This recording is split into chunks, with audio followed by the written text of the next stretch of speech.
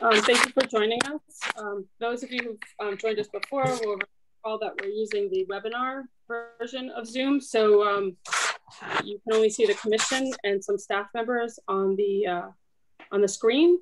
Everyone else is in attendee mode. If you are here as an applicant tonight, um, we will um, elevate you so that you can participate with the commission when your application comes up on the agenda. If you are here just to observe, then you will be observing. Um, please refrain from using um, the chat or the Q&A for any items that are closed. Um, and then um, just the commissioners themselves, just, uh, you know, either speak up or raise your hand, but be cognizant of what others are doing, please. Okay, great. And as always, use your name. Um, okay, roll call. John Goodwin, I am here. John Chris, Here. Krista Nielsen, She is, Krista, we, okay. Uh, Dan Radman, Here. Claire Tiscornia. she, she's absent for the. Oh, the. sorry, yeah, yeah, yeah, sorry, sorry, yeah. Claire- Claire- Right, later. I I got it, I got it. Um, Ken Turner? Here. Dick Ward? Here. Okay, Phil Williams is not here tonight. Arthur Cassavant, Here. Chris Herring, Here. James Bash. Here. Okay, super. Uh, Mr. Herring, you are seated for Ms. Tiscornia, and Mr. Bash, you are seated for Mr. Williams for um, the public hearing, the regular meeting. Um, 7-Eleven Silvermine has been withdrawn. So if anybody is here on 7-Eleven Silvermine, that has been withdrawn. Okay, we're going to start with a presentation. Francis Pickering is Executive Director of WestCog. Um, Francis um, has, has been a huge help to the Planning and Zoning Chairman Group uh, that I've told you about, um, particularly vis-a-vis uh, working on and giving feedback on the, the legislation and the various versions of legislation. So I thought it would be great to have Francis on. Francis, if you can remind us um, of what WestCog does, give us a quick back, quick, quick background on your background, and then if you can outline the legislation and tell us what's important to us uh, on the commission. Floor is yours. Sure, happy to do so. Thank you. Uh, thank you for having me tonight. I'm pleased to be here. Um, WestCog, the Western Connecticut Council of Governments, is um, an 18 member uh, body set up under state law. We serve 18 municipalities from Stamford through, oh, sorry, Greenwich through Westport and up to New, Mil- New Milford and Sherman. I'm the executive director and I've been there since 2015. Uh, one of our roles is we uh, provide referral service for uh, municipalities in the region. So whenever a, uh, a proposal comes to you for a uh, zoning map amendment, zoning regulation change, or subdivision ordinance change, or change to your POCD that may affect property within 500 feet of a town line, it comes to the COG for review. Um, I am joining you tonight from the beach, so I apologize for pacing around. The no-see-ums are eating me alive, and I have no air conditioning in my house. So that's my explanation for the location. Um, we did work very closely with the Planning and Zoning Commission chairs. It was a delight to have jo John on our committee um, to go through all the various iterations of housing proposals and zoning reform proposals we saw this last legislative session. Most of them, like uh, any legislative initiatives, did not make it to the finish line. Uh, there are lots of ideas proposed and that fall by the wayside over the course of the session. Not every idea is a good one, and there's a only limited appetite to every year and, and bandwidth to pass new concepts. So what did pass this year is Public Act 21-29. It was known as House Bill 6107. And the bill does a number of things uh, with respect to zoning reform and housing. And I did send a presentation to Lynn. I don't have the ability to share it right now, but I'll just talk about a few key points. Francis, I'm in the um, opening it right now for you. So just keep talking. Okay, great. Right. So uh, 2129, the presentation I sent out um, includes links to the actual text of the bill, as well as uh, the, the legislative analysis from the Office of Legislative Research. Um, what the, the, bill does, I, I, can't cover everything in the time I have allotted, um, but I'll, I'll, touch on the, the highlights. Um, it makes some changes to the development review process in terms of fees and what you can and cannot do. Not really that important because uh, by and large, municipalities already have used consultants for technical review. Uh, it does put into effect required biannual training for PZC members and require certification of ZEOs. Um, that's not really a huge deal. It's probably it's probably good to have. Um, it requires planning and zoning commissions not to discriminate in decision making, uh, so that you cannot discriminate on the basis of immutable characteristics. That is a little bit um, unclear. I, I, I would assume that planning and zoning commissions in Connecticut already uh, do not discriminate on this basis, but immutable characteristics is not defined in state law. So we may see some questions about that potential litigation in the future. Uh, for instance, um, uh, marital status is mutable, but it's a protected class. So the language used there is a bit questionable. Um, perhaps the legislative fix in the future to replace immutable characteristics with protected classes um, oh, uh, should be in order. Um, what may be more interesting to you and was talked about more uh, in the public square this year uh, was a couple of other things. One is redefinition of character.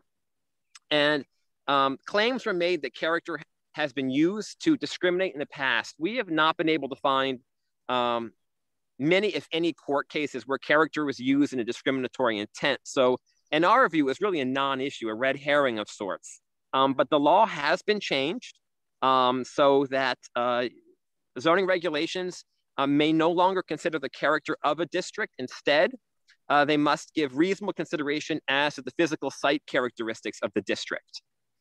Um, and applications may not be denied on the basis of a district's character unless such character is expressly articulated in such regulations by clear and explicit uh, physical standards for site work and structures. So um, that means if you do care about character, you may want to revisit your um, your zoning regulations to define exactly what character is in physical terms.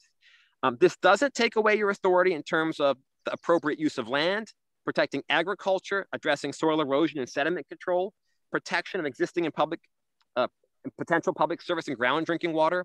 Um, and in fact, um, uh, Public Act 2129 expands your authority in some very important areas. So uh, zoning uh, now explicitly shall protect historic, tribal, cultural, and environmental resources. This was not, you may have done that in the past, but it was not specifically called out. Um, and you uh, zoning regulations shall also consider the impact of permitted land uses on contiguous municipalities and on the planning region. So there is some actual expansion of your commission's authority in um, Public Act 2129 that really was not mentioned in the public discussion. And you may want to take a look at that and see if, if you would be interested in amending your regulations to uh, cover that. Um, there are some areas where your authority has been hemmed in or it is you are given more specific direction specifically with respect to housing. I'll get to that in a, in a minute. Um, but um, while we're talking about expansion of zoning authority, um, Public Act 2129 puts into statute um, a court decision from 1969. So floating zones, overlay zones, and planned development districts are now explicitly statutorily provided for. So again, more flexibility. Good things. Um, 2129 also empowers municipalities environmentally. So again, this was not really discussed in uh, the, the, the, public debate, but it's in the law. Um, historically, or up until now, coastal municipalities um, have been required to give reasonable consideration for restoration and protection of the ecosystem and habitat of Long Island Sound in their zoning and be designed to address environmental issues in Long Island Sound. And uh, furthermore, to consider the environmental impact on Long Island Sound of any proposal for development. This, these requirements and powers have now been extended to every municipality that sits on or borders a navigable waterway that leads into Long Island Sound. And uh, there is a definition of navigable waterway in state law. Um, generally speaking, uh, if you can float a canoe or a kayak down the river at any time during the year or down a stream, it's considered navigable. So there is, I, I don't know all the waterways in New Canaan, but it is uh, conceivable that these Long Island Sound requirements and new powers would apply to your zoning. And you may uh, need to uh, consider amending your zoning to account for that. Uh, Public Act 2129 also endows municipalities with new options in sustainable development.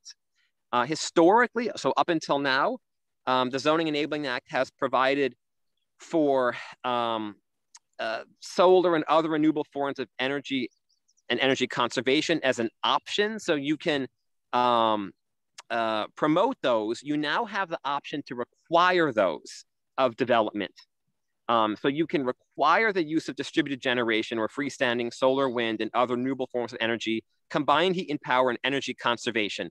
Some of this may intrude on the building code. I don't know how that would be arbitrated if you have this new power and it infringes on the building code, but there's a lot you can do from um, sub, how, how property subdivided, um, from, from the outside of the building, how the building massing, um, location of windows, roof, coloration, etc., that can be addressed through this. So you have a real opportunity to green, to green your zoning, address climate change, and improve electric resilience through this. Um, additionally, uh, state law has enabled zoning to provide incentives for passive solar in subdivisions. Public Act 2129 massively expands this to allow you to provide incentives. And they, they give a couple of examples of incentives, but it's a including but not limited to. So you have wide discretion in incentives you may give um, uh, to any type of development. And it's not limited to passive solar anymore, but includes solar and other renewable forms of energy, combined heat and power, water conservation, including demand offsets, and energy conservation techniques. So you could use this, for instance, for um, to require energy efficient landscaping, um, potentially to require uh, fixtures that are energy efficient. That may again wade into building code area, but it is provided for in zoning. It could be quite important in Southwestern Connecticut, given the uh, water supply challenges we have. Um, zoning has historically enabled cluster development. Um, Public Act 2129 now allows you to require cluster development if you so desire. Um, so that's another opportunity for your zoning or your subdivision ordinances. So we look at this as very positive. You have a lot more authority to green your zoning if you're interested in doing so. Um, and this has not been discussed, as I said, much. On the flip side, what you may have heard about is new parking requirements. So a cap on required parking, uh, one space per studio or one bedroom unit, two spaces uh, for all units of two or more bedrooms. This applies to all residences in all zones. Uh, it does not contemplate visitor parking However, it only speaks to parking that is tied to a residential use. So if the visitor parking is associated with a clubhouse or um, it's associated with a mixed use development, the commercial aspect, it would not actually cap you.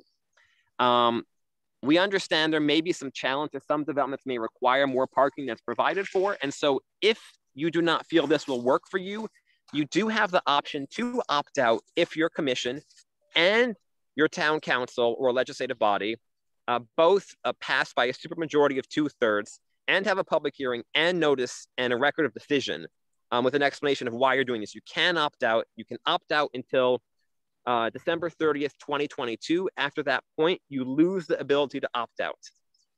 And that applies on a municipal wide basis. Housing, of course, is the crux of this bill. And there's a lot in it. Um, what hasn't been discussed much and that what I find very important is that zoning must now address significant disparities in housing needs and access to educational, occupational, and other opportunities. It must affirmatively further the purposes of the Federal Fair Housing Act. Um, it must expressly allow for housing to meet the needs identified in the state consolidated plan for housing community development and, and state POCD.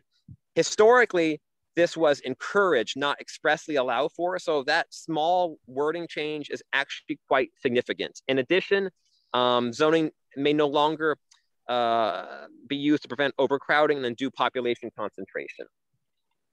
Um, on a side that you may, uh, an aspect you may appreciate is the affordable housing plan that you are required to complete by 2022, in which, um, if you're participating, the COG is doing for your municipality um, may be included as part of your plan of conservation and development. So it can be integrated, not a standalone plan.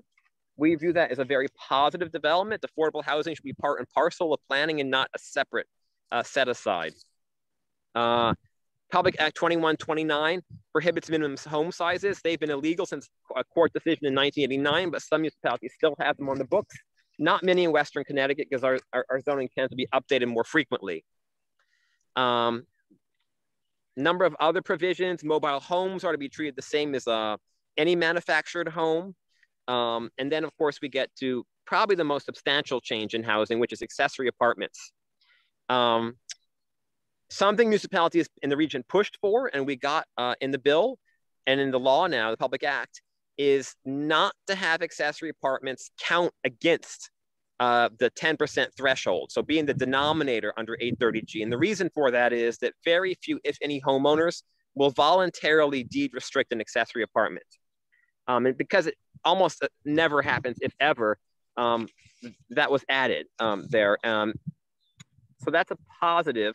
However, that only applies to apartments that are permitted or built uh, from January 1st, 2022. So if you have a, apartments that you know are coming online or that whose approvals have to be renewed, uh, there may be uh, some advantage to issuing a temporary approval and then making it final or permanent in 2022, so it's not counted against you. Accessory apartments, um, building an accessory apartment, um, which is what we call an ADU now, um, will not trigger a septic system being treated as a community sewerage system. Um, so that has significant implications for the cost uh, that a homeowner um, might have to uh, confront in building an accessory apartment. It doesn't affect the fact that the, the septic system still has to have the capacity for the number of bedrooms in the single family home plus accessory apartment.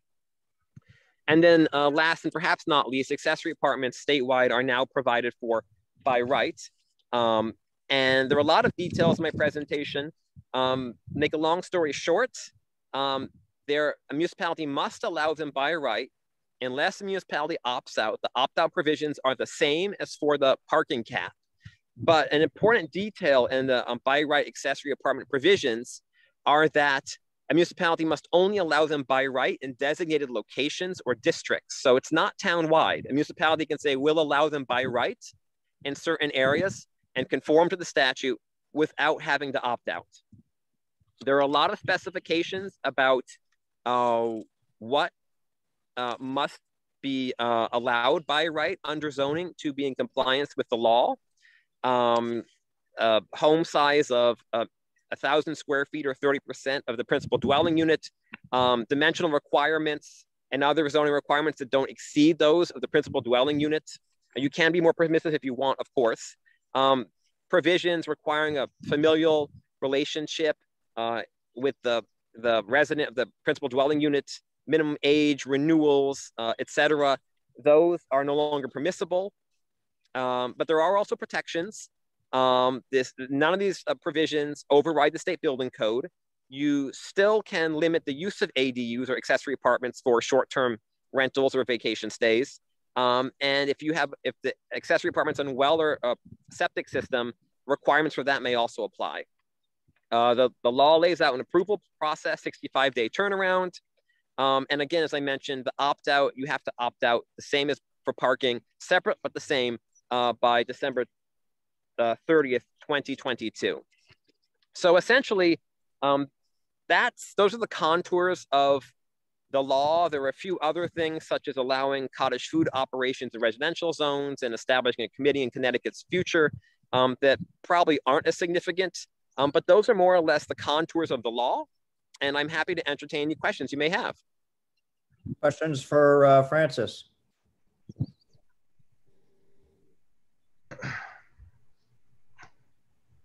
Well, I, I, guess I would just make the comment that it looks like uh, we're going to have to have someone take mm -hmm. a close look at our zoning regulations and see which pieces are going to have to be adjusted to now comply. Absolutely. So a lot of municipalities, um, you know, I've talked to a few. Some say, well, the regulations with respect to parking don't work for us because we have station areas where on street parking is very limited and these numbers aren't realistic. And the accessory apartments were very concerned about density in certain locations that are already very dense. And um, what they may be failing to see is that there's a lot besides that in there that a municipality can't actually opt out of.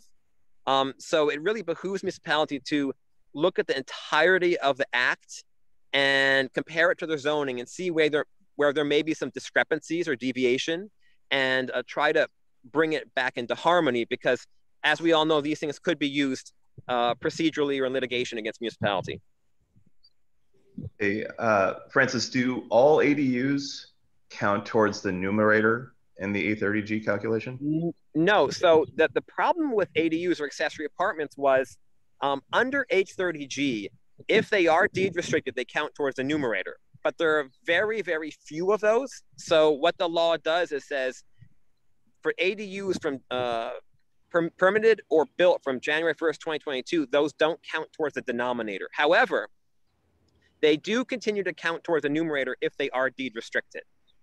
But I'm not aware of any deed restricted because there's there's no incentive for a property owner to do so. Okay.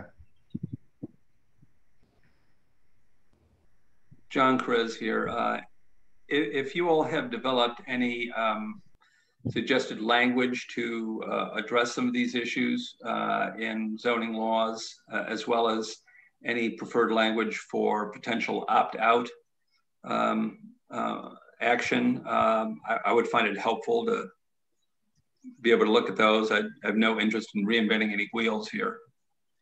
So what we've recommended to date is a couple things. We will be continuing to work with the Planning and Zoning Commission chairs as a, as a peer exchange to share information among municipalities because we're all facing the same challenges with this public act. Um, there, there are two issues. The opt-outs is one. Um, the law does require a decisional record, an explanation of why there's an opt-out. And um, I believe it's foreseeable that that could be used against a municipality if it's not a rational and empirical basis. So it really behooves municipality to approach that very carefully and um, build a really good case about why they're opting out. Um, with the, respect to the other aspects, some of these are new mandates.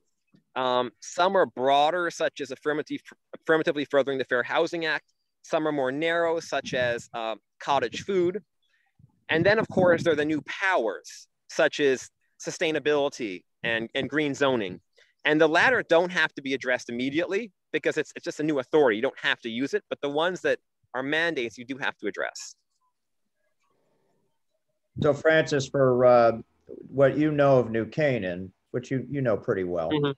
um, your, your point is clear and I agree with it. We really need to compare our regs to the entire act. That said, if there were two things that you think we should um, prioritize, what would they be?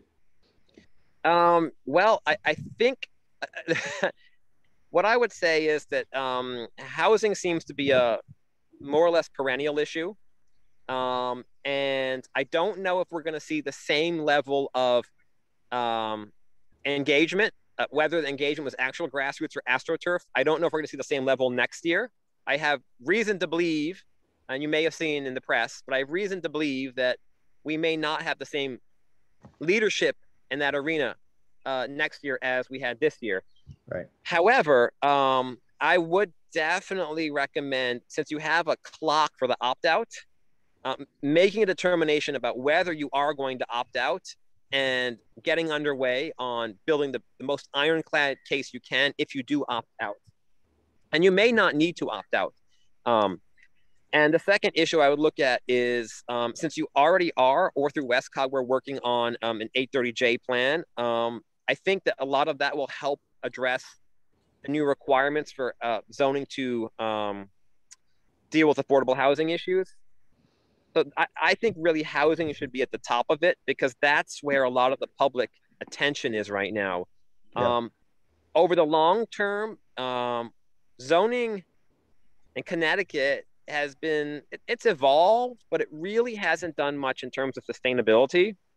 Um, and we, when you build a house or a building, tilt up commercial space may last 12 years or 15 years, but houses have a very long lifespan, and you're baking in um, environmental costs and household costs for decades. And so I think it's really important to start looking at these things again and say, you know, we're building the new Canaan of 50 or 75 years from now, right now. Um, and we know the way we've been building, maybe not personally New Canaan, but where I live, uh, brand new subdivision of 94 homes went in and they clear cut the entire property. The drainage is a disaster, it's causing flooding. And the none of the homes have proper solar orientation.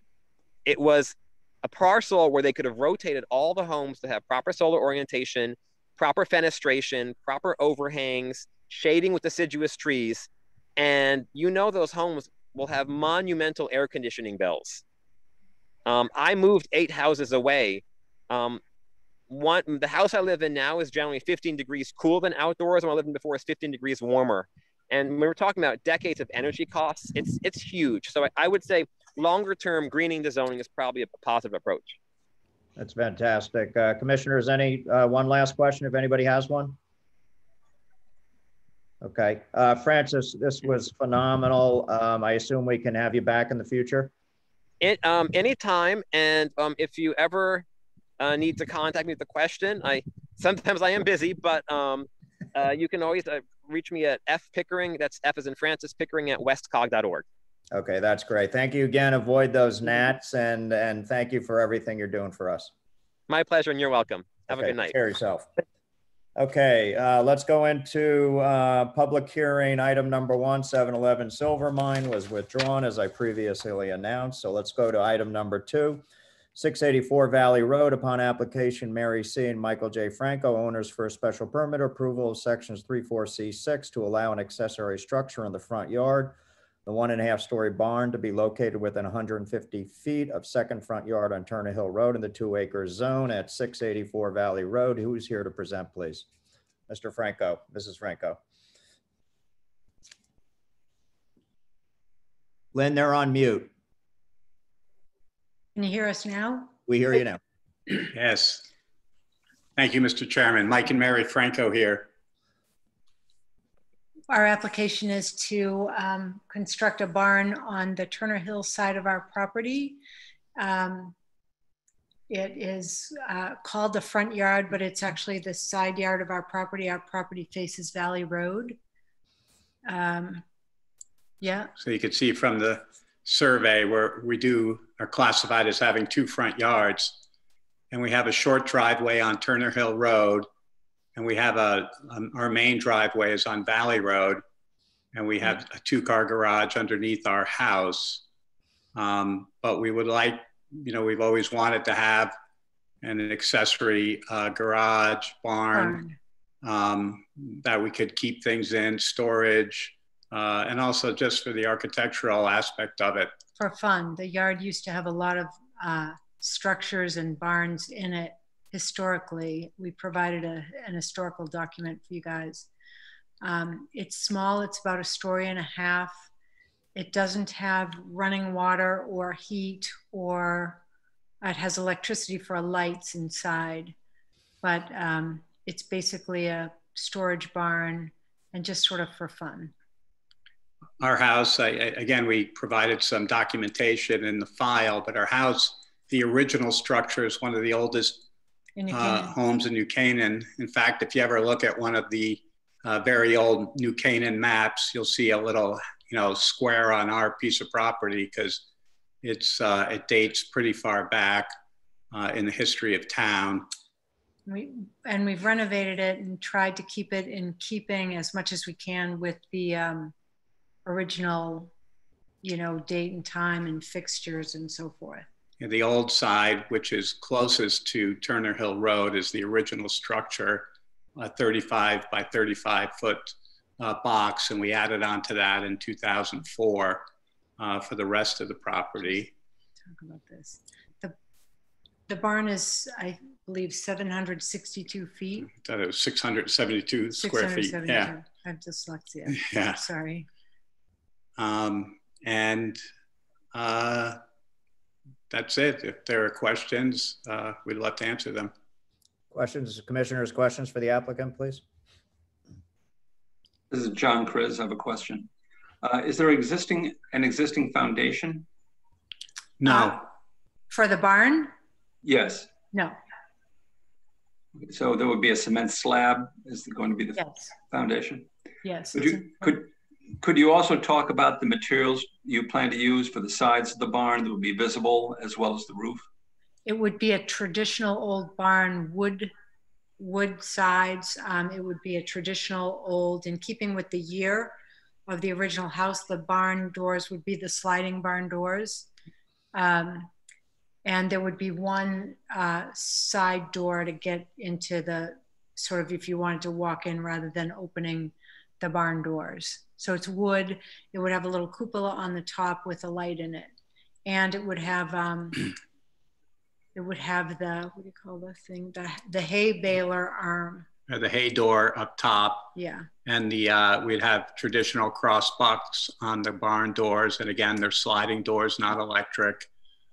And uh, you know, we're trying to make it as visually pleasing as possible. And there are many other barns on Valley Road. It's an old farming road, and uh, we think it would fit in great in on the street and in the neighborhood. And the roof? Uh, traditional, you know, an asphalt, architectural asphalt shingle. Thank you. Anybody else? might be an electric on that outside. Okay, um, Lynn, uh, would anybody from the public like to address this application, please? If anyone wants to speak from the public, could you just raise your hand on this application?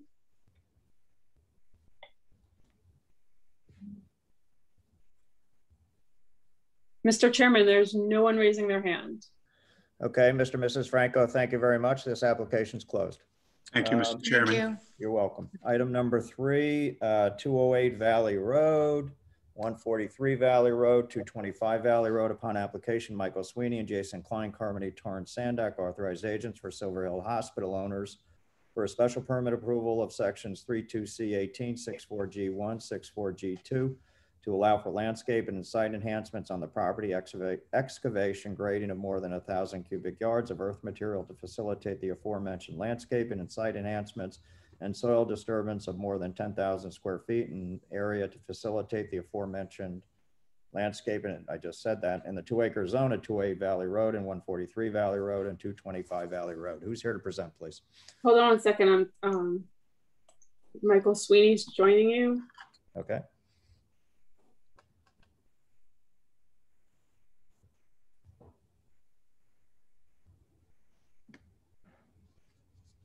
Mi- Michael Sweeney, please remind me of the name of your um, land of the landscape architect, Mr. Gould.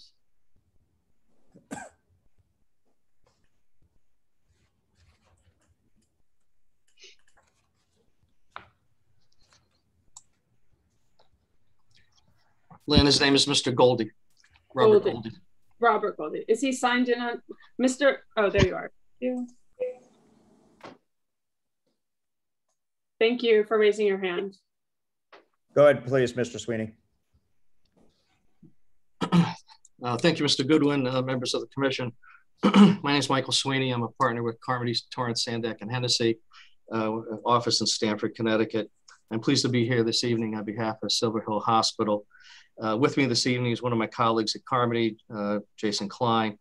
Uh, also, two experts who have uh, assisted in uh, the materials that have been submitted to the commission as part of this application. Uh, Robert Goldie of Towers Goldie. Uh, he prepared, uh, his firm prepared the uh, site plan, uh, plans that you have in front of you, as well as the landscaping plans, which really are the crux of this application. Also with us is Brian Baker of Civil One Engineers. Mr. Baker's firm prepared the engineering reports that you have, all of which received no commentary from uh, the town departments, uh, no effect on drainage by virtue of this uh, enhancement of landscaping and uh, sidewalks, and certainly no impact on uh, the existing uh, septic systems.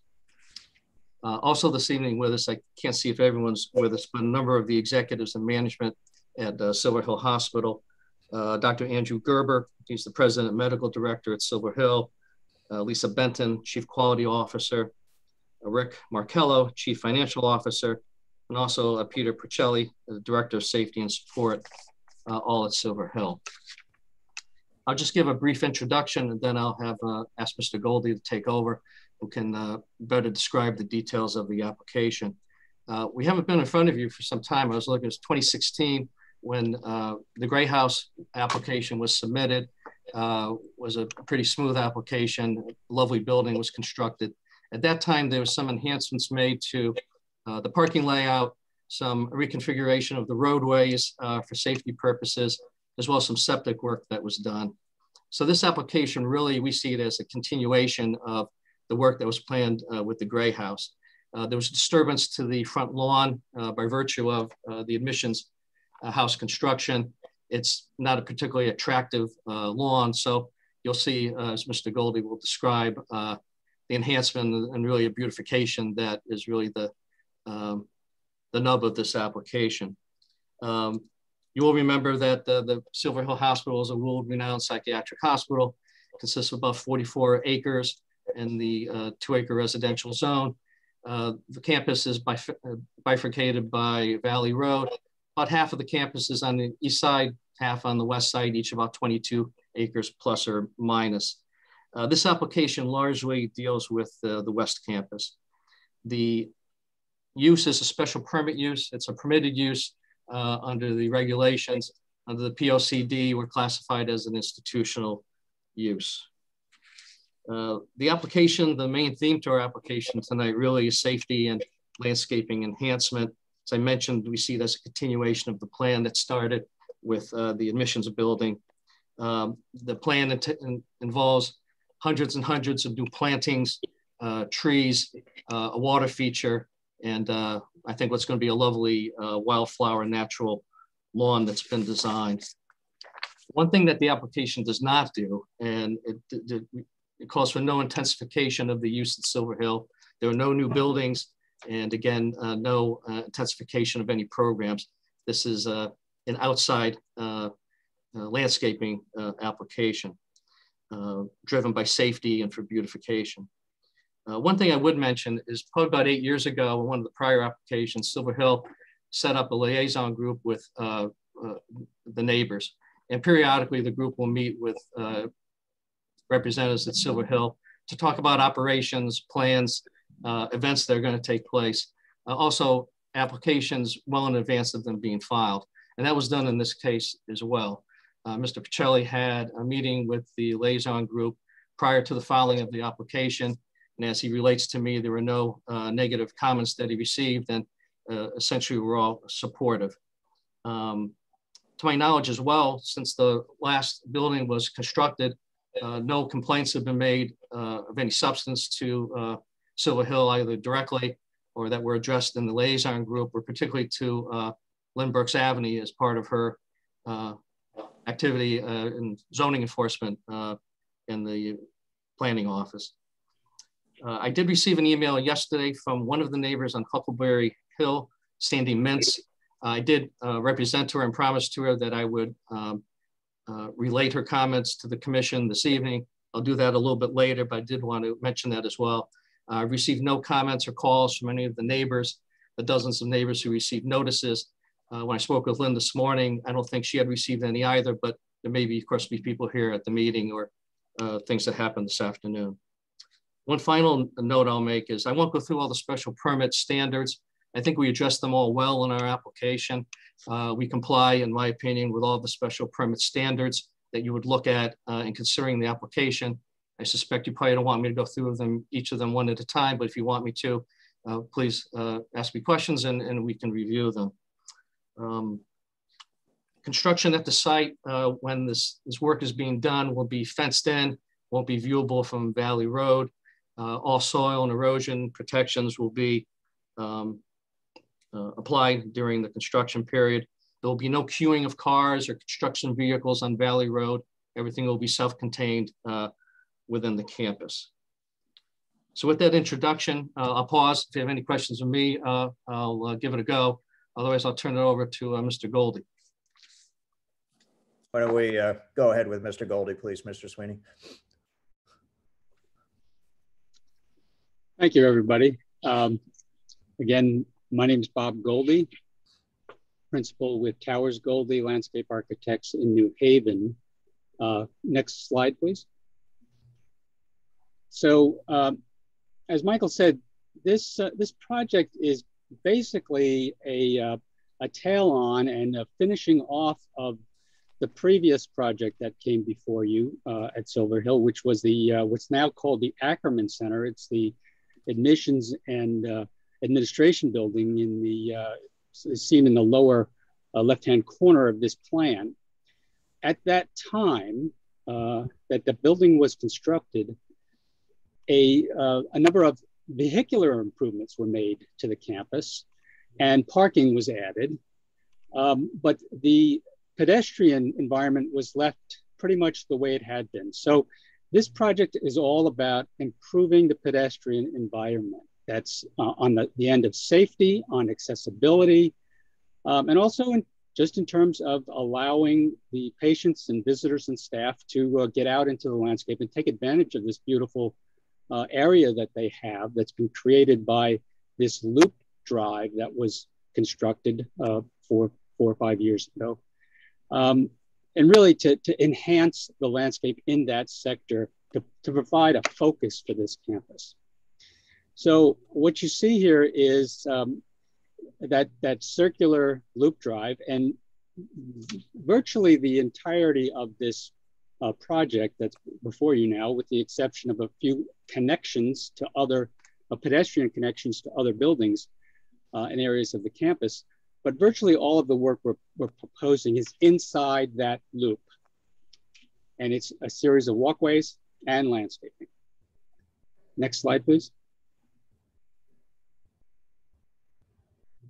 So this is an engineering drawing that was uh, was provided. Um, it's it's all of these are in the, the package that was submitted, um, but it, it more clearly shows uh, the in, in heavy lines the road improvements that have been completed, and then in lighter uh, lines the the walkways that are proposed through the center of this campus. Um, this is actually an erosion and sediment control plan that shows uh, where we're intending to put uh, sediment control uh, features, um, stock, stockpilings, topsoil, that sort of stuff. Next slide, please. Um, one of the aspects of the previous project that had been done was actually an improvement to the septic system uh, on several buildings in campus, in this campus. You'll see it in the, the, the blue lines here. Um, both on the to the to the left-hand side of the, the meadow and to the right as well. In constructing those septic systems, virtually this entire meadow area, this entire lawn was ripped up. The topsoil was stripped. Um, the uh, not only the septic system was improved, but drain lines were added as part of that project.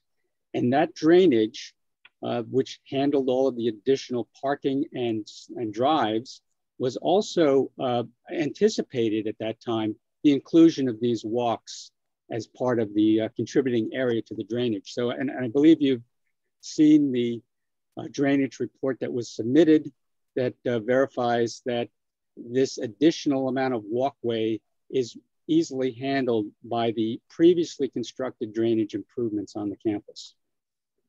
Next slide, please. So this slide sort of um, uh, illustrates one of the issues, or actually two of the issues that uh, we're trying to address. First is the obvious condition of this lawn. Um, it had not been uh, properly uh, re-landscaped or, or, or seeded uh, because it anticipated this project coming along. Um, it needs additional topsoil. And furthermore, uh, what you see here as a sort of a herd path is the sort of desire line for uh, patients and staff through this central space. There are no walks there now. We'd like to give them a walk to go on and make it a little more interesting than a direct straight line that you see here that exists today. Next slide.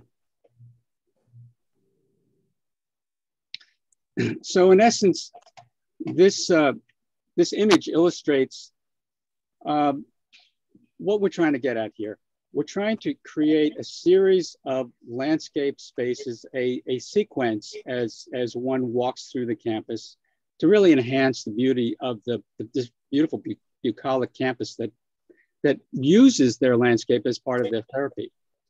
So this is the view uh, from Valley Road looking in towards what's called the main house across this meadow area. Um, we would in, improve the, the landscaping on both sides improve the crosswalk that exists um, at the intersection of both uh, access drives to the campus on either side of Valley Road. And uh, Next slide. the next uh, slide illustrates how, as you walk into the center of this space, the intent is that you be surrounded by a wildflower meadow. So that is the sort of central focus of this space. We are trying to get away from a manicured lawn and get towards a more a naturalistic and uh, we think more beautiful um, changing landscape uh, as you go through the summer with, uh, with various wildflowers blooming at different times. Next slide, please.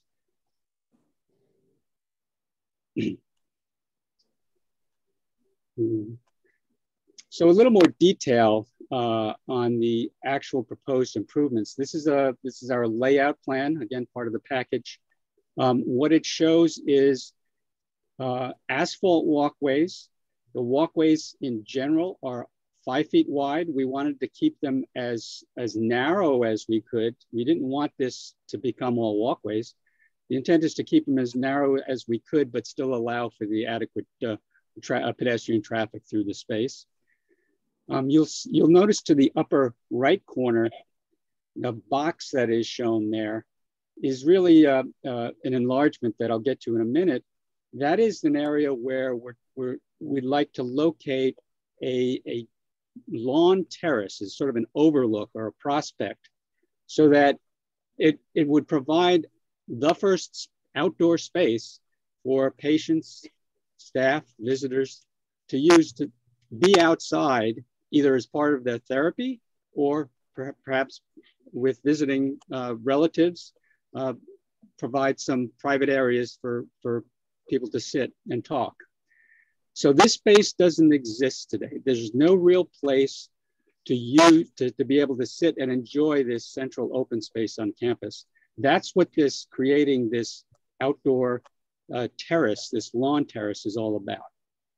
It is connected towards the, uh, the main house with a set of stairs that will be built um, so that it sits more or less mid slope between the drop off of the drive that, that exists today and the meadow itself. So you'll be able to look out over the meadow uh, towards the distant views.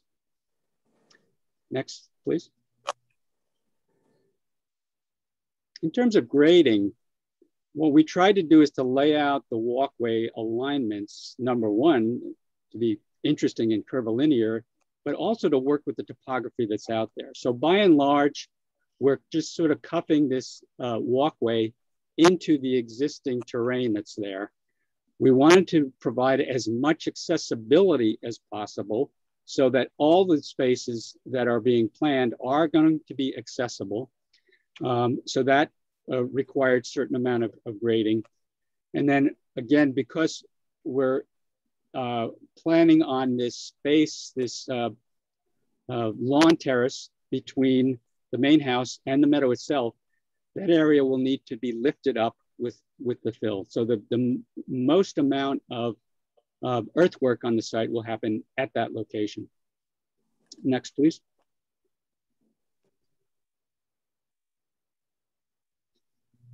In terms of planting, uh, as Michael pointed out, uh, we're providing a, a, quite a robust planting plan. Again, the intent is to augment the landscape that, that exists. So we're working with the palette that exists on, on the campus, most of which is native material. Um, but we're using it in, uh, again, a more naturalistic fashion. We are prevent, uh, planting quite an, a, a, robust buffer, uh, which will enhance the trees along Valley Road right now. Um, if you remember back when the uh, last application was in, there was a parking, uh, an additional parking strip added between uh, the meadow and Valley Road. That area, which has trees in it, will be reinforced with planting. Again, naturalistic uh, mixture of, of, trees and shrubs. Uh, the trees would be both flowering trees and, and uh, shade trees. The most intense planting is proposed at the actual uh, terrace, the overlook terrace, for obvious reasons. That's where people are going to, uh, to stay for a while. Um, and so we wanted to enrich that, create a, a welcoming space around it. Uh, the vegetation on the meadow side of that, that uh, uh, area is going to be lower with the exception of the shade trees that one would look underneath. But it, we wanted to actually enhance the views with, with the uh, proposed planting in that area. The next, next slide, please. So this is a blow up. The upper uh, right-hand corner is a blow up of the planting in that um, lawn terrace area, um, showing quite a mixture of, of plant material. Again, mostly native material, but there are going to be some flowering uh, shrubs and, and trees for interest. The other segments that you see on this drawing are the, the interstitial connections that will complete the pedestrian path system so that all of the buildings on campus have an adequate pedestrian connection to this space and through the campus, much of which um, either doesn't exist today or uh, exists in, a, in an unimproved condition. Next slide, please. So again, uh, the whole point of this is to create an enhanced landscape and to provide an enhanced safety for the pedestrians. We've taken care of the vehicular traffic previously. This is really about pedestrians. Next slide, please. Again, as you walk in, up towards this, uh, this uh, prospect lawn terrace, the idea is that the, the planting becomes enriched. You can see the water feature the water feature that is there for not only visual, but for sound as well, to give some uh, additional amount of quieting uh, to the people who are using this space. And I will say that um, there's a lot of interest in, on the part of, of Silver, Hill about using this space uh, for therapy, whether it's group or individual therapy. Um, again, this type of space in this general location doesn't exist today. The next slide. another view of the overlook terrace. Um, on the opposite side of the uh, sloped walk, we will need stairs. The, the grades get uh, a bit steeper. Um, so we have stairs. And as I mentioned that there will be stairs that connect this terrace directly up to the, the stairs that go from the drive directly into the main house, the original building on campus. Next. So again, this is a sort of an aerial view of this, uh, this lawn terrace, um, showing the, the intent here, an enriched landscape tucked back away from the road, overlooking uh, in a beautiful uh, wildflower meadow. And that pretty much encompasses everything I wanted to, to say. Um, Michael, I don't know if uh, the engineer has any comments I don't think right yet, uh, Bob. I think we can turn it back uh, for any questions at this point. Commissioners, yeah. questions for the applicant? Question. Mr. Ward. Yeah, uh, Dick Ward. Uh, you mentioned the water feature. What, what is the source of the water and is there an estimated amount of water consumption that would be used? It's a recirculating fountain. It's, uh, it's only about 10 inches deep uh, there will be a, a well, a recirculating uh, trough to get the, the pump and the mechanical equipment. But we're trying to use the absolute minimum amount of water that we need to get the effect. Um, I, I, honestly, I don't have offhand the uh, volume of water, but uh, in terms of depth, it's limited to about 10 inches. Thank you. Uh, Hi, uh, James Bash.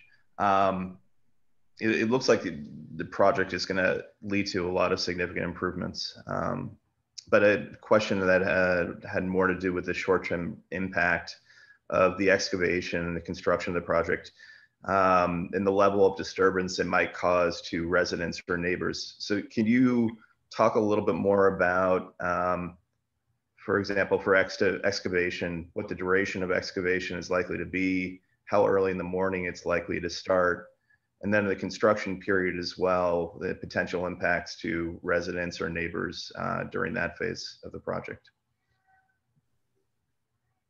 Um, is Peter Porcelli on, on the call? Peter has uh, is overseeing the actual construction. Hi, yes. Hi. Good evening, everyone.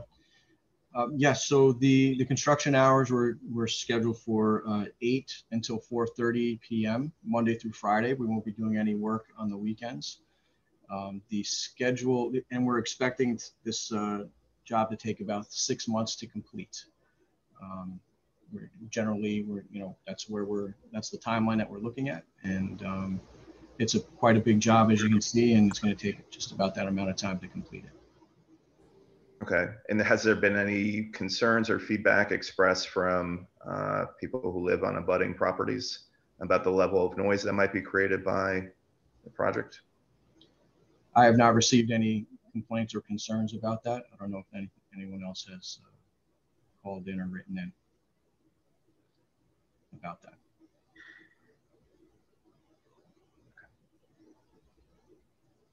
Thank you. Mr. Cruz? Um, John Cruz here. Um, question for the landscape architect. Could you uh, share with the commission um, some of the choices you made on the plantings, in particular native versus non-native plantings and relative attractiveness to uh, pollinators and other fauna? Oh, glad you asked. Um, you know, as I as I did mention the plant list uh, that we have provided. Um, it is by and large uh, native material. It is not exclusively native material. Um, we are uh, planting shade trees, uh, maples, oaks, uh, no, no ashes, um, primarily maples and oaks. Uh, flowering trees, um, amelanchiers, redbuds, um, uh, we also have some magnolias, some some um, non-native trees, but by and large, the trees and particularly the shrubs, uh, we typically stick with a uh, close to native palette. Um, I don't know if we could go to the uh, the plant list if you'd like to take a, a deeper look at that. Thank you. Um, it is on the appendix of the presentation. Play 14, I believe it is.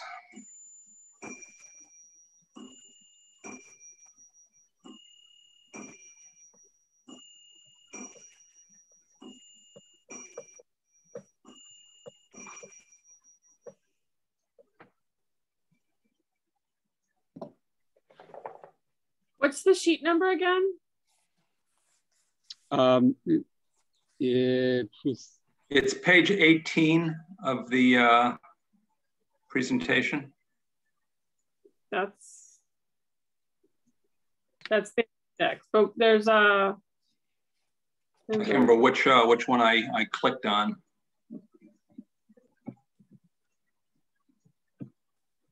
It's on landscaping and hardscaping improvements plan. It's page 18 of that.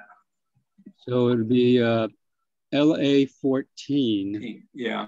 This drawing number, which would be uh, close to the last one.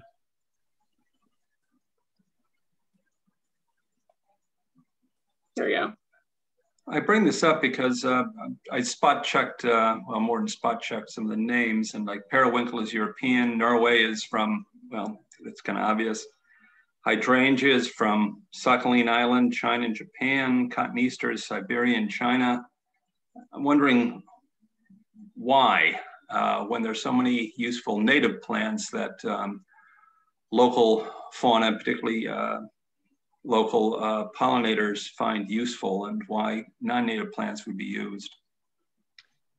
Well, we are trying to provide a level of interest um, in terms of the sheer quantities.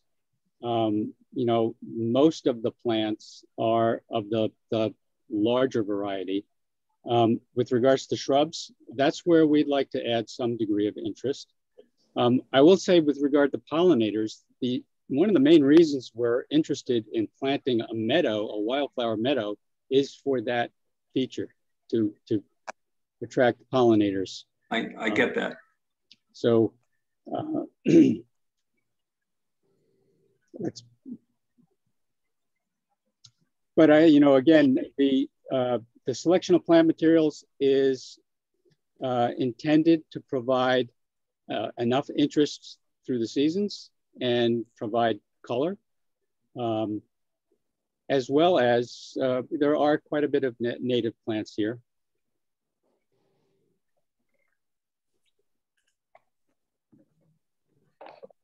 And, and just question is why uh, such were not uh, prioritized and whether that was an issue you considered in putting together this list. Well, we try to keep a balance of, uh, of, of, plants. Um, I, honestly, I do think that there is uh, a balance here of, of native material and, and introduced material. Um, prioritized. Um, again, if, if you look at where we're using plants, uh, the most uh, intensive planting uh, around the, the terraces uh, where people are going to sit or where we're proposing the, the most amount of shrubs. Um, as you get to the outer edges of the, of the planting design, uh, the plant material is, is largely shade trees and, and, and flowering trees that uh, are mostly native. So it's the introduced uh, plants typically are uh, right up against where people are going to be um, milling about and, and wanting to enjoy some, some variety. Another question on the landscaping. Will uh, all the stone be natural stone? Yes. yes. Thank you. Kent Turner? You hear me? Yeah, we hear you, Mr. Turner. Okay. Um, for the record, uh, Kent Turner, 229 Valley Road. I'm a, an abutter to Silver Hill. Um, I uh, find that the uh, the design, the proposed design, is um, will be a, um, a welcome addition to the neighborhood.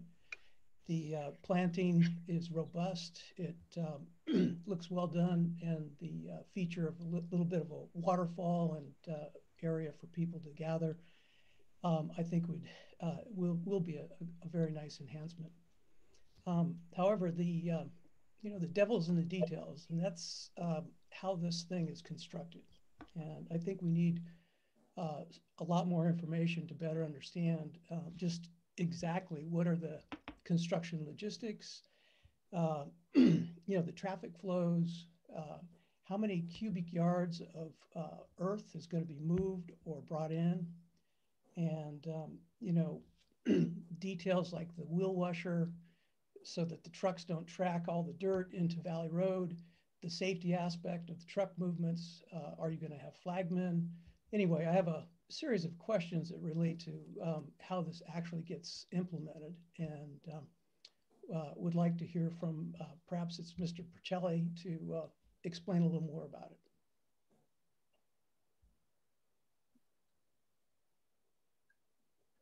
Hello, Mr. Turner. Um, I'm sorry, it was very difficult for me to hear uh, what you were what you were saying.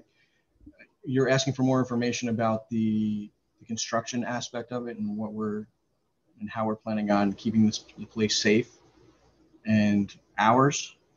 No, I am sorry. It's it's very hard. I'm even having trouble hearing you now. You, can you hear me now? Yeah, can, we can hear you, but if you can turn, if you, there's a way you can turn up your volume, you're not as loud as most of the other speakers. Can you hear me now?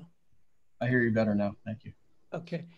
Um, yeah, I'm having a technical problem here tonight. Um, the um, the hours aren't the issue. It's it's really construction logistics. Um, you know, what's the the flow of traffic, the truck movements, um, how many trucks do you expect on the site? Where do they stage? Um, you know, are, are you going to have flagmen to uh, control the movement on and off of Valley Road? Um, wheel wash, how, are you going to keep the Valley Road clean? Um, are trucks going to idle? Are they going to back up? And I'm going to hear eat, eat 24 7. Um, anyway, if you could uh, address some of the construction issues, I would appreciate it. Sure. So there's no, there, we're not planning on having any trucks idling for hours on hand. The, the trucks are going to come in, they're going to go into the main circle area that we identified. Uh, that's where the fencing is going to be up. They're going to come in, they're going to go inside there, you know, take out, you know, dump their loads. Um, they're not going to be backing up and moving around, uh, you know, all times of day. Um, as far as wheel washing goes, the the uh, the contractor um, is is going to be handling uh, things like that. Um, that's not something that I had honestly thought about, so we can certainly talk to them about it and make sure that uh, anything that happens uh, regarding that, they, they maintain that so there's no dirt and debris going out onto the road. Um, the as far as flagmen and things of that nature go, we have you know security on site here. Um, we also have construction uh, folks that can that can give us a hand. We're not going to just have anybody barreling out onto onto Valley Road. Um, you know, we're trying to make sure that everything is safe and as safe as can be. Um, so we don't anticipate there being a huge amount of traffic uh, generated from that. They're going to be wheeling things in and, and getting it done, and it's not going to be uh, where they're going to be on Valley Road all day. Um, you know, creating a lot of traffic and a lot of problems uh, for the for the residents in the space. How many cubic yards of fill or cut are you going to do? do? I don't remember the exact uh, amount of cubic yards it was in the application. Um, do you do you know that, Bob, off the top of your head, or? If I gave you a number off the top of my head, it'd be wrong, but I it was over a, a thousand. So that's over a hundred trucks. over what period of time? It would be over the course of the, the project, over the course of, you know, six months. But all of that material is not going to take six months to get into the campus. Right. Okay. Could you um, just kind of uh, inform me as to uh, when a truck arrives at the site, where do they enter and where do they exit? They're going to enter through the main entrance but there, the there's more than there's more than one main entrance. Uh, the, the newly made entrance over by the admissions building, which we're Okay. categorizing as our main entrance. They're gonna come in through there and go right into the uh, the gated space, the fenced in space, and that's where they're gonna uh, do the majority of their work, unload their trucks, and dump their materials. And where do they exit? They will exit through the same e- entrance and exit and go out onto Valley Road through that space. Um, that is um, um, sums up my questions for the moment. Um, again, I think the uh, the design is um, very handsome and uh, will be a nice uh, addition to to the neighborhood if this is done properly. Thank you. Thank you. Commissioners, any other questions? I had one follow-up question, Mr. Chairman. Yeah, I Mr. have, I have one. Okay, Mr. Cruz and then Mr. Cassavant. Thank you. Um, on the plants that are being purchased, will any of them uh, be sprayed with neonicotinoids prior to uh, purchase, sprayed by the grower? I, Nix. I have never been asked that question. I I assume we could make that a requirement, but I you're you're, way out of my horticultural league here. so, can you say that again? Neonicotinoids, it's a um, just spray that's often put on plants, and um, it was actually um, uh, banned by the US government for some public spaces because of harm to pollinators. It's banned, I think, in Europe.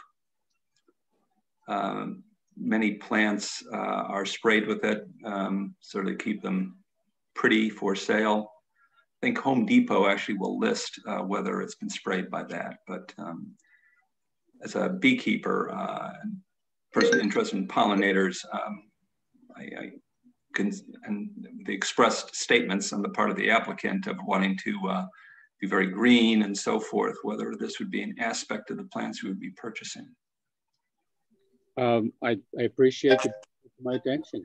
Um, we'll look into it. Um, I, I honestly, uh, typically plant material is sourced from quite a variety of nurseries. Um, and as landscape architects, we often don't get into that level of review. We can, however, put it as a requirement uh, for the, the material if, if that's something that is deemed necessary. Hmm. They were banned from national wildlife refuges as an example. So just asking a question. Thank you. You've answered my question. Mr. Uh, just a quick question, a thousand cubic yards of fill.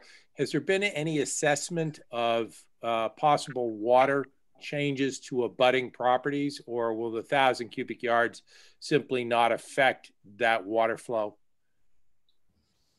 There should be no alteration to the water flow leaving the site.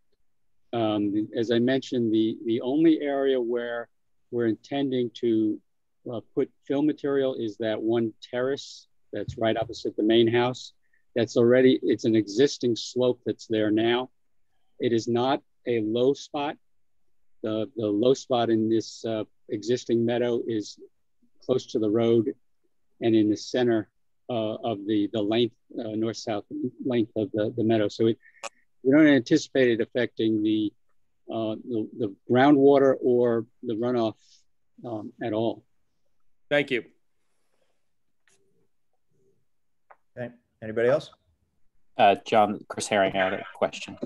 Sure. Uh, just a question, two questions. Um, one on irrigation and, and, the second on the crosswalks. So I, I, saw, I was looking at the the site plan review, and I did see a note for irrigation to the sodded areas and the the terrace, I believe. I just wanted to understand: is the is the meadow going to be irrigated, and how does that intensity compare to its current water use? No, with the the irrigation is being limited to a small strip of, of turf that's going to be adjacent to the walkway. The meadows themselves are not meant to have any irrigation at all. So it's a matter of, of maintaining that, that turf strip um, adjacent to the walkway and, as you mentioned, on the, uh, the terrace, the turf terrace itself. Okay, and then um, I guess lighting in the crosswalk. It, it looked like the bollard lighting that's uh, detailed in the plan is a um, you know a dark scare dark sky compliant design. Is is that it, correct? It's actually the existing light standard that was developed for and by the campus, and it's been used extensively on the campus. So we're simply using that fixture um, in, in in new areas. So it's it's um, essentially replicating the, the light levels that are out there already. It's just increasing them on the walkways. Okay, and are, are they are they dark sky compliant or are they just you know what they are you know it's actually a custom fixture it's a custom designed fixture and fabricated fixture um, if i are they certified to be dark sky compliant uh, I'm not certain of that. I, I, Mr. Porcelli might know the answer to that, but because it was a custom designed fixture built for and by the campus, I doubt there was any official certification of it. Okay, okay. And then on, on the crosswalk, um, is there has there been review and safety review? I see just it's going to be striped. Is there going to be any um, you know uh, push button strobe or anything to improve safety on the crosswalk, or is that deemed unnecessary? The crosswalk crossing Valley Road was actually part of the initial uh, uh, project and was built at the time that the the physical striping was built at the time that the intersection was moved and realigned to both sides of the campus. Um, so that was sort of permitted at that time. As I, as I recall, um, there was pushback against um, an activated signal there. So it's basically a, a stop sign for pedestrians in, in, in the walkway and, uh, and, the, and the painting. Okay, um, thank you. I appreciate the answers. That... Uh, so it's James Bashwood, just a follow-up question. Um, so given the duration of the work and it sounds like the construction uh, will consume a lot of daylight hours, Um, again, I want to go back to some concerns I have about the level of disturbance, the noise on uh, on residents actually. So you know, it's a mental health facility where you have people that, that are there that want a peaceable environment and they're there because they suffer from anything from depression to psychosis. And so I'm curious what the feedback from the Silver Hill staff has been in terms of the, you know, the impact of this extended project consuming most of the hours of the day on how people, um, how residents are experiencing their stay and the impact it might have on residents.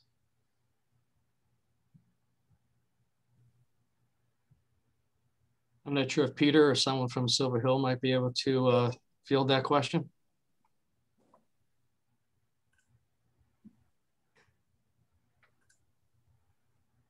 So um, as far as the as the impact goes, we, we certainly do want to make sure that we're, we're trying to keep our, our residents and our patients in mind. Um, you know, construction, unfortunately, you know, makes does you know make a lot of noise, and it, in order to do things that um, move the earth and do things like that, it, it, it requires a lot of noise to be made. Um, we're trying to, you know, obviously limit uh, where we can the, the noise that's that's coming from that. I, I don't know how we can successfully do that all of the time, um, but we're trying to limit, you know, the hours. You know, as we as we start moving along, you know, getting further on into into the project, um, you know, there'll be it'll get it's going to start to get darker. We're not going to have as much uh, daylight. Um, you know, once that happens, we're not going to be able to continue to work uh, as long as possible. Um, as far as impact goes uh, from uh, treatment, um, I don't know if um, if there's been any feedback um, to the executive team as far as uh, any any concerns from patients or or residents, um, but uh, nothing like that has come uh, to my desk or or to me. Okay. I can add a little color to that only from past experience. Uh, there have been some significant construction projects done on site with uh, the K House, with the, the Missions Building, um, and then all the improvements to the buildings over the years, going back to uh, uh, when Dr. Ackerman was CEO and Chief Medical Officer of, of the hospital. I remember posing the question, the same question to him on prior applications. How does, particularly when we did the cell tower, uh, for those of you who lived in town back when the cell tower was constructed, that was done at the request of the town and the neighbors in order to hide the cell tower along the ridge because the neighbors were concerned, uh, albeit the need for the cell tower uh, and that Turner, Ferris Hill, Valley Road area of town, which had no coverage. Actually, the coverage still gets a little weak as you go further north. Um, but at that point, I remember asking Dr. Ackerman about construction of the cell tower other construction as well. And uh, basically, he assuaged any concerns that I raised in connection with any hearings we had then. They say that they're, they're the professionals, they know how to you know, treat the patients and, and how to deal with any disturbance around uh, the campus. And certainly, they've done that on all the past applications and all the past construction.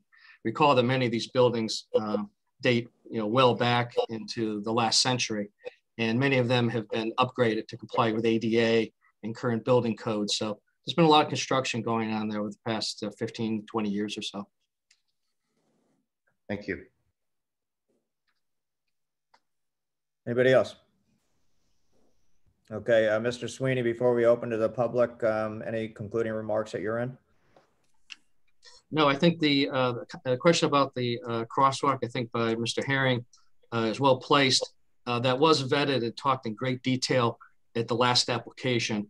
Um, we ran it by the police department, uh, fire marshal, Mr. Baker. I remember looking at it, and in keeping with the the desire to have it be very benign and passive, um, it was decided not to have anything other than a well marked crosswalk.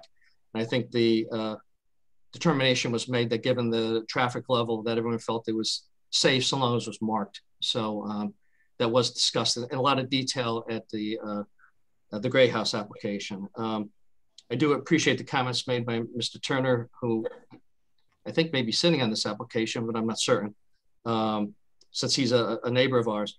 Um, and again, to allay his concerns, the uh, this is certainly like not like one of the $10,000 10,000 square foot monoliths that we see built around New Canaan nowadays that goes on for 18 months. It'll be a six month project.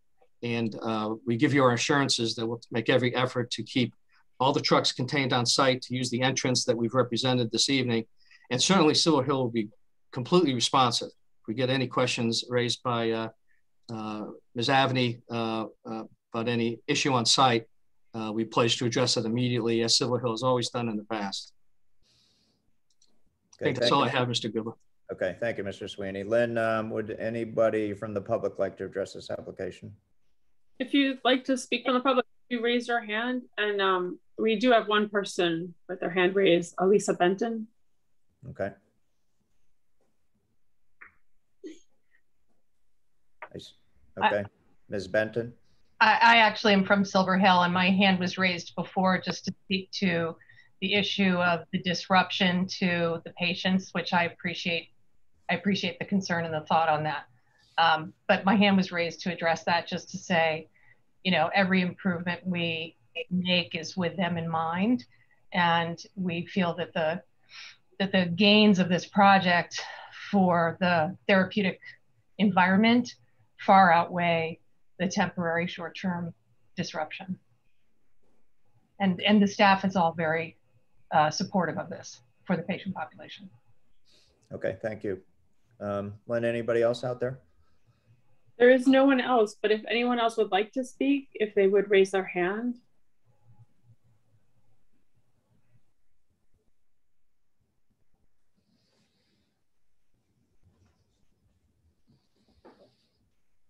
There, there are no hands raised, Mr. Chairman, at all. Okay, great. Thank you. Mr. Sweeney, you're all, you're all set, I assume, right? I, if, if you'll indulge me, there's one other comment I want to make, and it's based upon a promise I made to uh, one of our neighbors in an exchange that we had yesterday and this morning.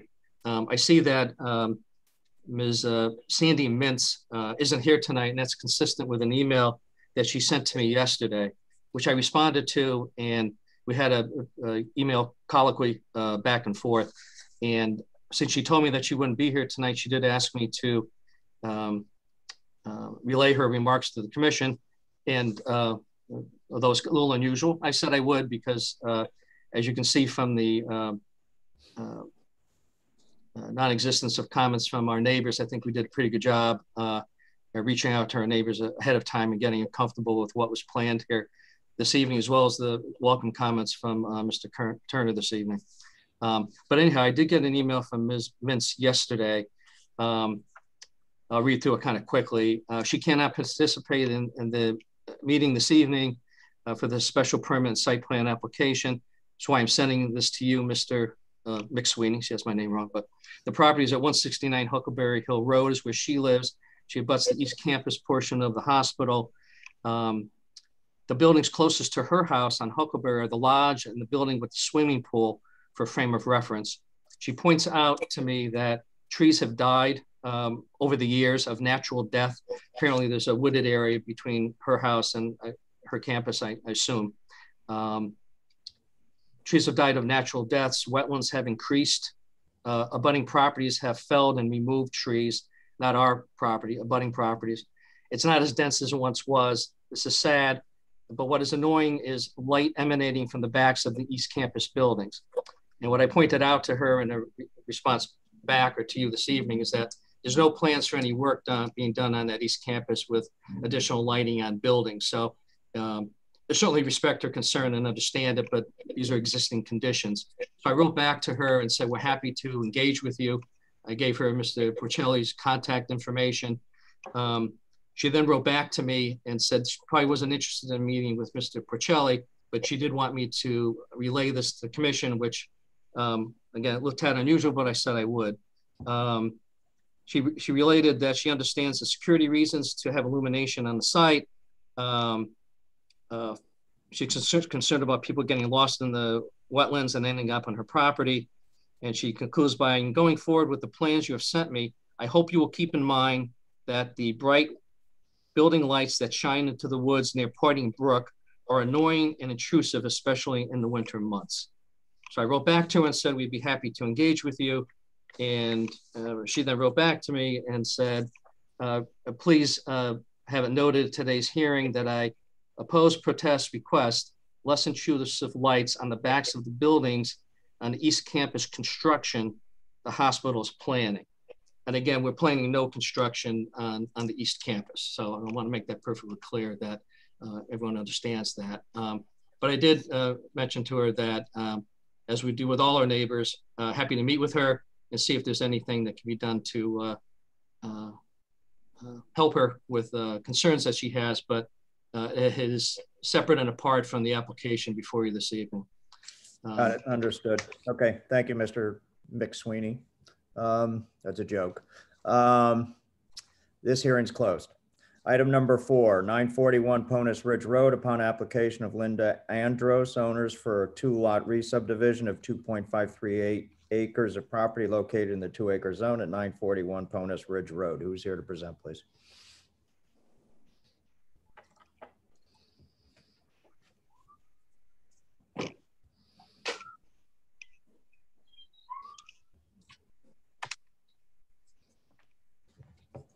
So Miss Andros is um is here.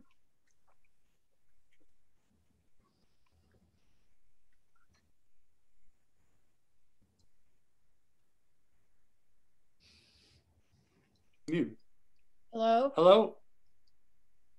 We can hear you. Can you hear us? We can hear you. Okay. Okay. It's uh, Bill Avery, uh, husband of Linda Andros, and Linda Andros, the property owner at 941 Ponus Ridge. Uh, we want to uh, subdivide our property and carve off uh, a building lot of about 2.5 acres. Um, I think we've uh, submitted all the required engineering reports and surveys. Uh, there's no wetlands on the property. Um, and uh, we look forward to your approval. Okay. Um, Mr. Avery, that this is a subdivision. This is not a re-subdivision, is it? Have you, pre- has this property been previously subdivided? Uh. I get yes, yes. Well, slightly yes. Uh, we bought the property at 955 Ponus Ridge, and then um, um, took a little property from that, gave it a little property to make that a building lot, which is now under construction. So I guess this would be a re-subdivision, yes. Okay. Commissioners, questions for the applicant?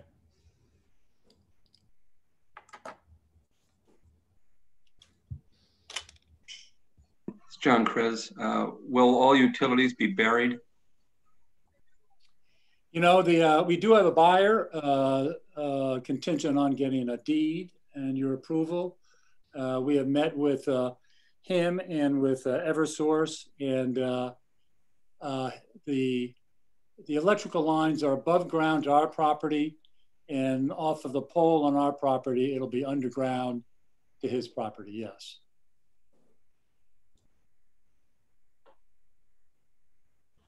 He doesn't have a builder yet, but that's his plan. Thank you.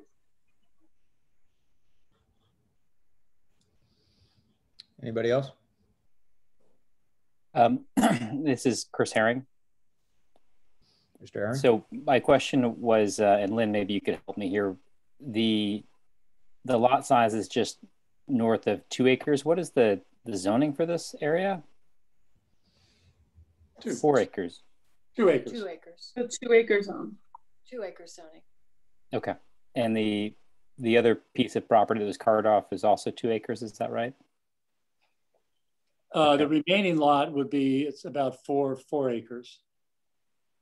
What we're left with on our house. Uh, yes, uh, our existing property will be a little over four acres. Okay. And the, the length of the, the the access point the length of the driveway? Is that uh, is it a shared driveway? Uh, no it's not going to be a shared driveway. It's an access way and um, you know i'd have to go to my computer to get you the length you'll see it there on the um, survey.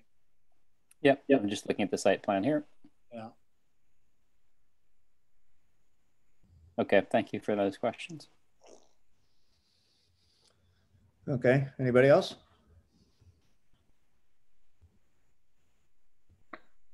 Okay, Lynn, why don't we open this up to the public, please? If anyone wants to speak from the public, could they just uh, raise their hand, please?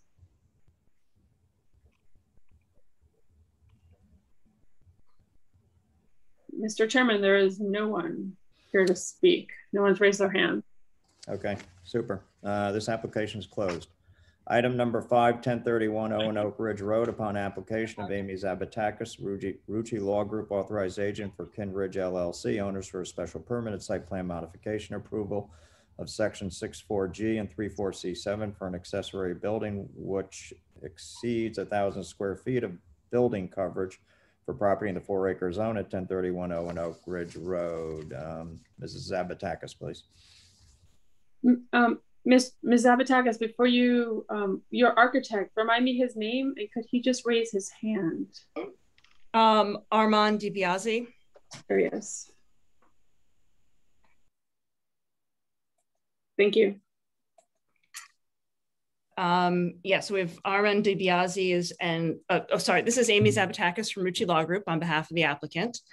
Um, I'm joined, um, well, I can't see everyone who's in, it, who is here, but um, Alex and Annie Phillips are the um, individuals who own Kindridge LLC.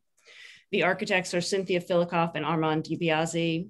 Um, landscape architects, Catherine Herman and Rebecca Montross, and engineers Adam Serini from DeAndrea Engineering.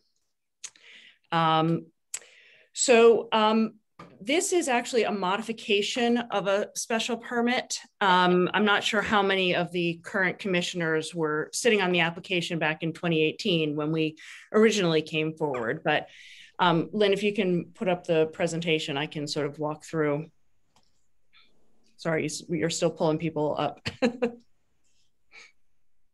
Yes, you can start talking. I'm pulling it up right now. Okay, so um, so the original um, so prior to 2018, this was two lots with two single family residences, and the larger lot was also had a barn and riding facility as well as a pool um, and a office uh, garage structure up near Oenoke Ridge. The um, original house on Oenoke Ridge was quite close to the road. Um, in our original application in 2018, we sought to merge the two lots and um, build one single family residence with a barn and equestrian facility. That, that single family residence also had a pool and to retain the office garage structure up near Oenoke Ridge. Um, that application was approved.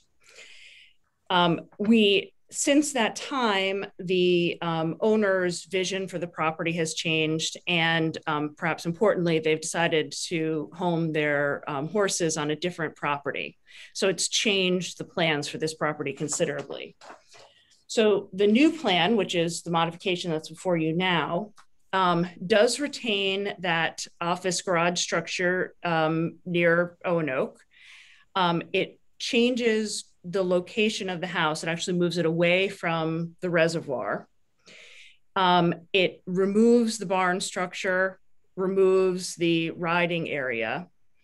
And then, as accessory structures, has the pool moved further away from the house than the original pool location and um, has a gym and tennis court um, accessory structure. So, this, what's on the screen right now, is the original prior to any um, work being done.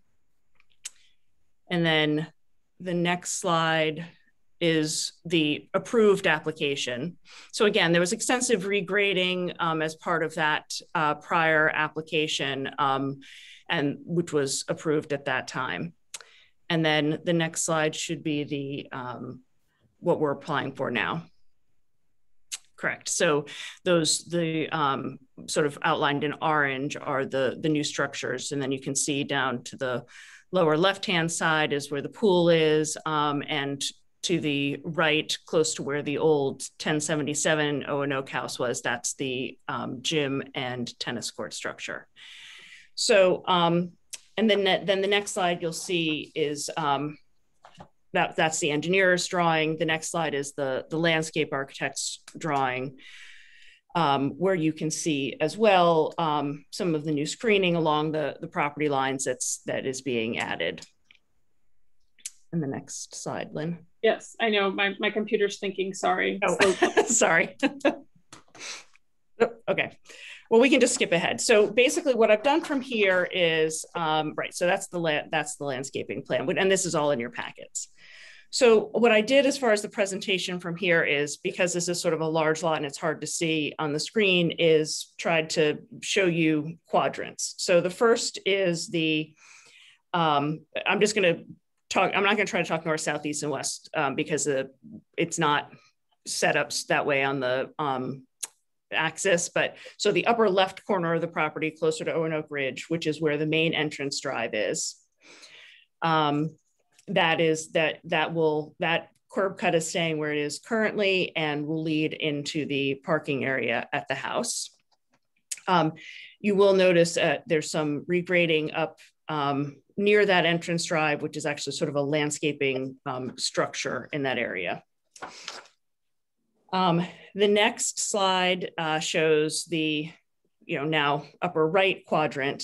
So you can see that retained um, office building, which we had was pre part of the prior approval.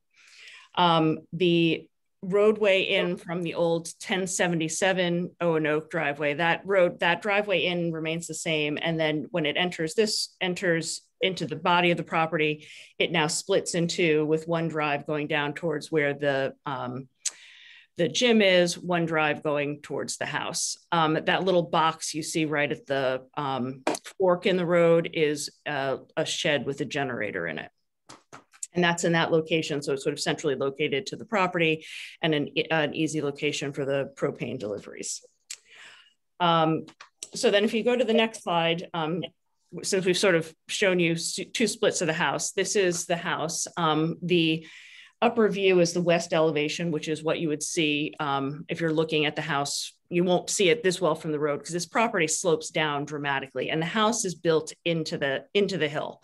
So even this you wouldn't see from the road because of the distance back from the road. Um, and then what you see on the, the slide below, it, which is the south elevation, is looking over towards the parking area. And you can see from this elevation how the um, the, the slope of the land is such that um, the house the house is like I said is built into the into the um, slope, and we actually have some open but covered courtyard areas um, looking down towards the reservoir. So it's not three stories, even though from this angle perhaps it looks a little bit like that, but those are all open areas. The um, the area where the garage is is um, actually considered a separate accessory structure um, because it has a um, living area on the second floor. The first floor is the garage area, but it's only connected to house by a porte cochere. Um, and I think that's the first time I've pronounced that correctly. So go me. Um, so your that area is um, considered a separate accessory structure from the the building itself. And I only mention that because as part of this application, um, it is a modification of the regrading permit that was already granted, but also a special permit for the um, accessory structures over 1,000 square feet. And that is the first of the accessory dwellings, not dwellings, accessory structures, I apologize. Um, the next slide, you can see some other views of the house. Again, looking at the house from the reservoir, which is the top view. Um, again, you can see those um, those covered terrace areas. And then um, from the north elevation, which is um, as if you were coming in from that 1077 driveway, the old 1077 driveway. Um, the next slide is the quadrant with the gym building in it. Um, so again, you can see we have a single story gym building and a, and a tennis court in that area. That gym building would be the second 1,000 over 1,000 square foot accessory structure. Um, and you can actually see the, on the next slide, the gym itself, um, the views, the elevations of the gym, like I said, single family structure with um, some garage storage space attached to it. Um, the next slide is the lower left quadrant, which is where the pool and pool house is located. The pool house is under a thousand square feet, so that's not part of the um, accessory structures that require a special permit. Um, and the idea here is that this pool is very close to where the old um, riding ring was. And so that old riding ring area can be turned into a nice flat um, play lawn as, it, as it's being referred to. Um, let's see, and then the next, on the next slide, you can see the interior of the, and, and elevations of that pool house. Um, you can see it's just a small sitting area with bathrooms. Um, and also on the left-hand side of that slide is actually that um, generator um, hut, which I pointed out at the fork in the driveway. Um, so basically, as uh, there, you have all of the information and we have the engineers on the call if you have any questions for them, but um, you know, the, the drainage report as um, was presented last time, um, no adverse impact on the property, no adverse impact on any of the neighbors. Um, we do have inland wetland approval. We've, we've tried very hard to make sure that we're protecting the wetlands as well as the reservoir. Um, one of the things that had come up in the last application was some concerns from the um, water company representative about protecting that reservoir during construction. Um, and we have incorporated into this plan everything that we had discussed at that time, such as um, double silt fencing during the course of construction for the areas closer to the water. Um, I think the one of the good positives here is that actually there's a lot less happening um, close to the to the reservoir in this new application because the house has been moved um, significantly further up the hill. Um, let's see. And um, let's see. So yeah, so the special permit is under 6.4G for the um, regrading. Um, again, that was granted in the last application, but of course it's modified considerably for the new um, layout.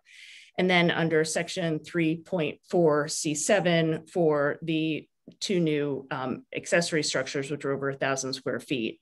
And as I said, we do still have the, um, the office barn structure that was is was pre-existing before any application was filed and was approved in the last application, and as well as the pool house, which is less than a thousand square feet.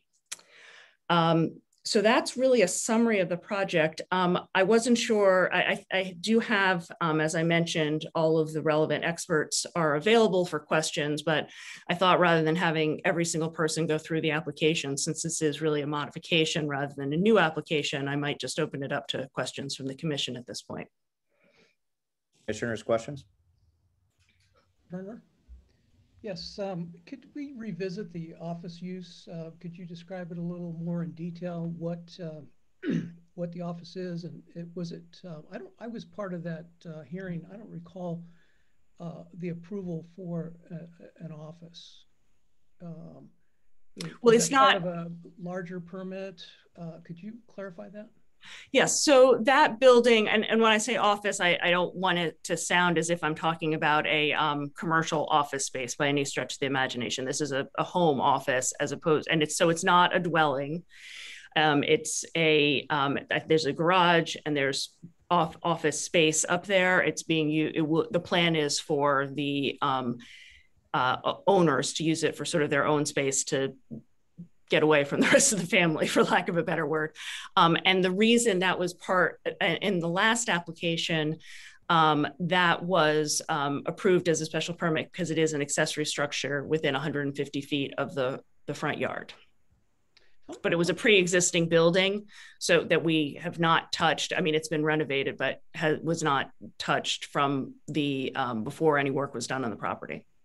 Okay, I'm just still curious about the number of parking spaces. Um, if it's part of the uh, residence, I, I, would imagine they could just walk from the main house to, uh-huh. to the office.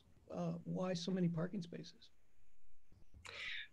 Well, the um, the owners themselves have a few cars as well as um, uh, recreational vehicles. So um, that's the reason that there are excess spaces for for vehicle storage. I don't know that all of them will be used for cars, um, but that is that there's space there for them. Okay, thank you. This is Kristen Nielsen. I have a, a couple of questions. So I know that we're hearing this application because of um, accessory buildings in excess of a thousand square feet. do you know um, what the proposed coverage for all of the buildings that you just discussed is for the site and what the total allowed coverage is for the site? Um, yes, that's on the survey. Um, Adam, do you have those numbers handy in front of you? I think you're muted. Oh, there we go.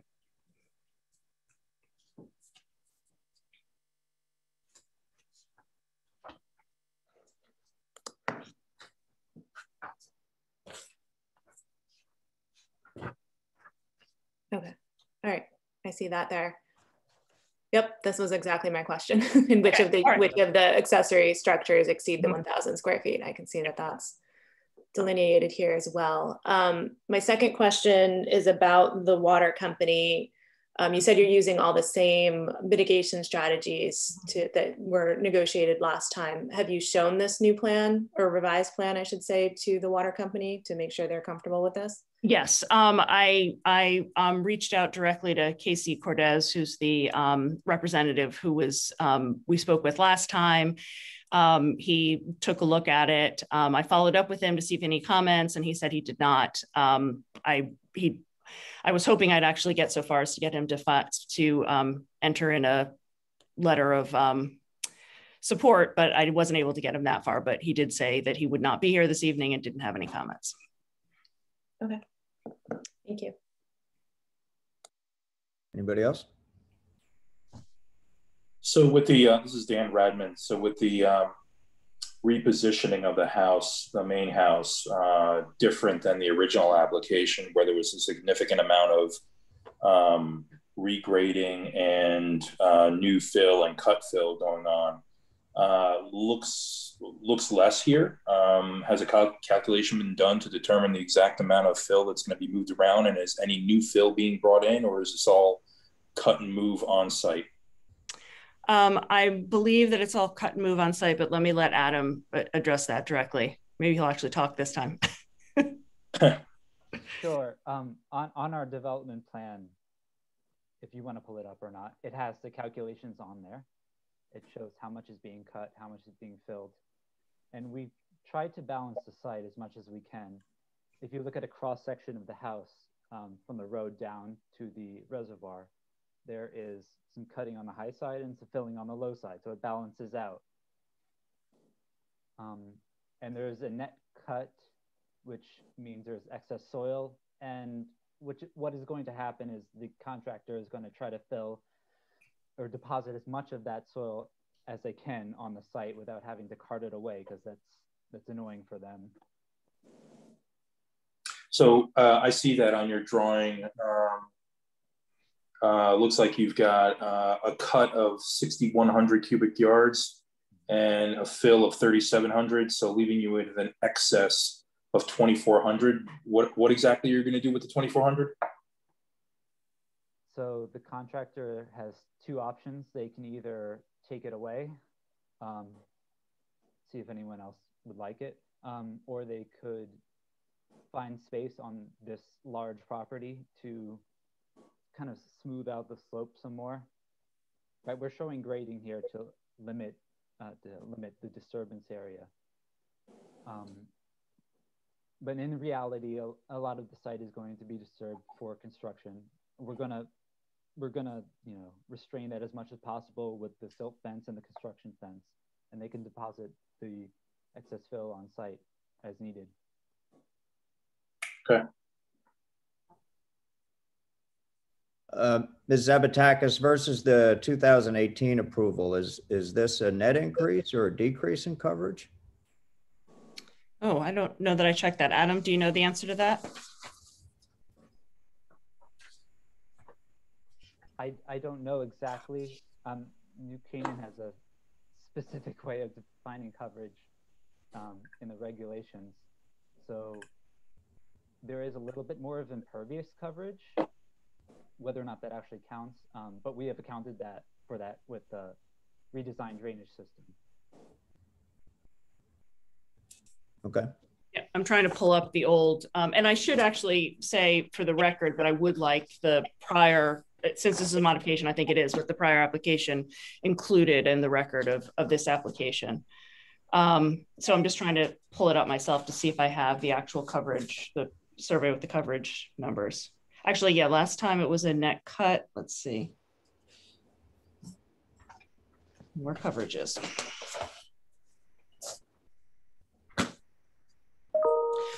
Yeah, I'm not, well, I don't know that we can answer that question quickly, John, um, but I, I do, as, as Adam pointed out, we were well below coverage previously and now. Okay, okay. Oh, here we go. Uh,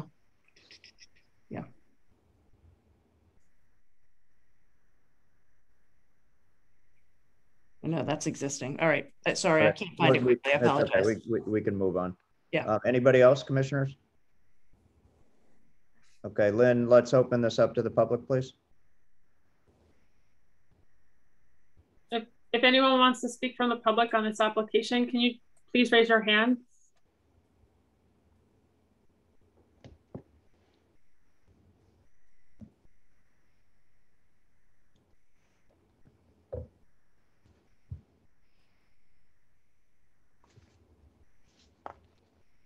Anybody, Lynn?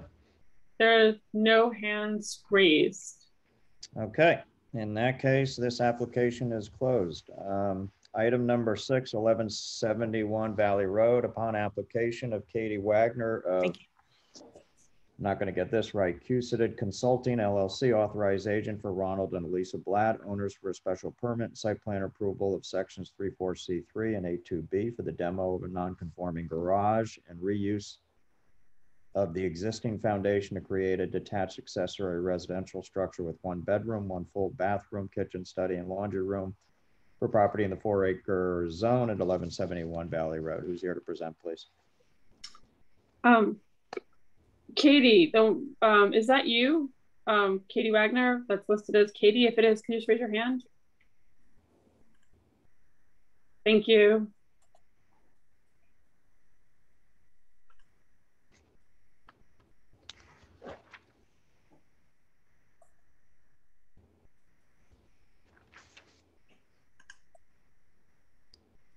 Hi, can you hear me?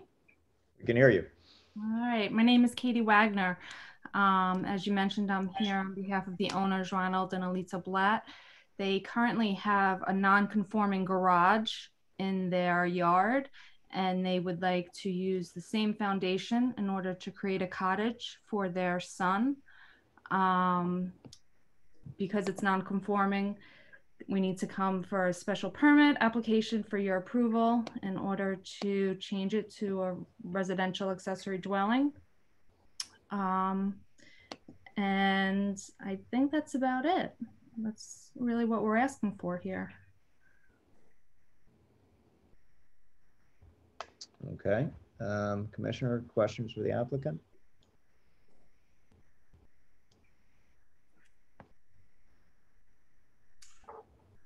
Uh, Dan Radman here. Um, so the dwelling unit, second floor. Um, by the way, whoever you, the architect you used for the drawings, kudos. I haven't seen hand drawn submission drawings in years. Very much more detailed. Yeah. Um, so the dwelling unit is is that a, just a single bedroom upstairs? Yes. Uh, large large room on that entire floor. Yep, one bedroom, uh, bathroom. Yeah. Got it.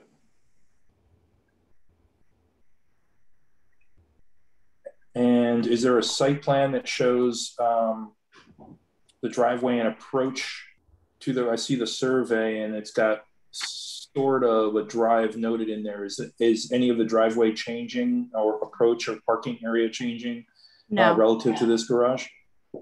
No. All the parking is the same. It has the existing parking spots on site. Um, in fact, the person that will be there doesn't drive. So, um, so yeah, no, the driveway and all of that is staying the same, all the hardscape. Okay. Thank you. Anybody else? Uh, John, one question just on the septic. Is the septic called out in terms of how the septic's, uh, this is Chris Herring for the record. Is the septic going to be part of the main house's septic? The septic will be part of the main house. Um, the health department reviewed it, brought it to the state. The state approved it, um, and actually recommends that it be part of the main dwelling as well. So everything's been approved by the state and the town from that respect. Thank you. Commissioner John Kriz, uh, will utilities be underground or above ground? I actually, the contractor is actually on the line. Um, he would know better. Um, Lynn, I don't know. Katie, what is his um, name and can he raise his hand so that I could find him really quickly? Because there's. His name is Don Hoyt and he just texted me. He, he's on the phone. It's all underground. What's his la- What's the last four digits of his phone number? Well, Lynn, we Lynn, we just got the answer. Okay, that's fine. A further question. Um, it will be an, an, an electric kitchen as opposed to maybe a propane tank, propane tank outside, or what? what the, what's the thinking? Let me get back to you. My apologies. Yeah, this is Chris. Herring. A related question, just on the, Well, the let's- heating. let's, uh, yeah, let- Chris, let's let It's her. propane. it. Okay. So there'll be a propane tank uh, outdoors um, next to the building. Let me see if this will help. I'm gonna call him. Elect. Hold on. He, now he's changing. Let me call him and get him on the phone with you guys. Um. Let's see. I'm sorry. He had called in, but he doesn't know how to get through. Hi. I'm gonna. I'm gonna put you on speaker. Hold on. Okay. All right, Don Hoyt, you're on with the Commission for New Canaan for the special permit. Okay, so uh, the uh, the oven will be electric, and the uh, the only thing outside will be like the Mitsubishi units that are electric for um, the heating and cooling. So no no propane uh, no propane tanks. Okay, so out, outside uh, HVAC units for the for the dwelling are contemplated.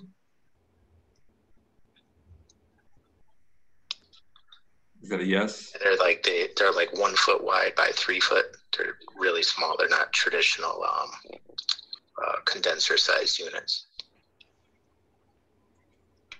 Will that be on the uh, close to the road or the interior of It'll the be on the opposite side of the building, so on the from the road you can't see it.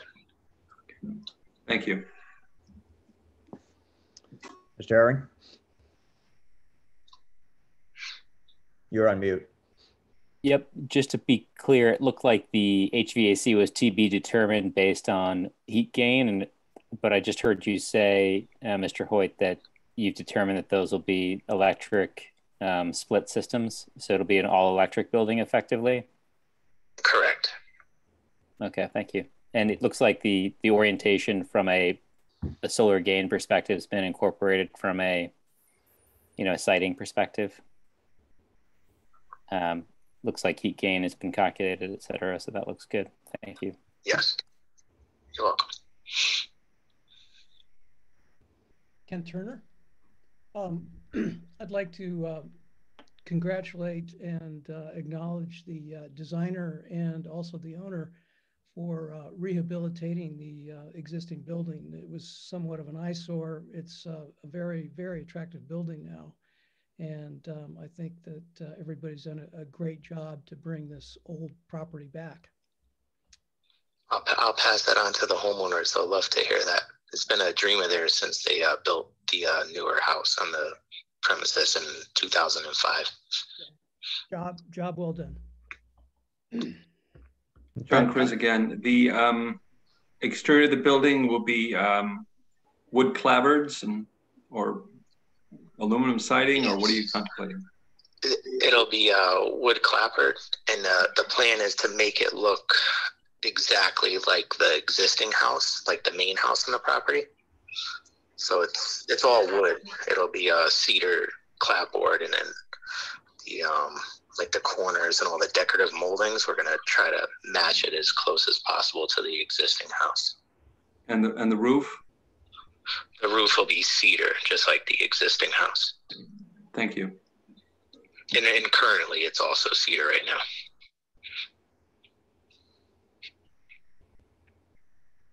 Okay, everybody good?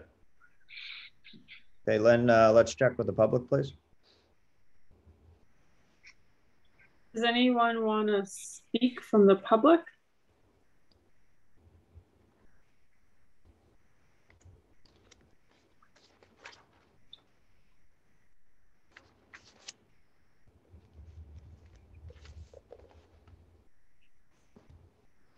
Mr. Chairman, there are no hands raised at all.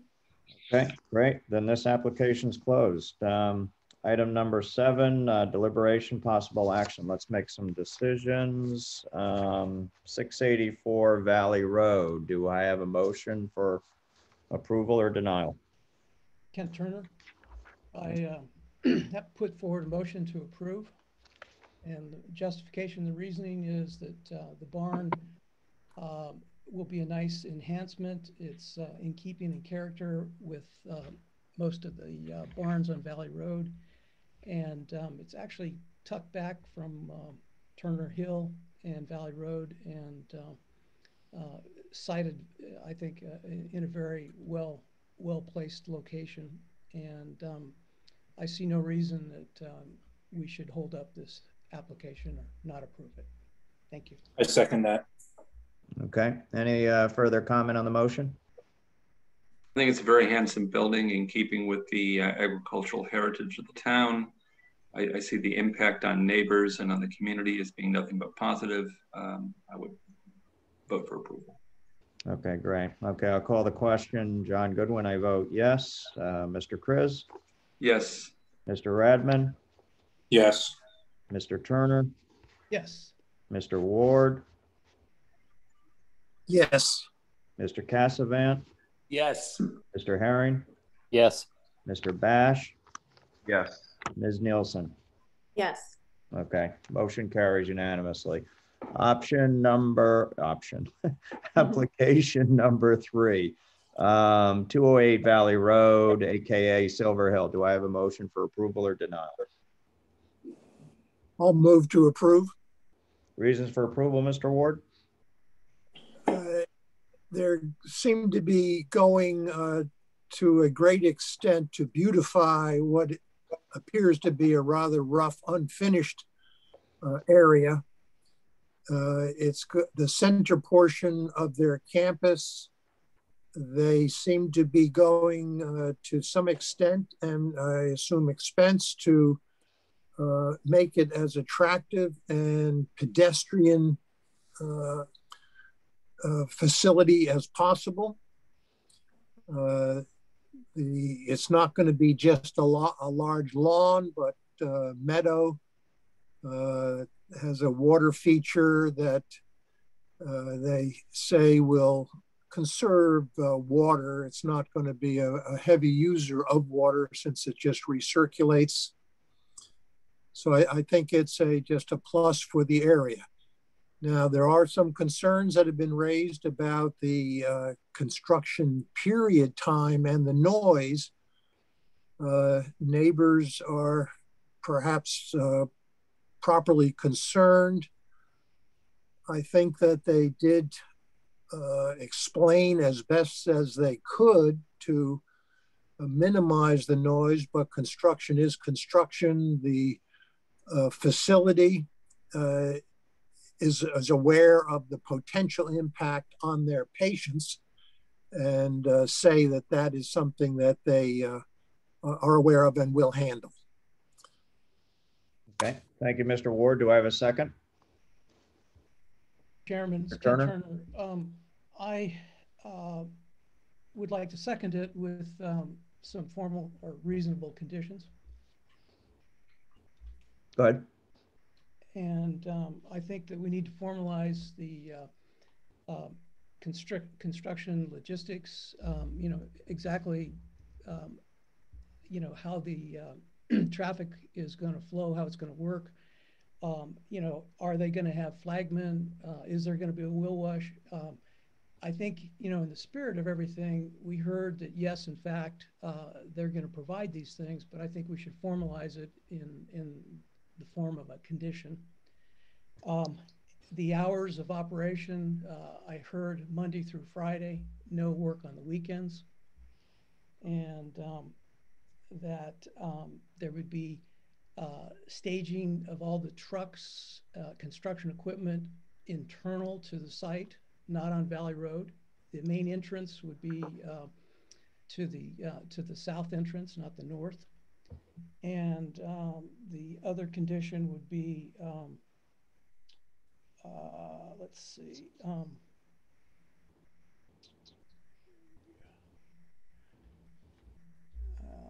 work hours. Well, I think I covered it, but I, I firmly believe that, um, you know, Silver Hill has good intentions. Sometimes, you know, things change, becomes difficult to follow promises, but I think we need uh, a, a, few conditions to uh, formalize this to make sure that um, it happens. So, Mr. Turner, what I hear you saying is a con construction plan along the lines of the applicant's testimony. Is that correct? That's correct. Okay, Mr. Ward, you move the motion. Do you accept that as a condition? Yes, absolutely. Okay. Any any other discussion of the motion? Mr. Kriz? Yeah, yes. Um, well, I, I think the idea of uh, putting uh, enhanced plantings is a, a, generally good idea, and I understand the um, therapeutic value of this, and I would support that. Um, I was a bit disappointed in the uh, planting plan. Uh, it seems to be a good plan, but there were, I think, opportunities for it to be a great plan. Reason for not using um, more native plants and taking a, a more uh, diligent focus on um, uh, pollinators and other habitat was uh, disappointing. And um, the, the topic of uh, the pesticide neonicotinoids um, it's not too much of a left field question for um, those in horticulture. So I was a bit flummoxed why it was a surprise. And it really can be very harmful. Um, so uh, I am persuaded to not support the motion. Okay. Any other discussion of the uh, of the motion?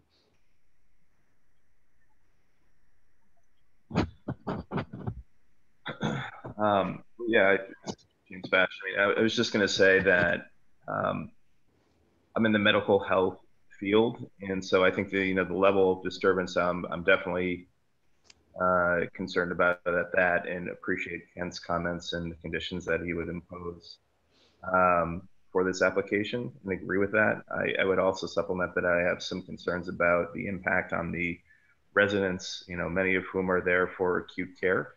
Um, so they're really at-risk situations. And again, there's a spectrum that covers anywhere between psychosis and depression, anxiety, by you know, the gamut that um, Silver Hill serves and serves incredibly well because they are such a top-notch group of professionals that I'm sure take took into account as much as, as possible what mitigating steps they could take, if any, um, in terms of the impact on the residents um, I'm more comfortable uh, knowing that facility and the type of professionals that they have in house, accounting for that, which I think is going to also be a benefit to. It's a benefit to the to the residents. It's going to be a benefit to the to the neighbors as well. Um, but I do have that concern. I appreciate Ms. Bednan's comments that that was taken into account. I would have wished that would have fleshed that was fleshed out a little bit more but I haven't heard any reason not to support the motion on that account. Okay, thank you. Anybody else? Okay, I'll call the question. Um, John Goodwin, I vote yes. Mr. Kriz? You're muted. John, you're on mute. Oh, sorry. No. Okay. Uh, Mr. Radman? Yes. Ms. Discorn, uh, no, sorry. Uh, Mr. Turner? Yes. Mr. Ward? Yes. Mr. Cassavant? Yes. Mr. Herring? Yes. Mr. Bash? Yes. Ms. Nielsen? Yes. Okay, motion carries. Um, item number four, nine forty-one Ponus Ridge Road subdivision. Do I have a motion for approval or denial?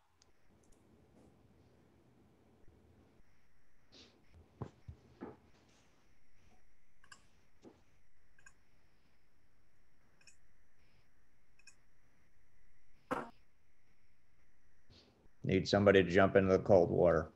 Uh, John Kriz, I move we approve. Okay, do I have a second? I'll second it. Okay, discussion of the motion? Uh, I'd say that the uh, uh, new lot would be created is um, uh, larger than the minimum size within the zoning area. There don't appear to be any wetland or other issues uh, occurring here that could be um, uh, problematic or potential concern to the commission. I've heard nothing from abutting neighbors uh, uh, adversely. Um, and uh, the applicant appears to have uh, gone through uh, all the appropriate administrative channels for a, a legal subdivision. Okay. Um, did I get a second? It was me, Krista. Oh, sorry, I'm sorry, yeah. I'm sorry, Krista. Further discussion of the motion? Um, what I'll add is whether it's a subdivision or a re-subdivision, as, as everyone knows, um, subdivisions are s- fairly straightforward exercises as long as they are appropriately ticking all the boxes from a technical perspective. The other thing I'll note is, is we do have the ability to delineate requirements of open space, but I, I think given the sizes of these lots, the nature of the subdivision, um, lack of access to any other open space, that um, open space is really not uh, a, an issue because it wouldn't have a net contribution to the town on, on this particular application. Anybody else? Okay, I'll call the question. John Goodwin, I vote yes. Uh, Mr. Kriz, Yes. Mr. Radman, Yes. Mr. Turner, Yes. Mr. Ward, Yes. Mr. Cassavant, Yes. Mr. Herring, Yes. Mr. Bash, Yes. Ms. Nielsen. Yes. Okay, great. Um, item number five, 1031 Oenoke Ridge. Do I have a motion for approval or denial? Uh, this is Dan Radman. I motion to approve. Reasons for approval, Mr. Radman? Um, I think it's a well thought out plan, uh, less um, less radical of a cut and fill than the previously approved uh, application for the site. Uh, I think the coverage uh, is not excessive for the size of property that it's on. Uh, the disbursement of the buildings uh, uh, creates a less dense condition of the various structures on the site. Uh, and they're able to reuse the existing office structure, barn structure in situ, um, which was one of the requirements of the original application approval um, from a couple of years ago as well. Um, I think it's a handsome design. Um, I think it, it works really well on the site. Okay, great. Thank you. Do I have a second? I'll second it. Okay, I I saw Kent first, so I'll take the second from Kent. Um, any further discussion of the motion?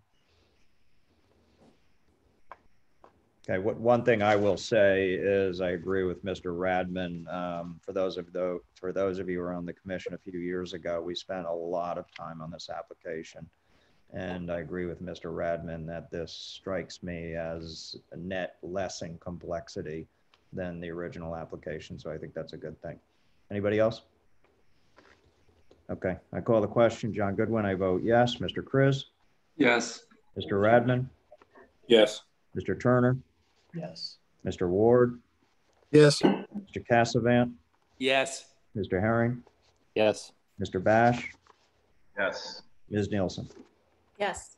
Okay, great. Um, 1171 Valley Road. Do I have a motion for approval or denial?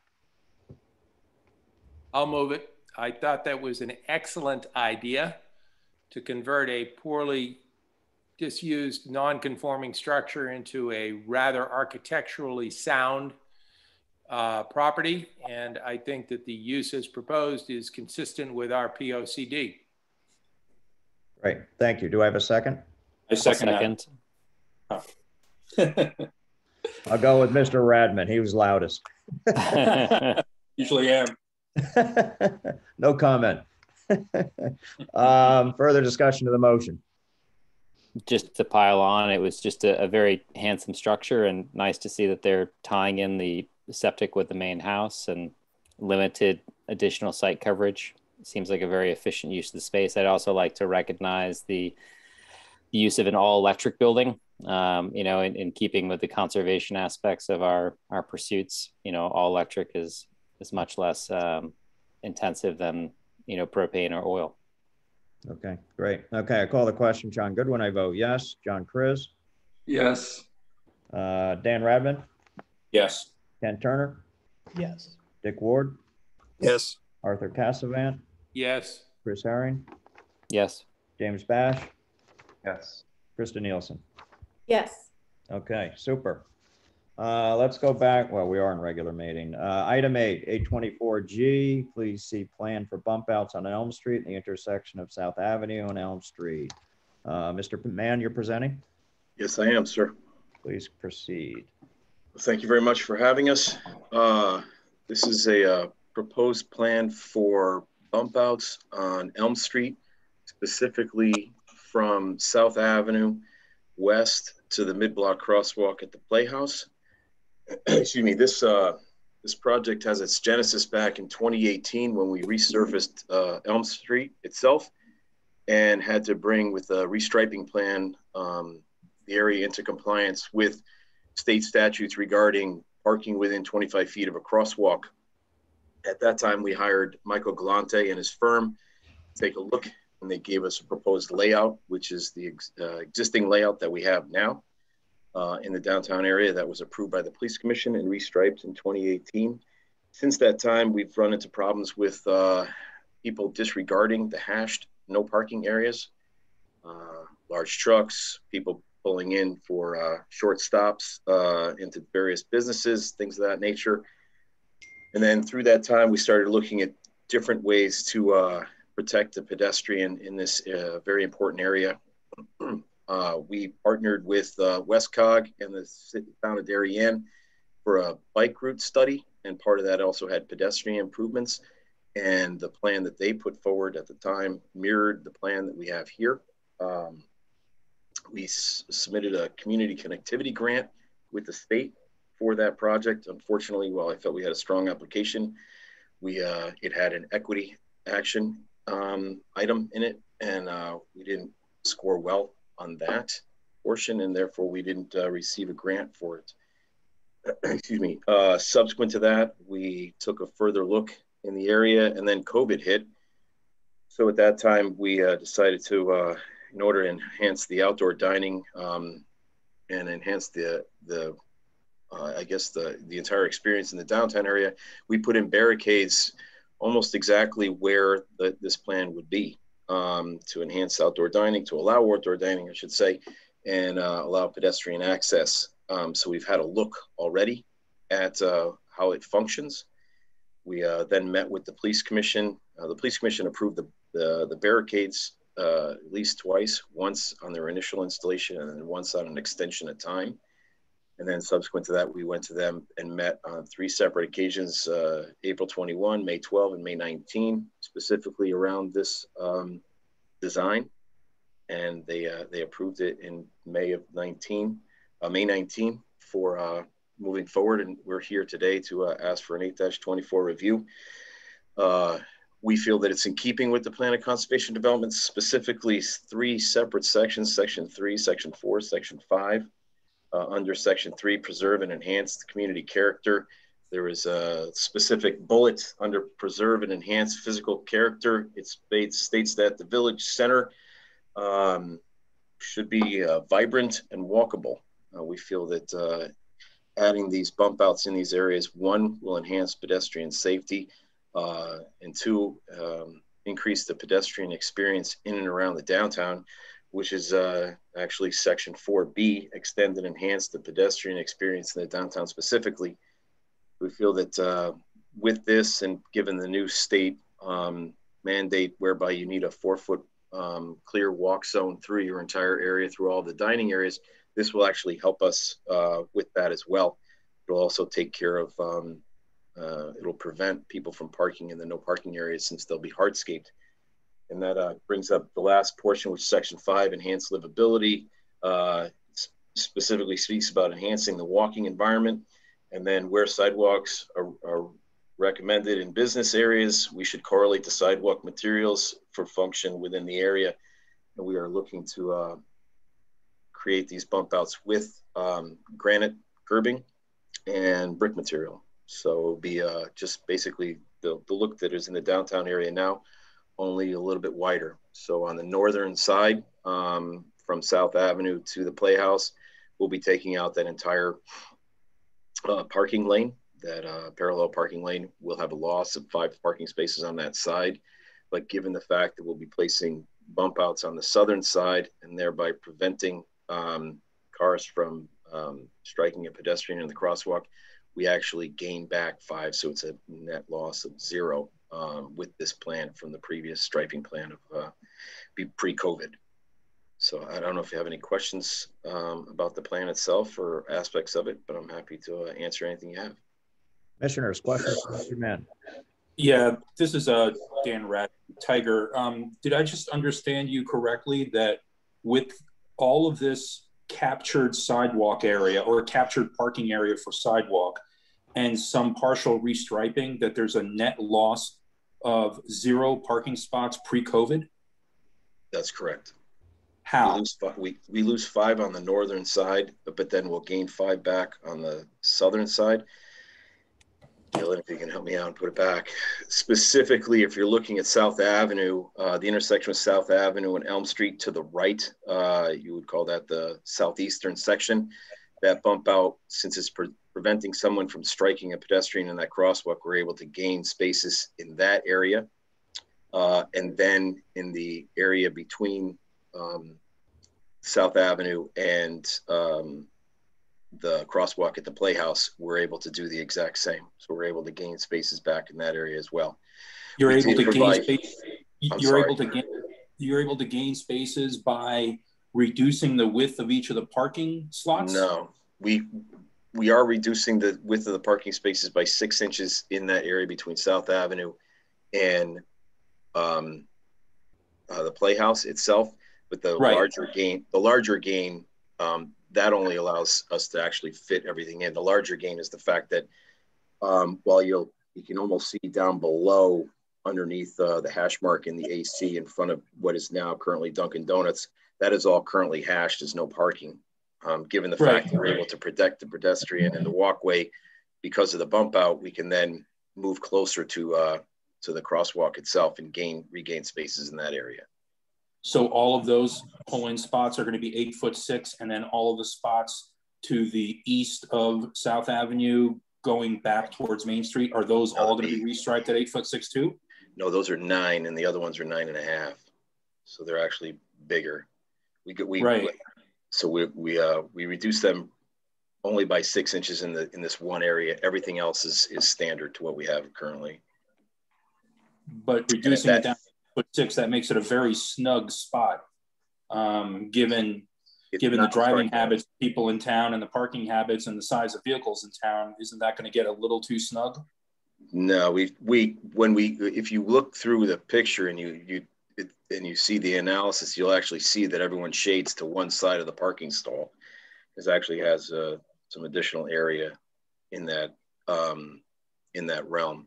What we had done at the time uh, during the restriping originally from the police commission, we had them striped at nines, and the police commission asked us to go to nine and a half throughout.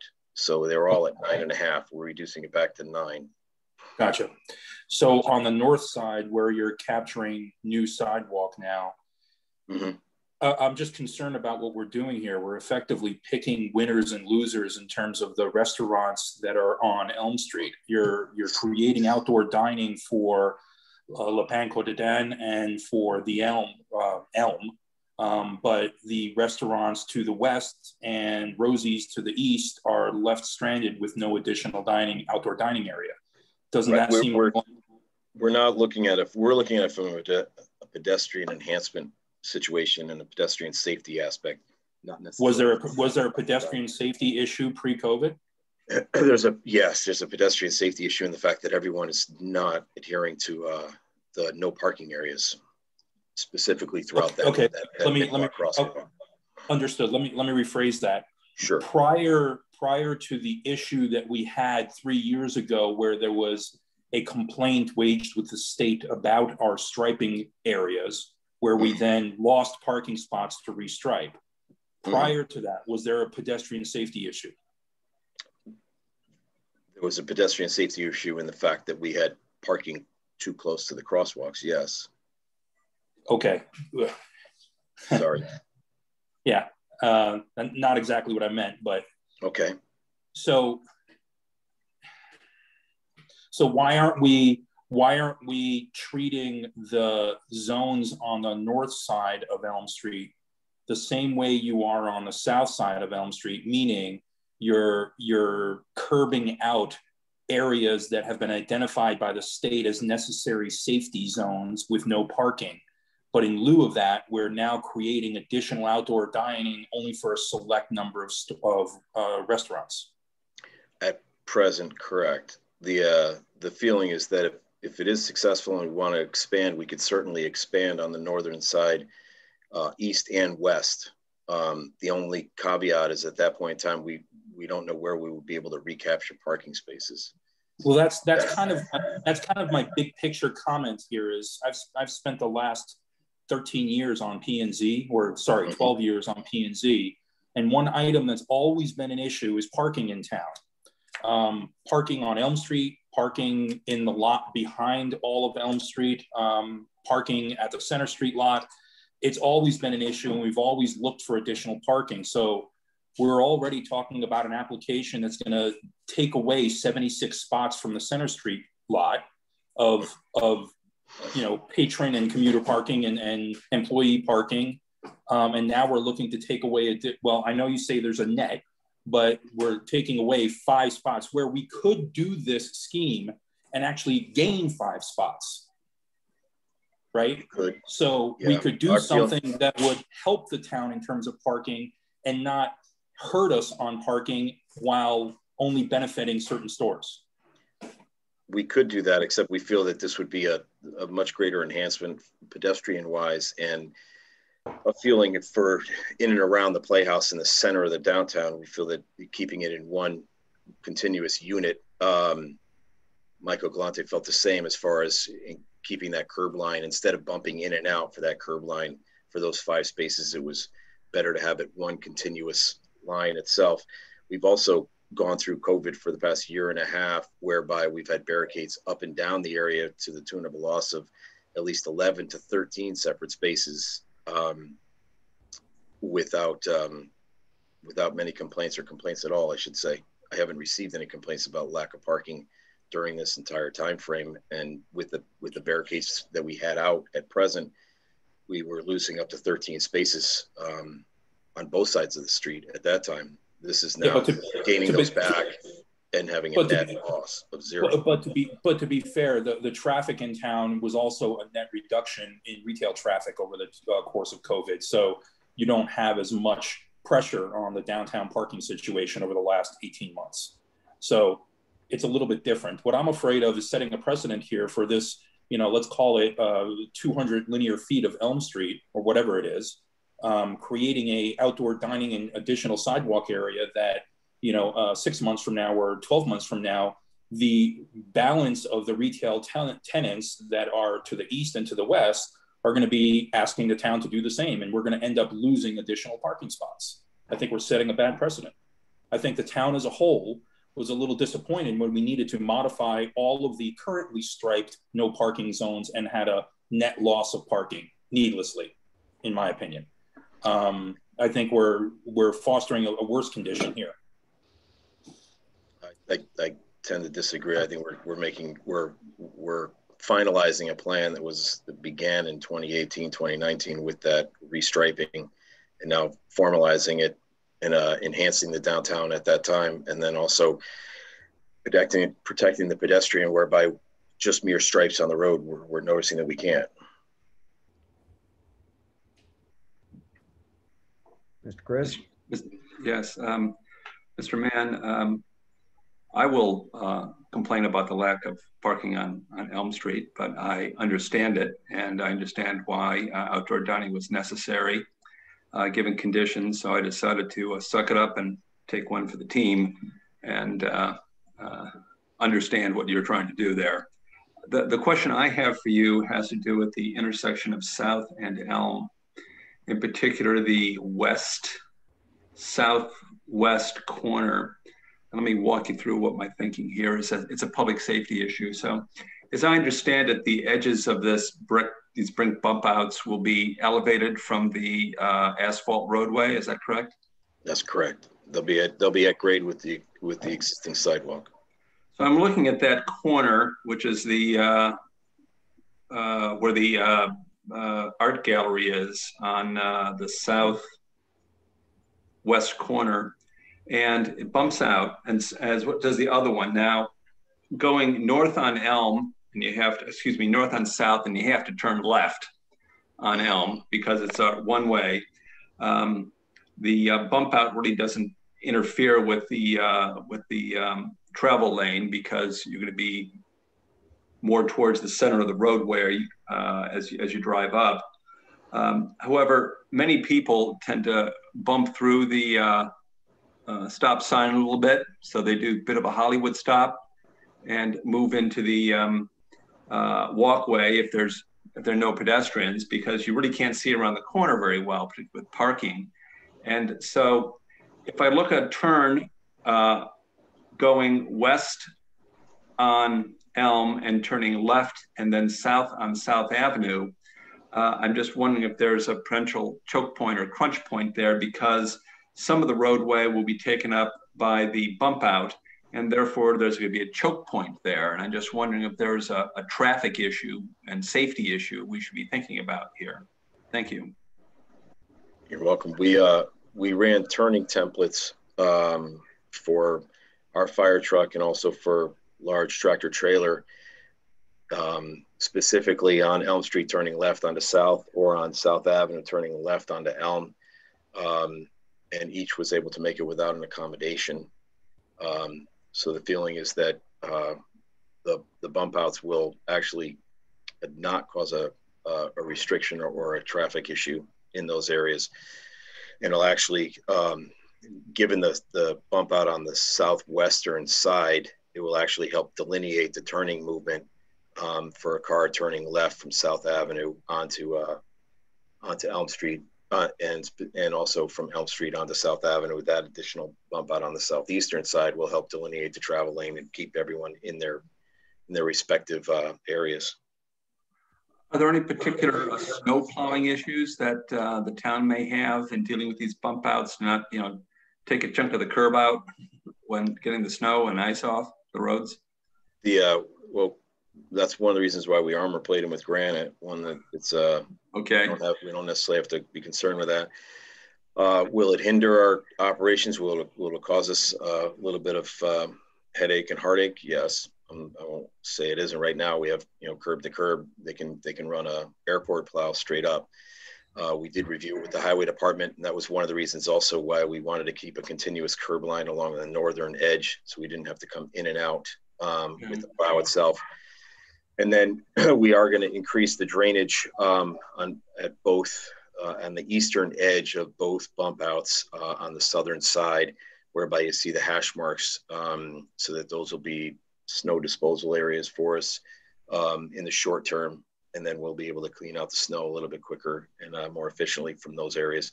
And it'll provide an area of melting. That's the, that's the reason for the additional drainage. But we have reviewed with the highway department, and, and while they're not completely satisfied, obviously, because it's a change and, and it will um, hinder some of the operations or slow down some of the operations. Uh, um, it's a it's a it's a trade off that we'll that we'll have to make. Thank you, Mr. You're welcome. Chris Herring.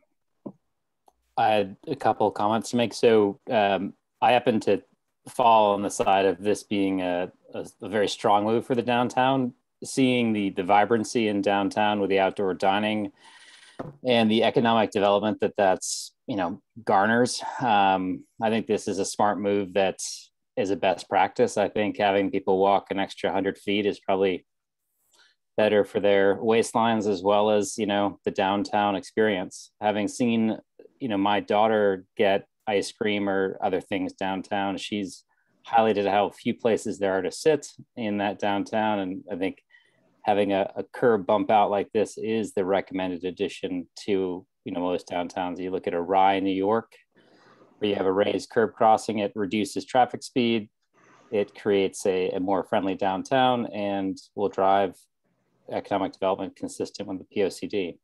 So, kudos to you, uh, Tiger, for for you know balancing the the traffic and the um, parking requirements. Having come from the parking side of the affair, I recall many tickets where people parked directly across that hash section or delivered um, deliveries in creating unsafe conditions. So this will uh, certainly prevent that.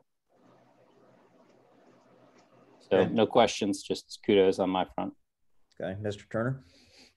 Yes, um, you know, I think Dan brings up some very, very good points about losing parking. It's, um, you know, I'm kind of torn on this one. Um, when you when you look at that intersection, um, it's really the gateway into um, our downtown. And um, you know, if we believe in and we follow the uh, downtown village design guidelines, um, the proposed improvement uh, with these uh, bumped out, bump out sidewalks is is actually a very good thing, um, short of the uh, parking issue. But um, I think this really does reinforce that entry into downtown. I think uh, seeing people dining, um, maybe there's sculpture out there, different activities going on. I, I think it's um, in keeping with the downtown village guidelines. And I think it's um, you know kind of a first step in, in thinking about you know how do we really create a pedestrian environment uh, on along that street. But um, you know kudos to everybody that uh, participated in the design. And um, again, I'm you know torn about the loss of parking, but um, I guess we can't have everything. Thank you. Hear me. Okay. Um, any other questions before for Mr. Mann before I uh, call the question or before I ask for an approval or denial? Sorry. I, I have one more follow-up question, if I can. Um, were there discussions had with the other restaurants on Elm Street about this new outdoor, this designated outdoor dining area. We're assuming that all the COVID dining areas will go away once this is built. So, did the other four or five restaurants on Elm Street that will not be able to participate in this dining area, did they weigh in? We participated in a uh, several Zoom calls with uh, the chamber, and all the establishments on Elm Street, both retail and uh, and restaurant, and showed them this plan and showed them what was uh, what was being proposed. Um, so they're all aware of it. There were very little negative comments at the time of those meetings. I, you know, again, we're we're looking at it specifically as a pedestrian enhancement at the time, um, and not necessarily an adjunct to outdoor dining. Yeah, but the, it's both. We can't ignore the issue that it's both. It's true. So you're, you're telling me you're telling me that um, the three or four other restaurants that are not going to be in front of this, that are not going to have an outdoor dining ability once this is all in place and the COVID dining's gone, they had no opposition to this. There weren't any comments at the time, Dan. The uh, I we did walk the area. Um, Friday. As a matter of fact, Lynn and I walked the area, and I walked the area with the town engineer, specifically regarding the new state statutes. And while some of the the uh, dining will be reduced, there will still be um, available areas for dining for other establish, establishments up and down Elm Street, specifically on the north side. Uh, so, so then, if if there's the ability, the, the sidewalk is pretty consistent width all the way across Elm Street on the north side. So if those establishments are able to have outdoor dining in a quote unquote safe manner and still provide sidewalk transit or tra uh, traffic along the sidewalk, this is now assuming the COVID dining is gone. Um, why why wouldn't we just do the same thing here and and create the islands that you're looking for that would help to restrict the illegal parking and unloading zones and give back a net increase of four or five parking spots. Again, we felt that it was just going to, it would enhance the pedestrian experience and then the safety of the pedestrian in the area. And then also help our maintenance activities at the time by having a yeah, but uh, established curb line. The maintenance, the maintenance argument really doesn't doesn't fly because you're going to still have to go in and out with the plow on the south side, you know, to address that area. So you, it's correct. You, you can't say, oh, it's going to help me because I'm going to have a straight plow because you're still going to have to do the same thing on the south side. It's a little different, but there is a there is an increased maintenance activity on the south the southern side. Right. I don't know. Um, I, I, can see your points on uh, at the intersections and at the crosswalks, but I am a, a, a big advocate of maintaining parking in our downtown area. Having having witnessed a lot of loss of parking for you know for fee in lieu of parking and for all the loopholes that we present to business owners, um, it hurts us. One of the uh, one of the aspects that we're also looking at is um, in at three separate sections um, along the southern side, we're, we're proposing to add 15, two 15 minute parking spaces. So the first two spaces on the, at the intersection of South and Elm on the eastern side will be uh, 15 minute. The uh, two spaces directly to the east of the crosswalk at the Playhouse on the southern side will be outside of the uh, accessible space will be 15 minutes. And then one mid block uh, between the crosswalk at the Playhouse and Park Street. We'll be putting in two more 15 minute parking spaces to try to help um, increase over, you know, uh, basically turnover in those areas to help increase the parking as well. Those were approved by the police commission also. Gotcha. I, okay. I have a couple, I one or two other questions if I may. Uh, the uh, brick that you're putting in, this is actual brick similar to the sidewalks that currently exist? Yes, it's the, the same material. Same material.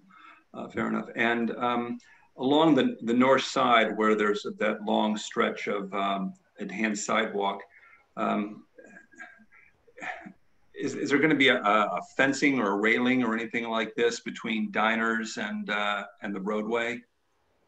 There isn't one proposed. No, a, it'll be a six-inch curb, uh, six-inch granite curb along that edge. Thank you. Similar to what we have elsewhere. Thank you. Okay, thank you, Mr. Mann. Um, Commissioners, so in an 824G referral, um, the motion on the table is, or the question on the table is this plan consistent with the plan of conservation and development? Do I have a motion for approval or denial of that? I move we approve. John Kriz. Okay, reasons for approval, John? I see this as uh, enhancing pedestrian safety. I see this as enhancing the uh, uh, vibrancy of our downtown area. Uh, I see this as particularly helpful with uh, our dining establishments, with uh, outdoor dining. I see this as providing a more congenial um, uh, surface area for diners and walkers than what we currently are using.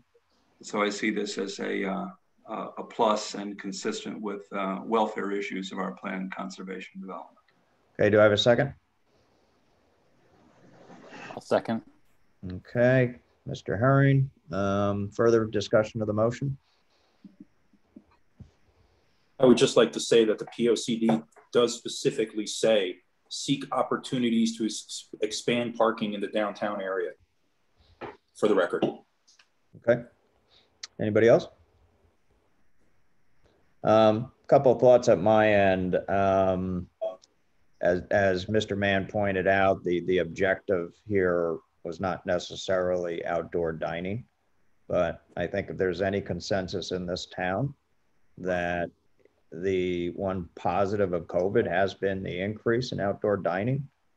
And I think, um, you know, when you think about it, the attractiveness of the town, the welfare of the town, the enjoyment of the town. So I, I think And I would just en- encourage the town and Mr. Mann to continue to seek opportunities and be creative with, you know, other restaurants that uh, may not, you know, enjoy the benefits of this.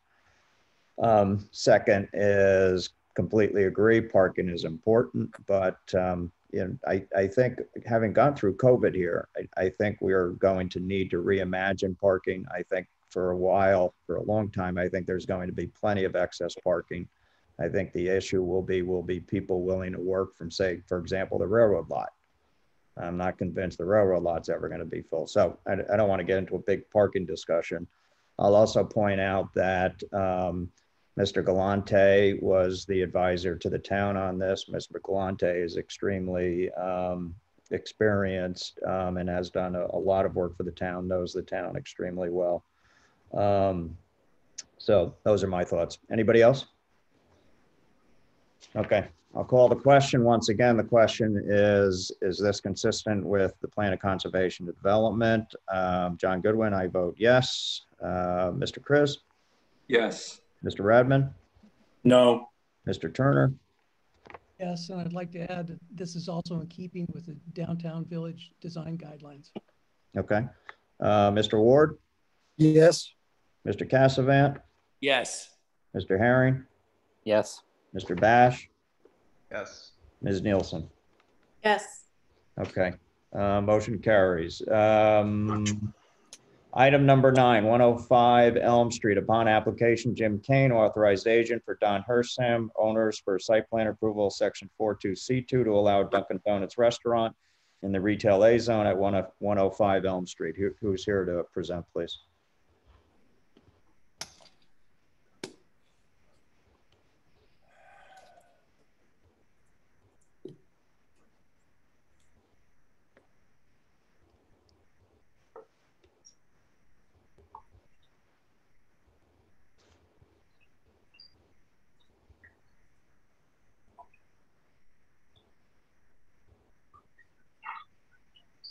Sorry about that. Hello? There we go. We can hear you. Good. Um, I also have my architect on the call if needed. Um, it's Brian Plord is his name, if, you, if there's additional questions. But basically looking to move the Dunkin' from 88 to across the street, have a little more space, updated look. And uh, I guess just, just need a change of use from the, the previous clothing store to a Dunkin' Donuts.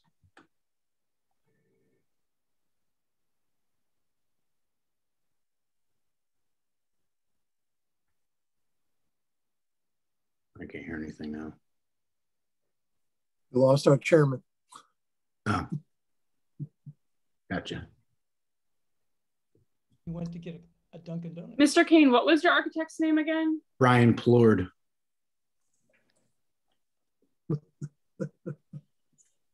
he finished early, John. Yeah, just my luck. okay, we had no questions for the applicant? I have a question.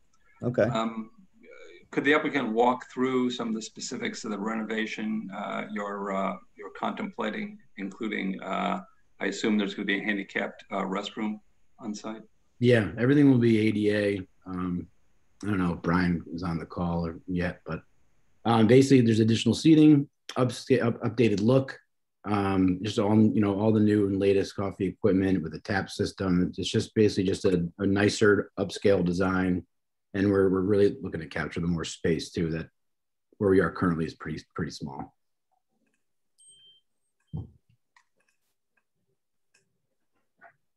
Kent turner um, question is this on two floors? Uh, i saw no. a stair. Just one floor. It's just one floor but there is a stairway. Where do you see that? The uh, drawing a 1.0 I see that. Oh, that well, that that is a stairway that's out the back door in the on on that that site. It, it's not accessible to the public. It's just kind of like it goes to a an upstairs and goes out to the municipal lot out back, and also wraps around the back door to Soleil, the restaurant next door. So it's just a secondary uh, egress. Yeah. Yep. Great. Thanks. So, uh, question for you on the ADA accessibility to Mr. Kriz's point. Uh, the front door has a step in it. Uh, your ADA accessibility you're achieving by the side door, which I'm assuming has a level discharge. We actually have in the plans, and on the call, I could be more specific. I just texted him. Did you were able to find Brian Plord? He's he's he's on as a panelist right now. Yeah, I'm here. Hi guys. Brian Plord from GR Engineering. So yeah, the front door currently does have a step in it. We're going to remove the step and add the ramp. Um, the entrance, we will uh, swap out the door, the existing door there, with a um, commercially available door with the proper hardware. Um, and to achieve the full ADA compliance, you're going to have a push button um, automatic door opener. You're, you're going to add a ramp, you said? Yeah, it's a six inch rise. So we're going to have a ramp from the threshold back down to the sidewalk for the uh, lamp. That's, that's not ADA compliant. You need a landing area in front of your door, a level landing area in addition to the ramp. We could possibly do that by pocketing the door further into the building. Well, to my to my first question, is the side door level with the with the alleyway paving?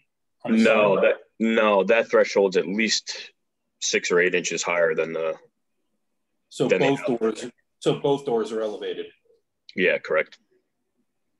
Yeah, I, I think you're going to have to take a long, hard look at that ramp condition to make that code compliant. Yeah, we'll work with the building official. We haven't seen their comments back yet either. Okay.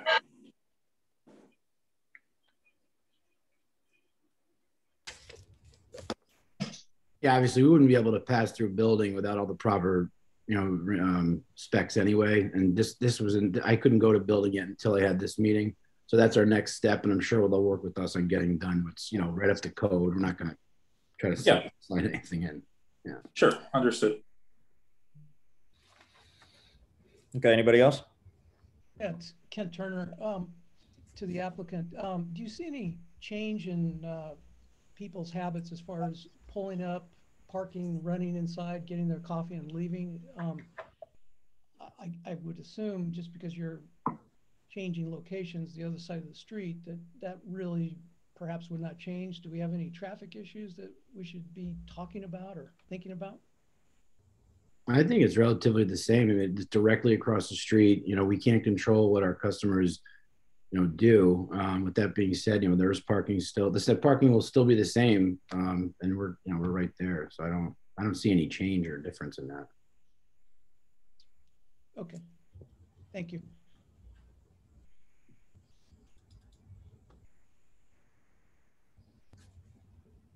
Everybody good? Yep. Okay, great. Thank you. Um, I have a motion for approval or denial.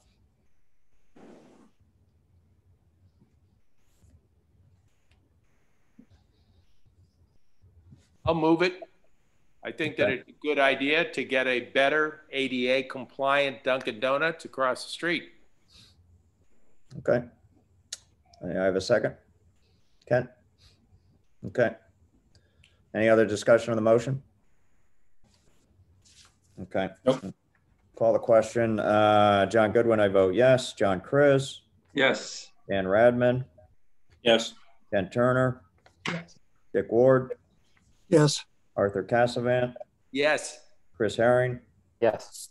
James Bash, Yes. Lisa Nielsen. Yes. Okay, passes.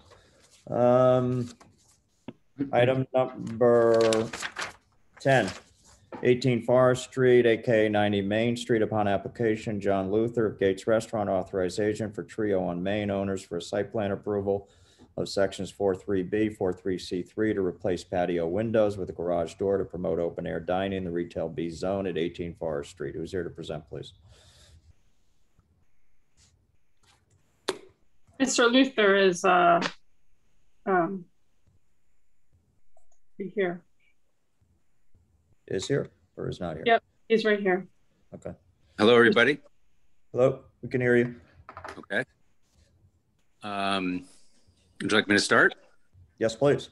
Uh, applying for a glass panel, uh, paneled garage door between the back enclosed patio and the dining room. The idea is to replace the existing French style windows that open but do not allow for an open air environment between the patio and dining room. Um, this, you know, would allow us to better compete with the restaurants with, you know, more um, uh, or larger outdoor outdoor dining options.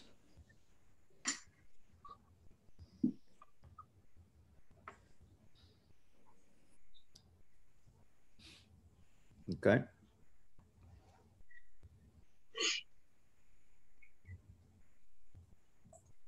This is John Kriz. So the uh, replacement you're contemplating would be similar to a standard home garage door, except it's all glass with the rollers. Those go up into this towards just below the ceiling.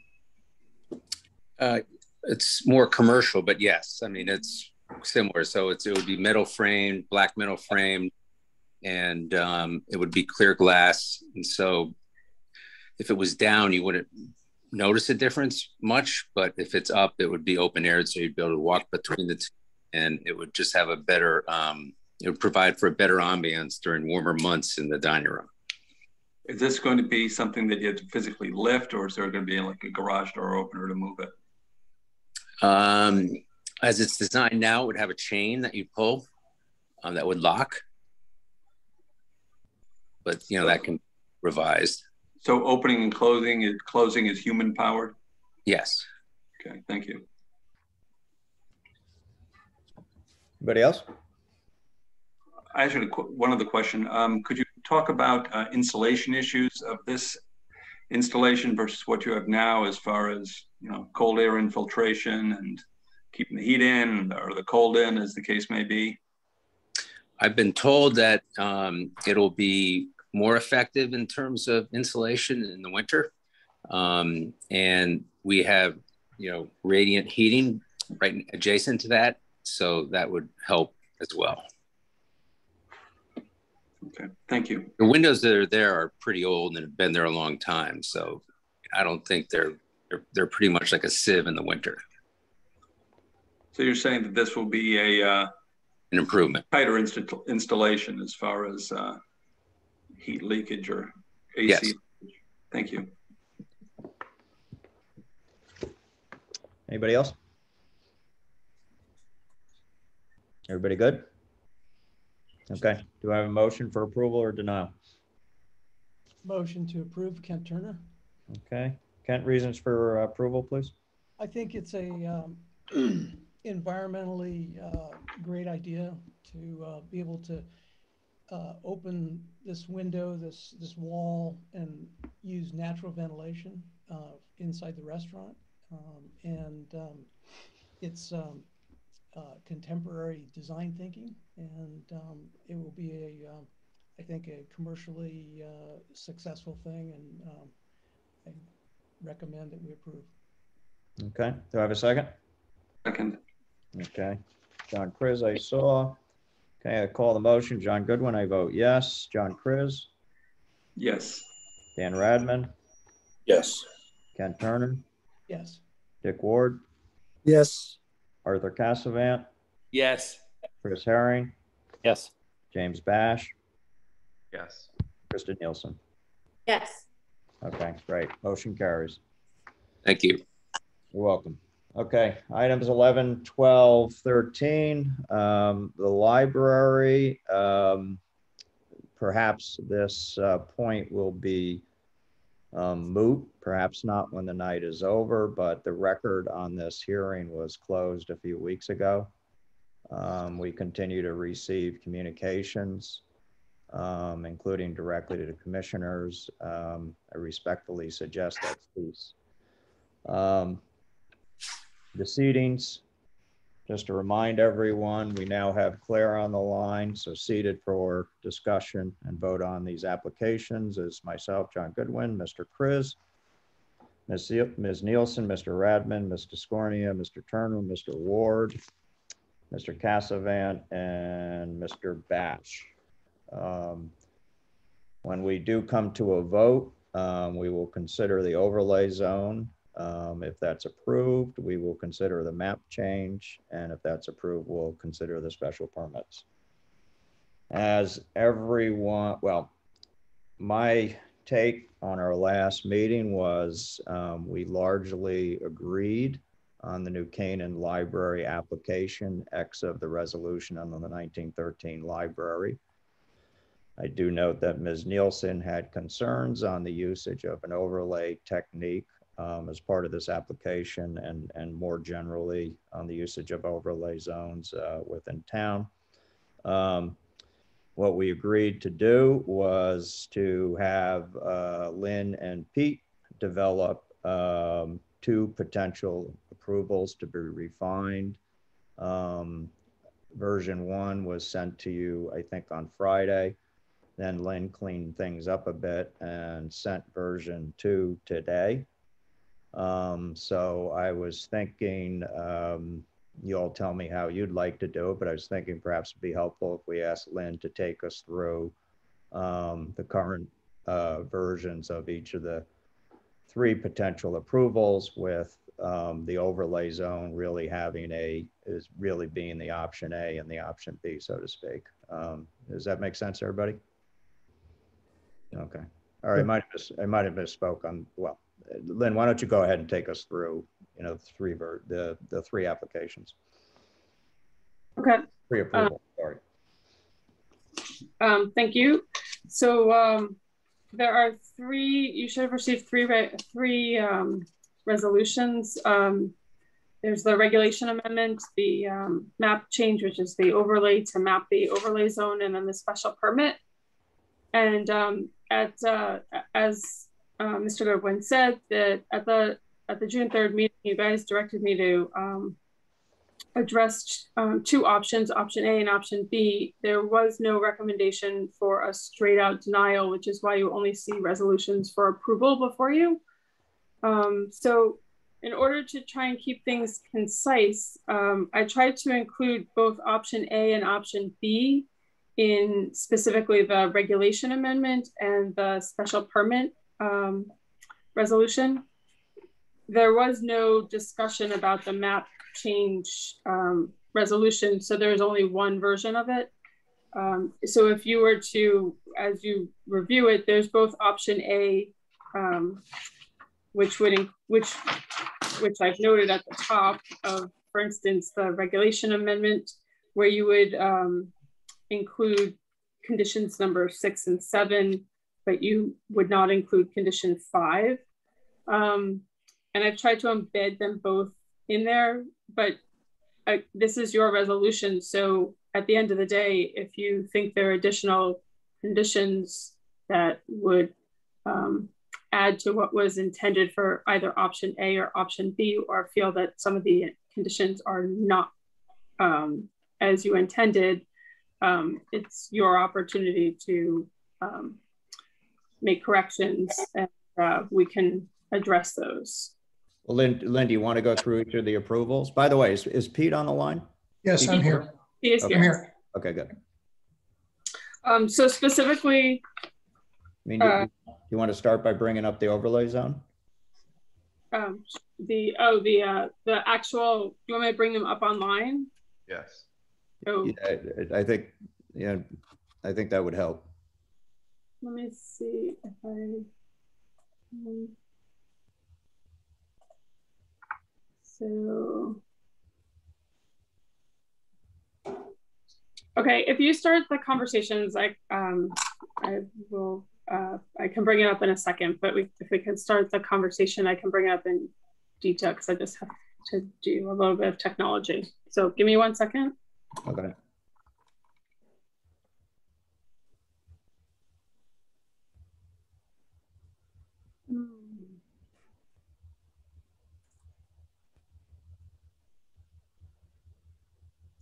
If anybody's at their computers at home, uh, you, you did also get the email.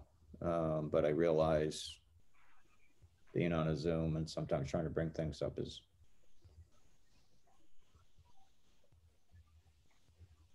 Mr. Chairman, I'm just going to exit for 30 seconds. I'll be right back. okay.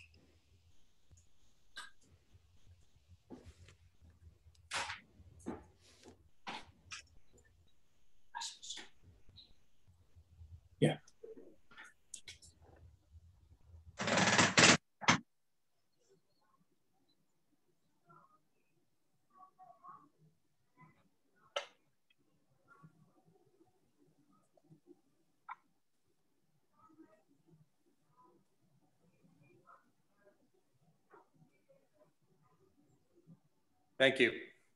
You're welcome.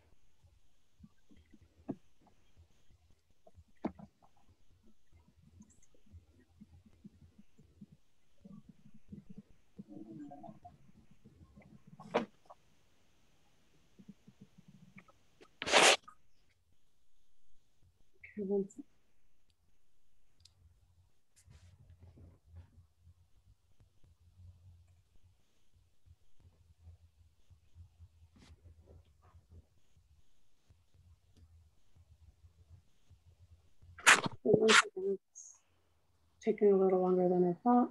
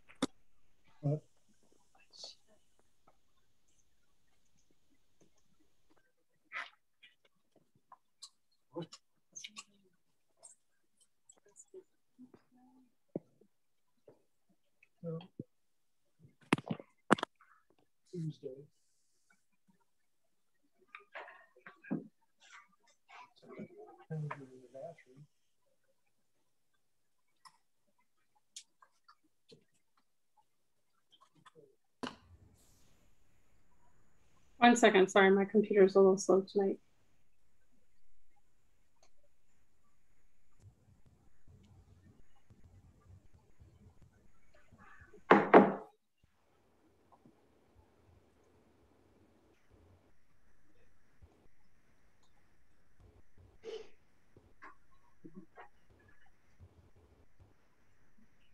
One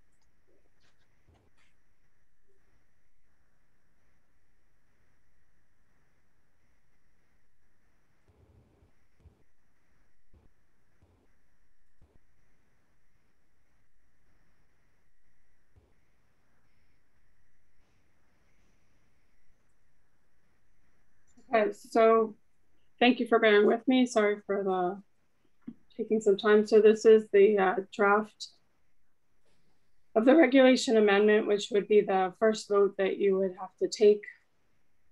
Um, and some of it's, uh, um, the first part of the resolution is all the um, whereas is the perfunctory um, statements. Um, then there's the findings.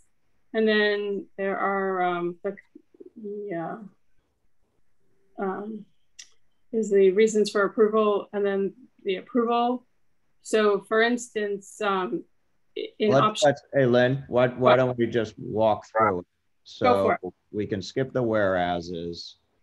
Um, findings, number one is simply states where the properties are. yes, Okay. Um, number two, um, states that, um, the overlay zone is consistent with the goals and objectives of the plan of conservation and development and are in conformance with the comprehensive plan for the town.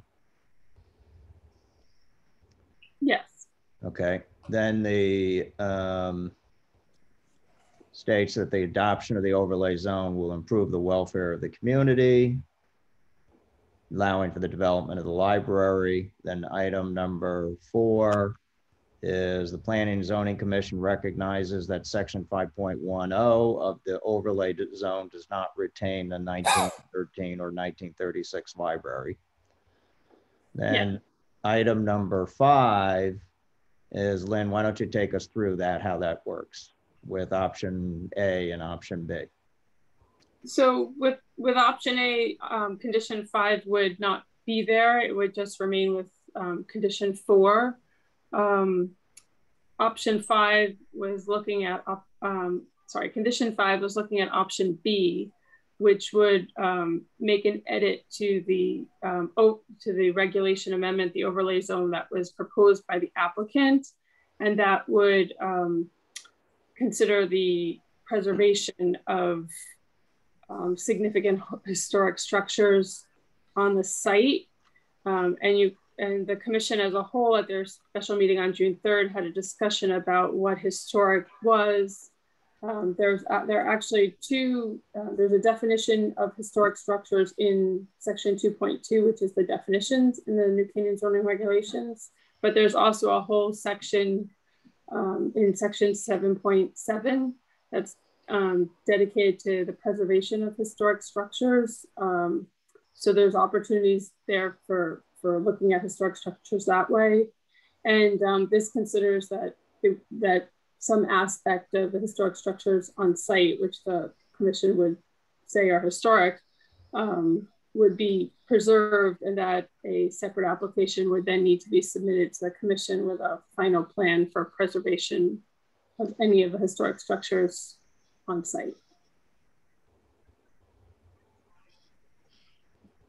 And then the, the last two conditions, six and seven, are um, the, the, the, additional design changes with respect to um, plant material and uh, the, the, per, the provision that the any parking spaces on um, require the um, that an electric charger be provided. So Lynn, just going back to number five. So what, what this is saying is, tell me if I'm wrong. And um, Dan, you were a driver in discussions with Lynn, so you jump in.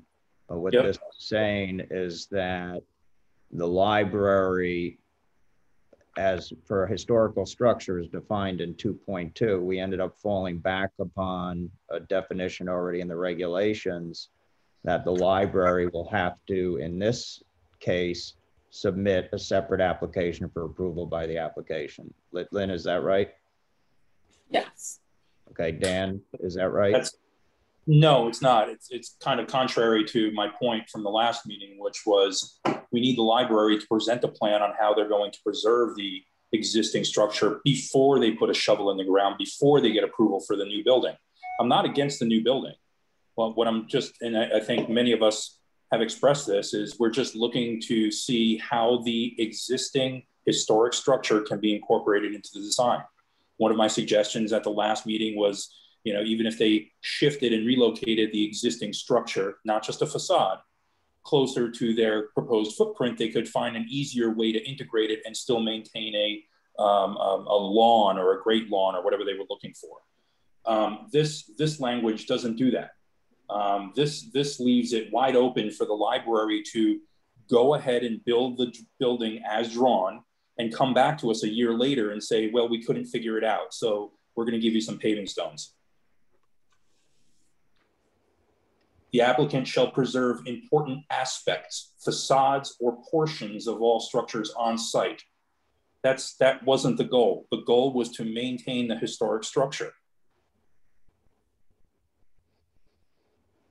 And a separate application shall be submitted to the commission with final approval, but shall not uh, preclude other proposed construction on site. Again, that that gives the library exactly what they're looking for, which is a way to build what they're doing right now, demolish the old building, uh, you know, two years from now, and just say that we couldn't figure it out. So here's what you got. So do you have language then? Because because I thought you and Lynn had discussed this, and I thought we did. We did, and that, that was my reply back to Lynn. I copied you on the email. I did not feel that this language represented the conversation we had. The the goal of my point was to provide language that would maintain the the the historic structure as a whole and be able to either keep it in situ and tie it into the new building or relocate it on site and tie it into the new building, making it an architectural feature of the new building, not as, as written here and not as proposed by the library, which made the press, uh, I'm sure all of you saw it about a week, a week and a half ago, where they proposed taking a portion of the facade and sticking it on the back of the gas station and calling it a day. That, uh, I'm sorry, but that's not the goal of the POCD. So do you, do you have language then? So, so as a suggestion for language, I don't understand why it can't be consistent with what we what the language is in, in finding five, wherein we say the applicant shall preserve important aspects, facades, portions of all structures on site that are older than 1937. Uh, it seems like we kind of we compromise that overriding point, which is consistent with what option B is, you know, that Dan is that Dan is proposing when you when we start talking about maintained in whole or in part when you say in part or just an interpretation of section 2.2 you're leaving the possibility as dan mentioned of just slicing off a part of the facade facade and abutting it next to a gas station and saying that's conservation. When what we should be doing throughout this document is really clearly delineating for people to vote on a very distinct option A and option B scenario. And I think that gets muddled in this language. It gets less muddled if we are just consistent in the language of the applicant shall preserve important aspects, that whole line, as opposed to something that could be contrary to that, which is an interpretation of section 2.2 or in whole or in part, in part being emphasized. So contrary, this is Krista Nielsen. Um, contrary to what I normally say about how I think the process should work, which is that I think the zoning should come before the application. I think in this specific instance for the conversation tonight, the devil is in the details and the details are in the third resolution, which is the special permit resolution. And I think if we are able to come to consensus there, then it's easier to kind of pull up, if we even want to pull up to some more generalized language to include in the zoning regulation. Um, or frankly, we could just put the same specific language in the zoning regulation because as I've previously pointed out, it's only ever gonna apply to this project anyway. Okay, so do you wanna go to the special permit then? That's my recommendation, but I mean, I'm open to other thoughts on how we do this. I, I think that makes sense. Mr. Chairman, let's start there. I don't know, when I look at this, um, as, far as using an overlay zone for this particular uh, type of structure seems appropriate. In fact, the state law just got changed on this, so overlay zones exist. Um, and uh, I think particularly with very unusual buildings and uh, in a nice way, a library is an unusual building, uh, would seem to be appropriate use of an overlay zone which would include consolidation of the various sublots that are in their footprint, which seem very reasonable to me.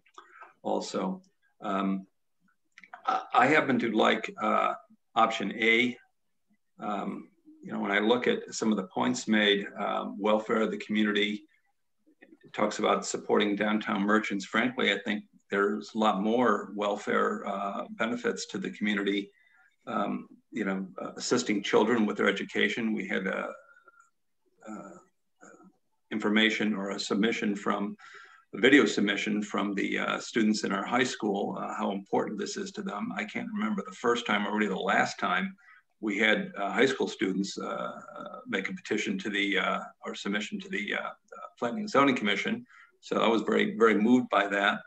I see this as a very important socialization um, venue for the entire town, for every demographic in the town, as well as for continuing education for the adult community.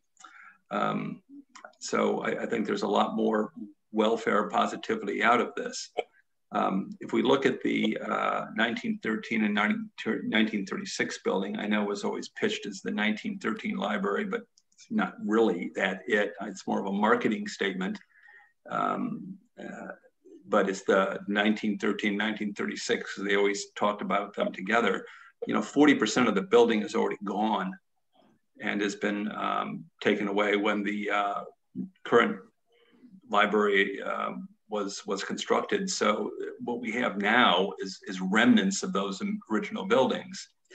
Um, and while I understand the interest in, in maintaining uh, the historical nat- the uh, nature of these buildings, which you know played a very important role in our community, um, I, I, think the uh, statement in um, uh, point five of the um, uh, option A uh, addresses that uh, adequately. And I, I, don't see trying to re-engulf these remnant walls uh, as, as, really a, a practical um, practical solution. And so I, I think option five is, is, is, appropriate. The Planning and Zoning Commission, this commission will have full discretion to uh, say yay or nay on any um, uh, decisions or recommendations or applications on the part of the library regarding what to do with the um, older structures on their property. So we have full discretion. So uh, this really strikes me as the the appropriate way to go for uh, for this application. Thank you. Okay, you're welcome. Um, okay, well, but let's let's look at the special permit then. Um, then yeah, do you have that up there? Um, that is the special permit that's up. Okay. So as Lynn says, in option A, there's no condition 11. In option B, there is a condition 11. Okay. Uh, so I think you really want to look at uh, condition uh, eight and condition 11. Those two conditions are really A and B. Right.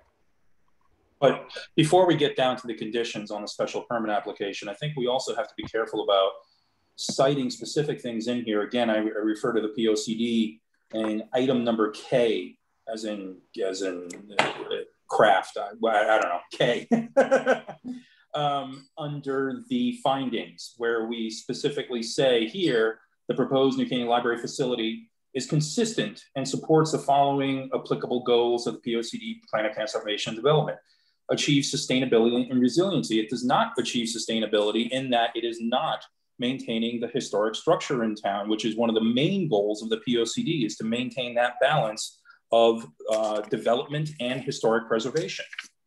So I, I, I, I, don't feel we need to, I, I don't feel comfortable having that language in there. Well, then that could be, you could take out that language for your option B. That's fine. Right, but I also think if we go with option B and there is some level of historic preservation specified in the resolution, that maybe then we have achieved that, Dan. Would you disagree? I mean, currently I would agree we have not, but if we are able to put something in this resolution that requires some sort of preservation of the 1913, 1936 option, have we not achieved? Then, then we have, yes, right. absolutely. So I, I think agree. it depends how that plays out. Can you go yeah. to Totally. I, I, I think under option A, again, the library would be required to make an application to this commission saying we wish to preserve uh, piece, what is now pieces of an older library. That's all that's left. And we uh, would have, we as a commission would have full discretion to decide on that. So I, I think the full powers to uh, achieve those goals will be, uh, are, are, fully realized in option A. Can you go to uh, finding number 12 one, please?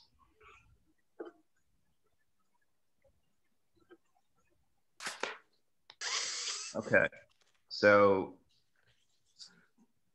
when we when it says in there, and I, I recognize the language can be different for option A or option B, or the finding finding could be dropped for option for option B. But I would even suggest to those that are contemplating voting for option A, does it make sense to include that type of language that the New Canaan Preservation Alliance failed to present a compelling alternative, or I'm sorry, compelling narrative as to why the Planning and Zoning Commission should require the New Canaan Library to, I mean, we start talking about a compelling narrative. I think we have to acknowledge at this point how comprehensive the effort was on both sides, um, how much time it took for both sides to put into this.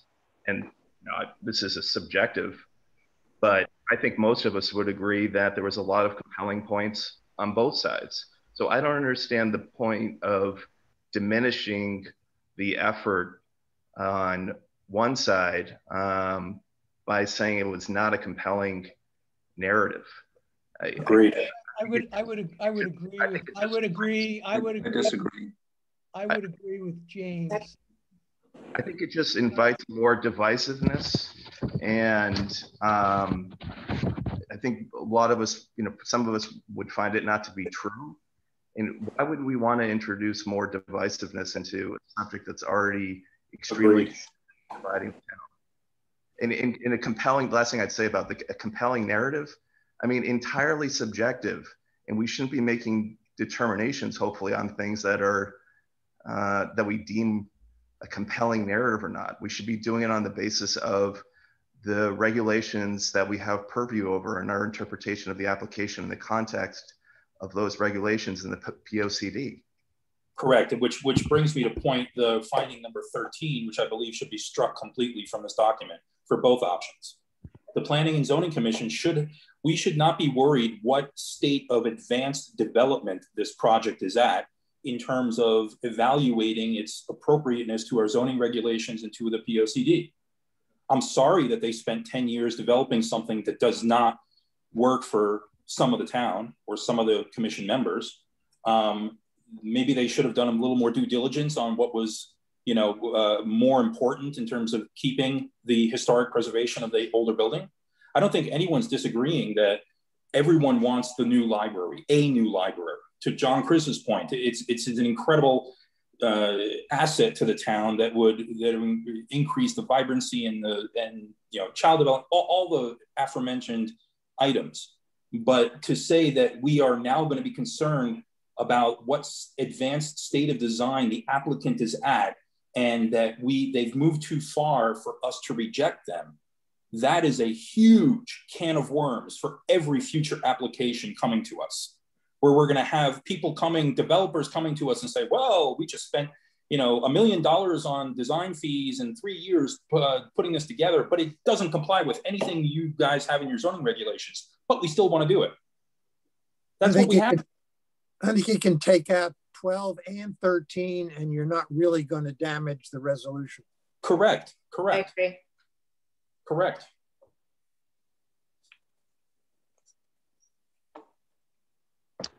Because the guts of it are in the condition when you get down to number eight and number 11. That's correct. Which is, which is why I would I would suggest we focus on eight and 11 and we can always back up and address the rest of the document. Agreed.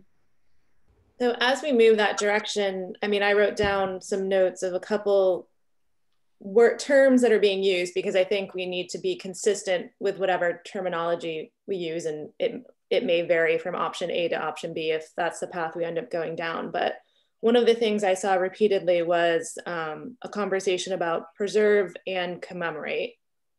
Mm-hmm. And to mm-hmm. me, those mean two different things, and I don't know if that mean different things to other people, but um, I guess my I was curious, you know, where do we all stand on whether we want preserve commemorate or the combination of both of those because I, I think that's an important distinguishment to be made. I think we should be using the term preserve or preservation. Commemorate, the, commem commemorating is not the goal of the POCD, right? We're, we're not talking about a, you know, a flip book that has the history of the old library on there. That's not what it's about. It's about. Dan, but Dan, Dan, I, the good news is the library is way beyond that. I, I think we can stop talking about stones and flip books because we have advanced beyond that. But according, no, we haven't because according to the published article in the paper that many of you have seen about a week ago, their current proposal is to take a fraction of the of the facade and put it on the back of the gas station. So they're still they're still in that mindset that they're only looking to take a a fraction of the building as a commemorative wall or a commemorative walkway or commemorative paving area. That's not preservation. Preser uh, preservation, according to the new pres the New Canaan Preservation Alliance, is the building in situ, and I think we've all agreed that in situ is not necessary. So maybe uh, ag agreed. First, let me finish. The first thing we have to agree is what do we call preservation. The second thing is look. My view is there's, you know, it, it's easy to say they're going to stick it on the back of a gas station. You know, that sounds great, but I think they are willing to go much beyond that.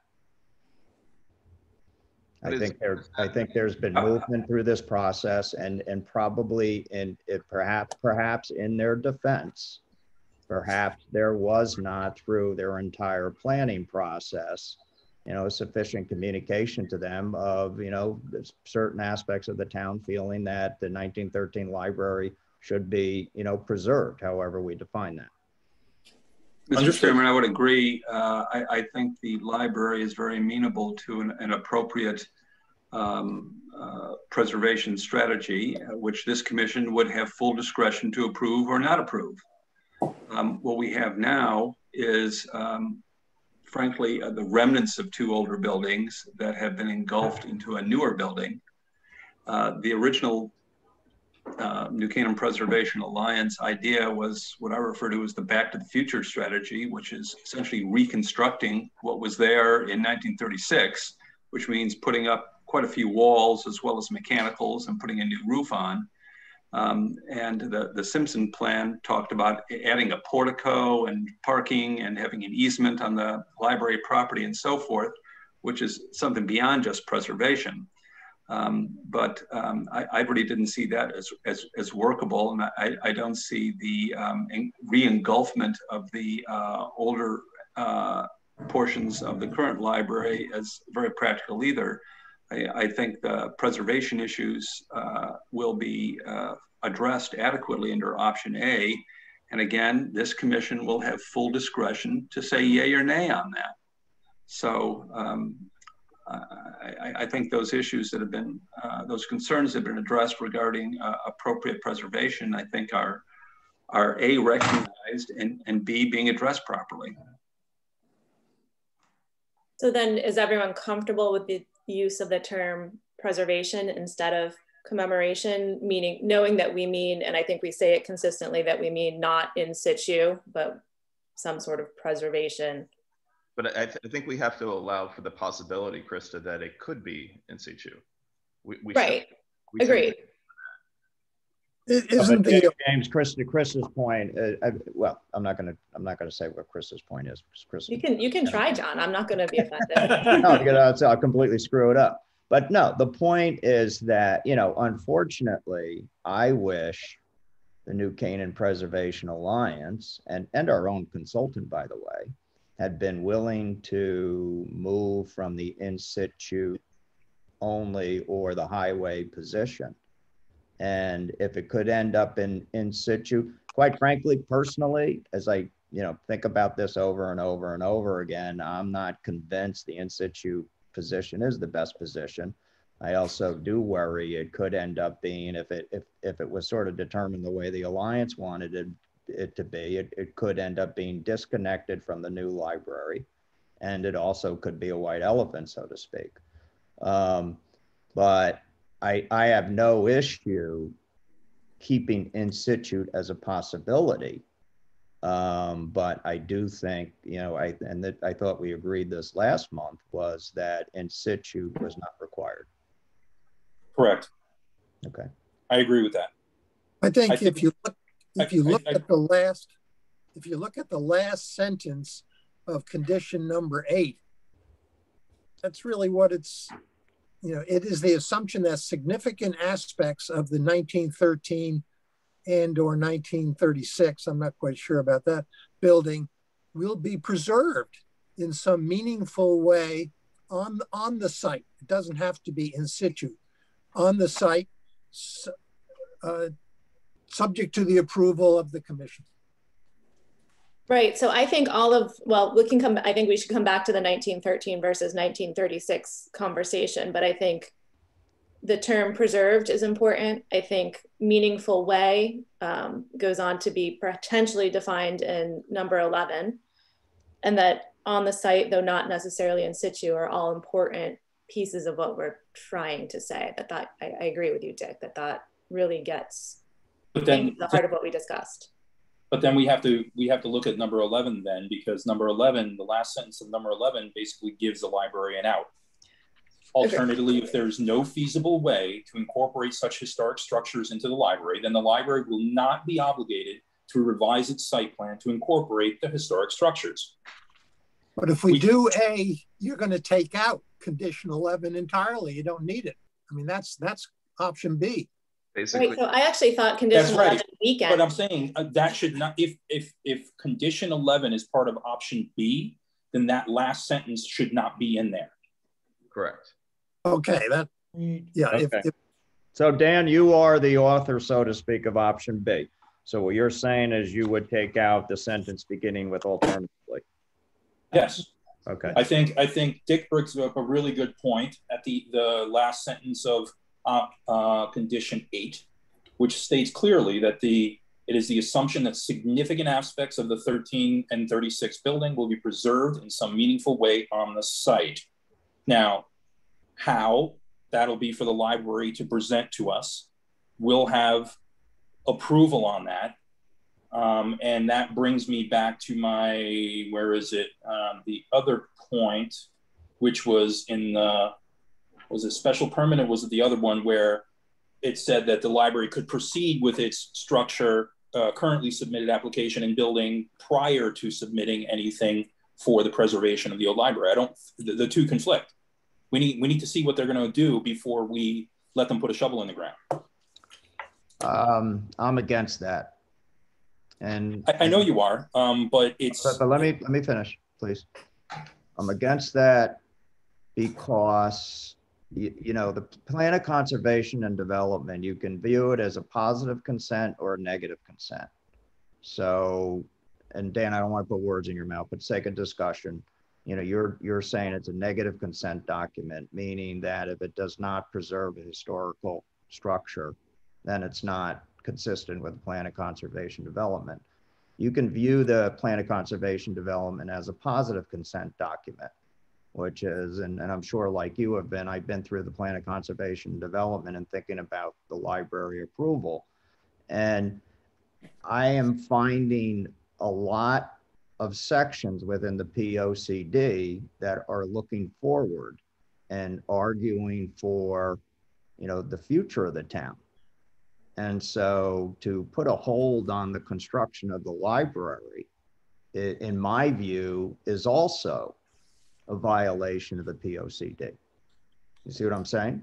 You don't have to agree, but you know, that's the view is I, I don't feel we can hold up the construction of the New Canaan Library. I think that potentially, potentially could be disastrous for the town. So, I, I agree with I that. agree. I, It'd be a darn shame not to have this new library built as soon as possible. I think the entire, I can't think of anyone in this town who thinks really that's a bad idea. uh, Or I- really I agree with you. dislike- No I- If I no- may continue, sir, if I may.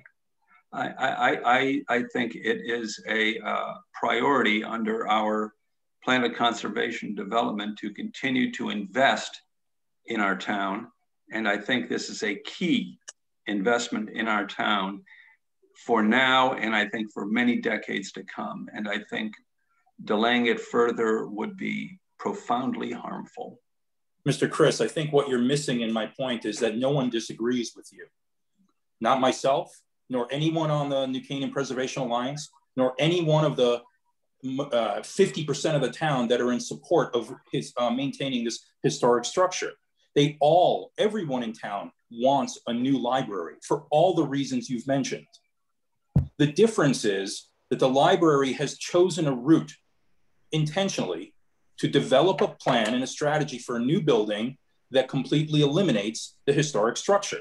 That's what's at, at hand here. So they made that decision for a host of different reasons, whether it be financial in terms of cost impact for the same reasons they got rid of the parking underground, uh, you know, logistics in terms of staying in the existing building, which is one of our, you know, findings or conditions in the approval, that they can stay in the existing building while they build a new one. There's a whole host of reasons they've done it. That doesn't mean it's right. It doesn't mean it's conforming to the POCD. I'm saying that, I, uh, you know, I think we're all frustrated that we've gotten to this point that the library has developed a plan that's gone this far, this deep, this involved, and this costly without keeping the historic structure. No. It could have easily been done. I brought that up at the meetings. Their architect of record, Centerbrook, they, they've done buildings exactly like what we are talking about here, where the historic structure has been maintained. And if I could add to that point, do we think that if we were to go back in time, and granted, obviously we can't, and the library were to say something like this, this is the original, how they originally envisioned the design plan, and they brought it to their donors in this fashion.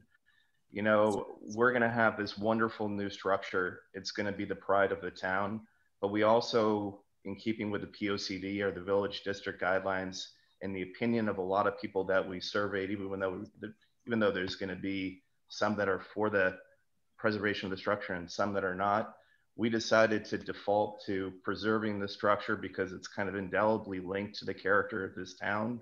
And so we're going to preserve that structure. We'll have less of a green. We'll still be able to have events on the green, maybe not as many as we would before, as big as we would plan before, but we think it's the right thing to do. And we can have kind of the best of both worlds.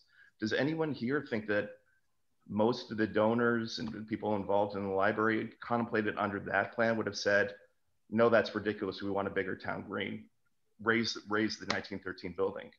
We are dealt, we are passively dealing with a bad hand that's been dealt to us. Right. right. And, and now we, we, we, we have a really lousy hand, but we don't have any agency to kind of go back on it because if we delay anymore, we're going to compromise this town indefinitely. And you know that that's that's a real stretch because the reality of this is if we choose, if people choose option A, in all likelihood, this is going to go through litigation that's going to last at least a year. Could be much more exhaustive than that. The idea that this is going to be shovel ready if we if people choose option A, I don't think it's realistic at all.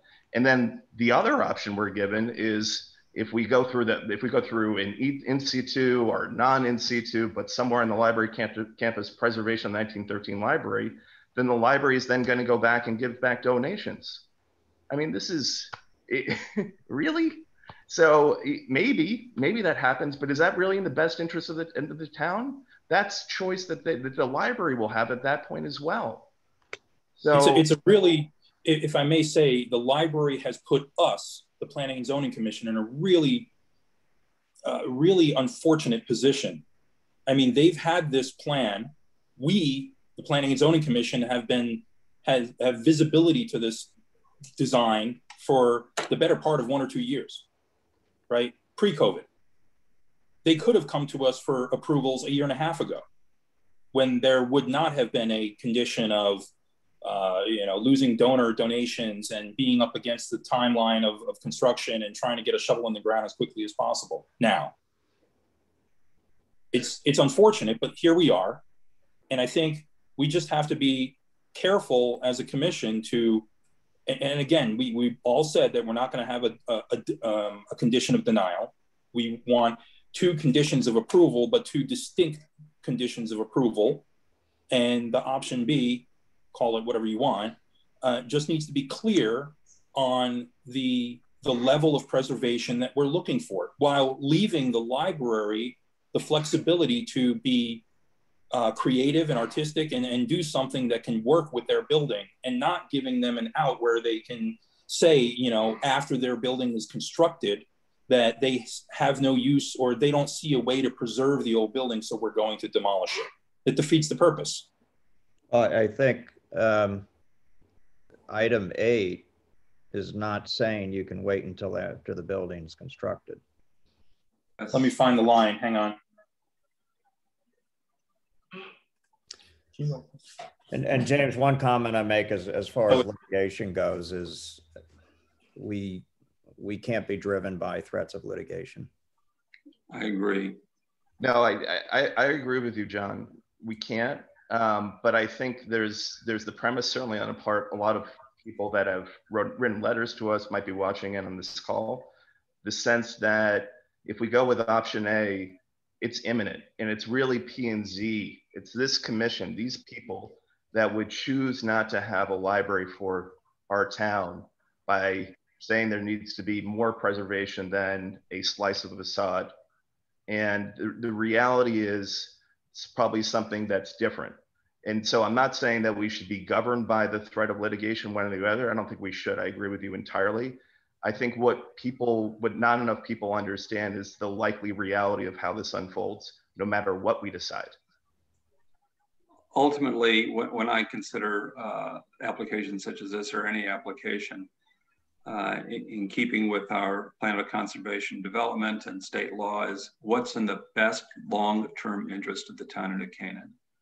And um, I, I, think option A, which will reasonably rapidly build uh, the new library, which the town is, is crying for, a wonderful new building that I think could be a true landmark, and will also appropriately provide for preservation of uh, aspects of the older library or what's left of it, uh, which gives this commission full discretion. So if we want full discretion, we got full discretion. So it, it seems pretty straightforward to me. Well, how about, you, don't, how about, you don't think option B, you don't think option B would would uh, satisfy that goal? I, I no, I don't. I, I think option A is straightforward enough. I think option B is essentially re-engulf the remnants of the 1913 and 1936 library. And, and, and so, uh, John, John Goodwin, I, I, think just to just one last point on this, I don't think that this commission should make decisions on the basis of threats of litigation. I don't think that this commission should make decisions on the threats of um, donations being given back. Yep. I think we, what we think is right. I think we should, you know, again, I'm, I'm fairly new on this commission, but you know, I've been here long enough and been around town issues long enough to say that we're in a different position on this commission than someone looking in and we have to make decisions on the basis of our interpretation of the POCD, the village district guidelines, and anything else that's relevant that's under our purview. My own interpretation of that is um, a level of preservation that is aligned with what Dan is talking about. And I can't really think of many structures in town that um, there, that's it, where it's more necessary to follow the stated main goal of the POCD, which is a balance of conservation and development than this project, where we can have potentially the best of both worlds. It might be more difficult to at this point. I recognize that, but there was an opportunity all, all along the way. And I don't want to preclude the possibility of that in the future at all, because there's a long-standing partnership between the library and the town that's worked well for both of us. And I don't like the idea of ultimatums and threats on either side. In an effort to move this conversation about the resolutions along, I, I was, because I'm a little confused myself on the process outlined in eight and nine um, in terms of, you know, whether we go with option A or B. So I was, I have some questions and maybe Lynn wants to respond to what she was intending here. But if I read number eight correctly, it sounds like we're asking the library to present a consolidated report of options that they study to preserve or commemorate. I would prefer to see it just say preserve um, the historic buildings on site. And then in option or in finding nine, we tell them that they need to create a final concept plan um, that preserves or commemorates part of those historic buildings. I mean, I, I to me, those are options that those are findings that build on each other. The report of options would kind of be the whole menu, and then number nine is kind of narrowing down the menu to here's the one we've decided is best.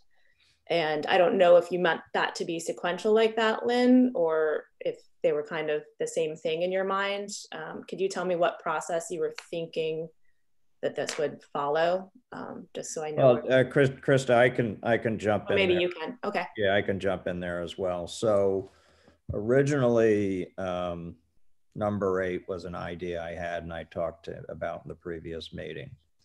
And I received feedback from all of you that there needed to be more teeth in it. Okay. So I think what I said to Lynn and also said to Pete is think about what can put more teeth into the concept that was in number eight. So in a way, you're right; they do build upon each other. Um, but but that's part of the thinking there is is so think about eight is something we want to achieve. And I, by the way, I have no problem based upon our agreement on the definition of preservation as a commission. I have no problem taking out commemoration. Um, and and so then number nine is okay here's how we're going to get this done and you know look where, where i where i'm going to be repetitive but um you know james it's not about the library losing donations. It's about this project going forward. So what i'm trying to find here is for the project to proceed. And you've got we're putting a time frame of one year. You really have two years, but they're going to have to come up with something within one year to, you know, provide something that preserves the 1913 library and something that's satisfactory to the commission.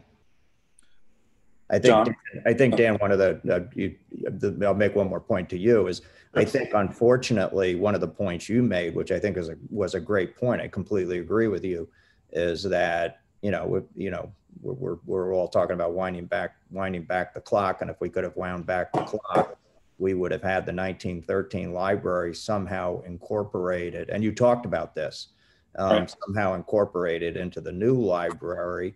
And, you know, in my mind, I, I if it could be done, that'd be fantastic.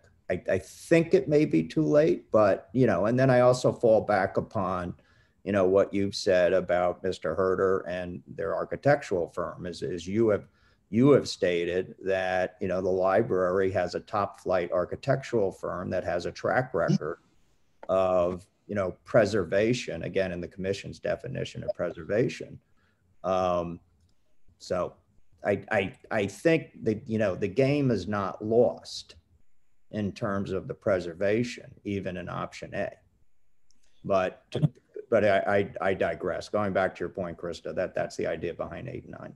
Sorry. So then I guess my next question is for Mr. Gelderman. If we ask through our conditions the library to put together a report of options for preserving the historic parts of this property and come up with some sort of final concept plan built upon those options, do we, as the commission, have any ability to opine on that after we close the special permit? or is that still purely an administrative sort of like they can come back to us and educate us on what they've decided but there's no back and forth conversation well i think it depends on how the condition is exactly phrased but you can make that condition can require the library to come back to the commission um, with a specific plan um, for preservation if that's what the commission wants to accomplish. The difficulty with that, as, as we talked about at the last meeting, is what happens if they don't come back with a plan that's satisfactory to the commission? Um, and so I and I don't know the answer to that. I mean, if that condition, Pete, Pete, Pete, can I give you an idea? Sure. What if there is some sort of working group of which let's say the planner is a member of that working group?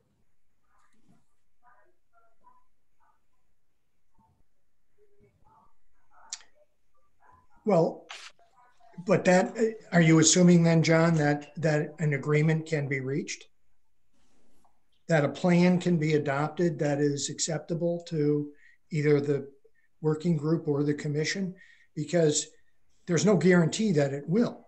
I'm just looking down the road. What happens to the special permit if um, that condition is not satisfied?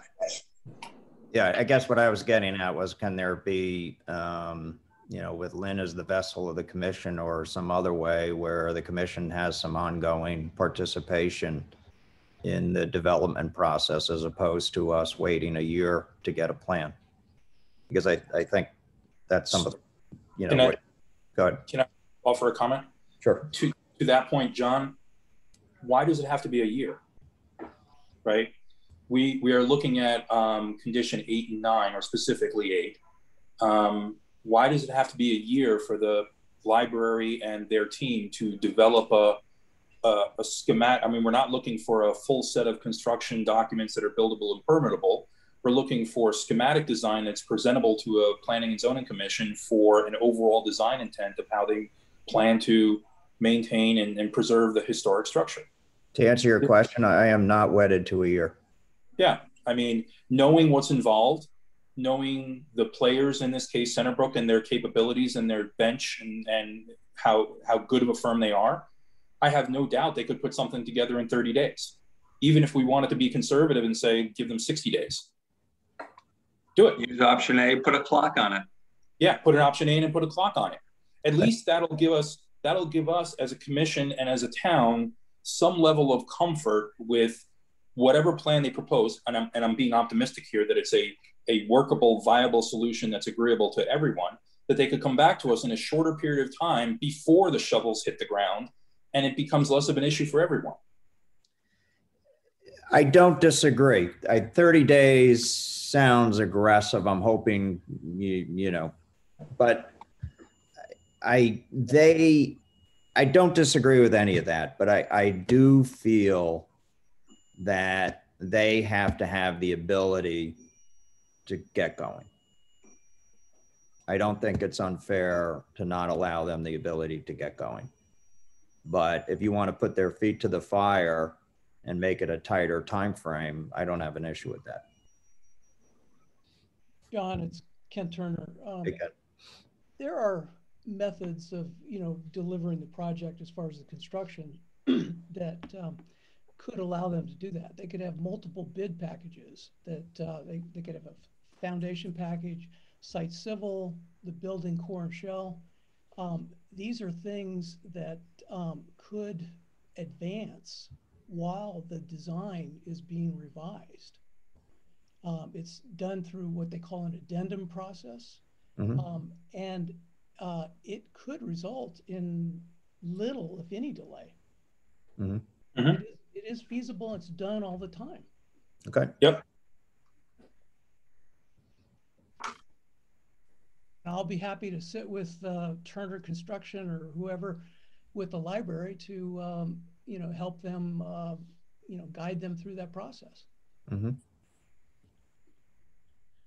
Now, Ken, you're talking about a redesign that incorporates 1913? That is a Or, possibility. Yes. or is the 1913 preservation sort of a separate, a separate structure? No, I think the premise is that um, we would, uh, that they would find a way to preserve and to incorporate into the new design, the 1913 design.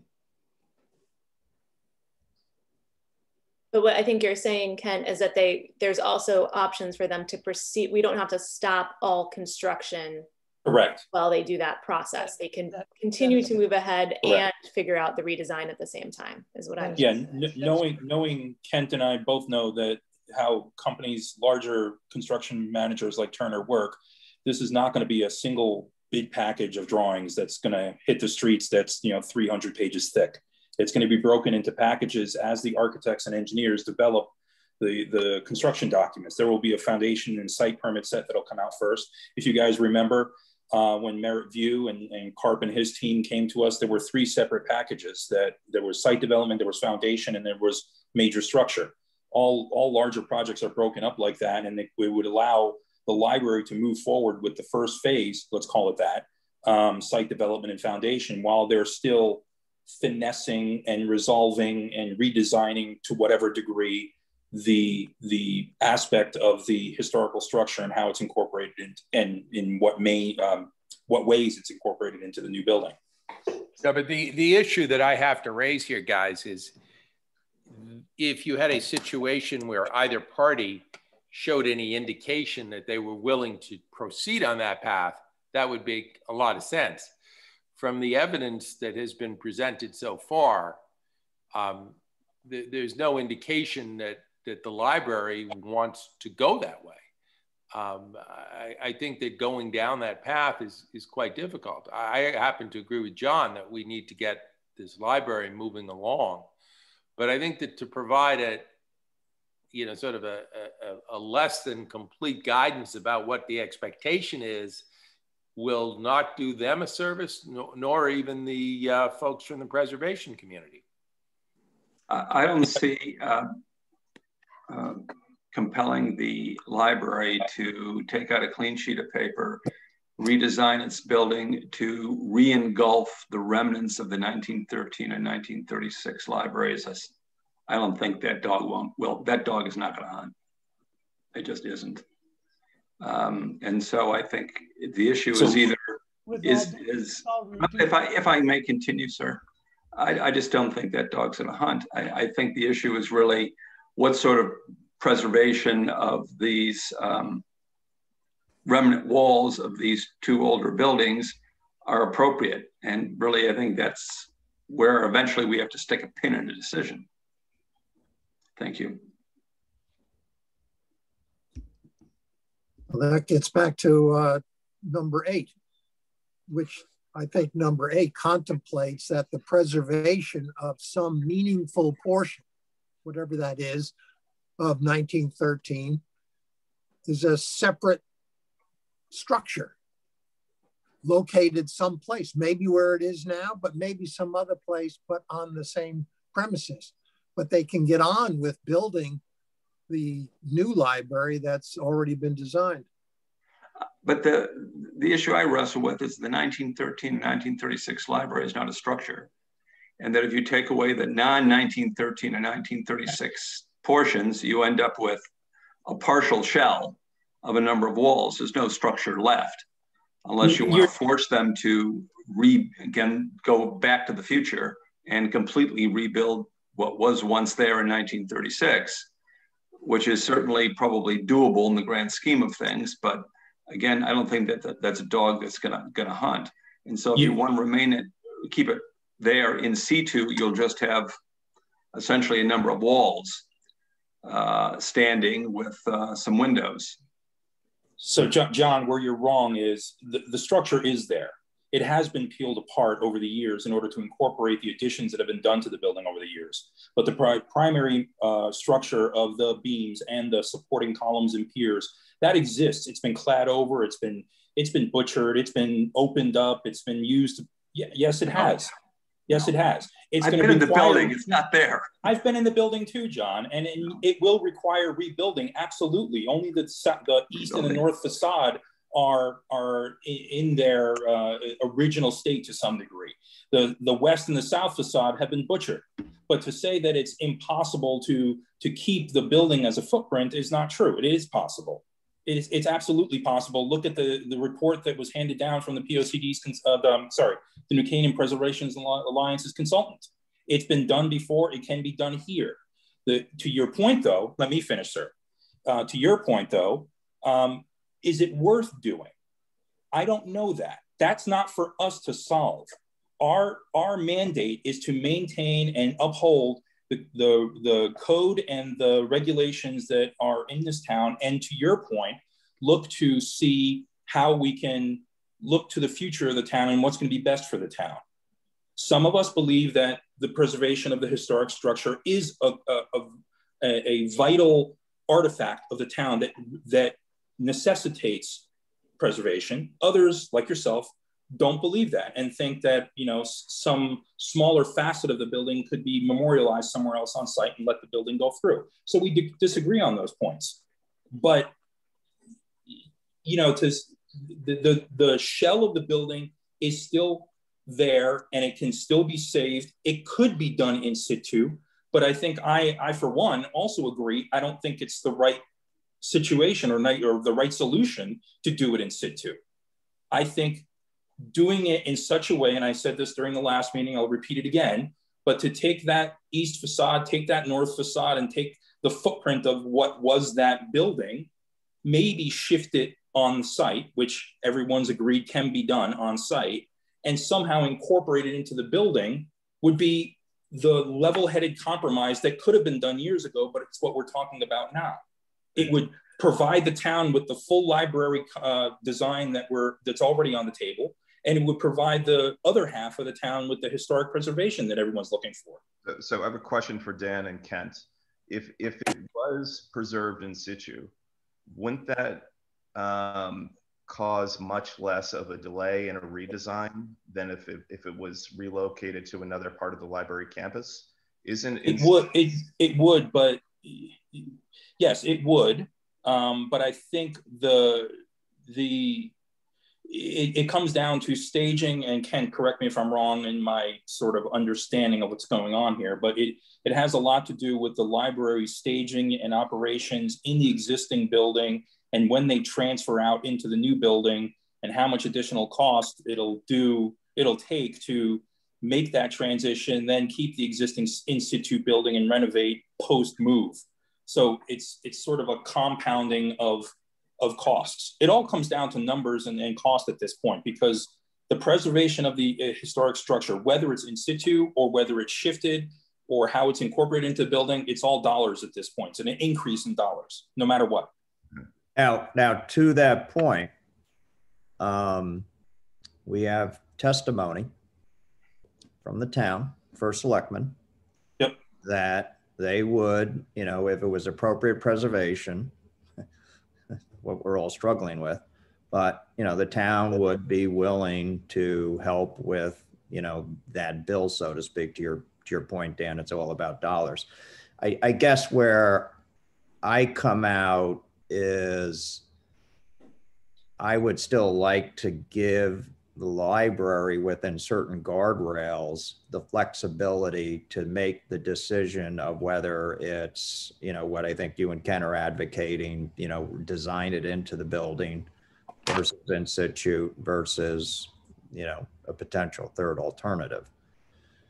I, am a little hesitant to tell them that they have to redesign the building. I'd, I'd like the idea better of saying preservation like we're all talking about, but give them some flexibility.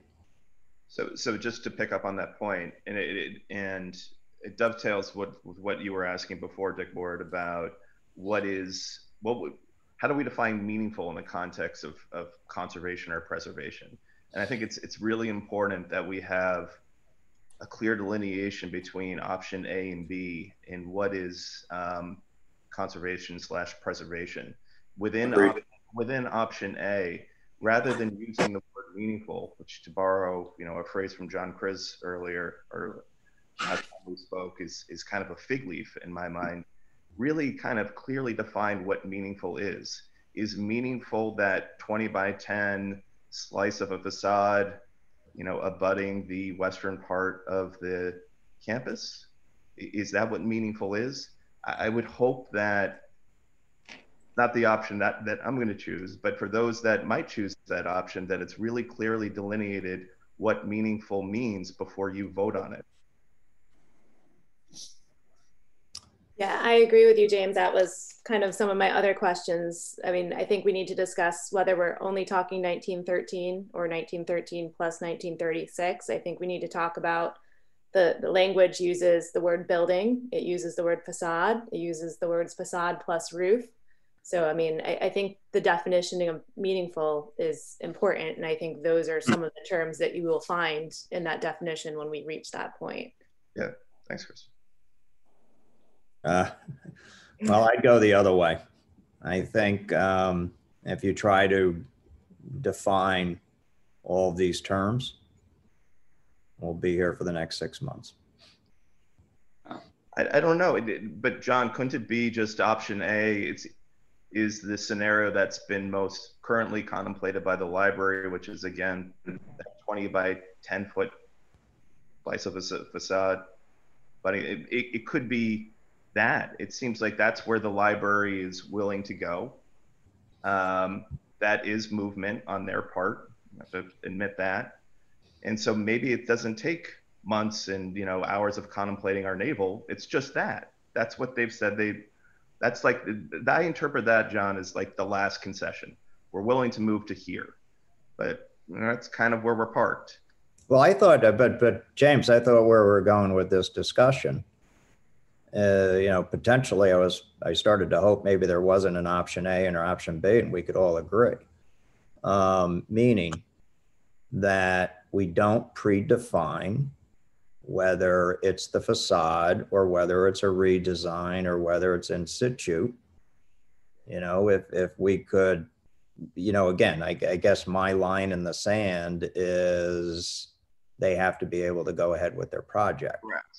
Yes. But if we could take eight and nine and you know maybe give it even more teeth, you know, Dan said shorten the time frame.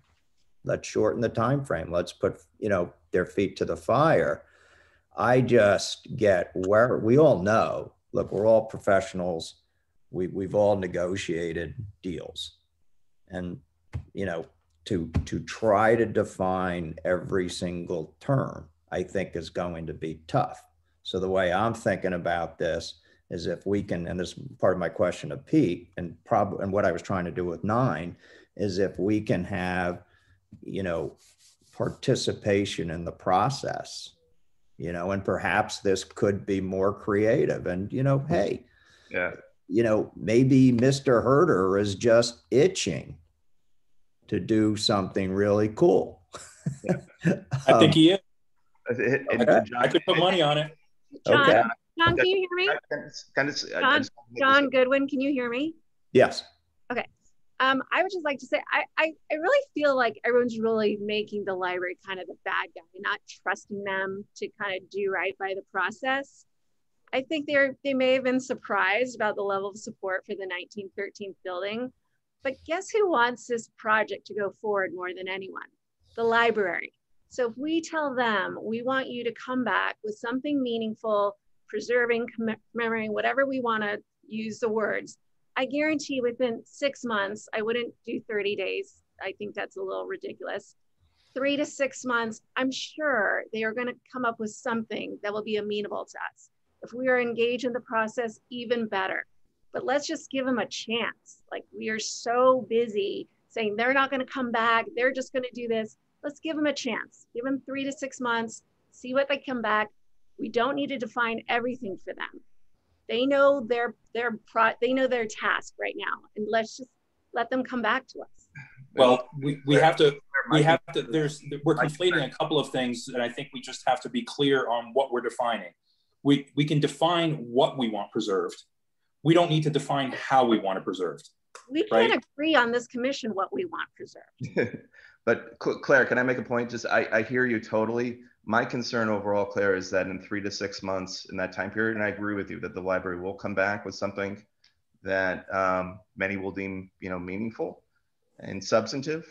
Um, that we're in the same position three to six months down the road with and having this a similar sort of conversation as we are now. And I think we all want some resolution. I don't know that three to six months time and the library coming back to us is really going to afford us a clearer resolution than what we would have, you know, if we were to make a decision very soon. So what do you suggest, James? I suggest we really clearly delineate some of the terms so that we have resolution around what an option A and option B looks like, and we take a vote. Right. I, I would agree with um, Commissioner Tiscornia. I, I, I, don't think getting too deep in the weeds is, is, is really appropriate. I would like to hear what the library has to say. I think your comments that the library has been seen as the sort of the bad guy in this, I would I would agree with that. I I, I think the library has um, uh, certainly a view on what they feel is appropriate for their property, and which is I get that, but I think they have heard some of the uh, views of the town too regarding preservation. And, um, you know, my view is 90 days is more than enough, but I would agree with the chairman too, that we need to get off the dime on this one. And I think there is a compelling need, need in need in our town for a new library. And um, time is money and TikTok, um, you know, the longer we wait and the longer we argue about this, you know, the, the, the, the less of a library we're gonna end up getting no matter what it is. And I don't think that's in the best interest of the town of New Canaan today or 20 years from now.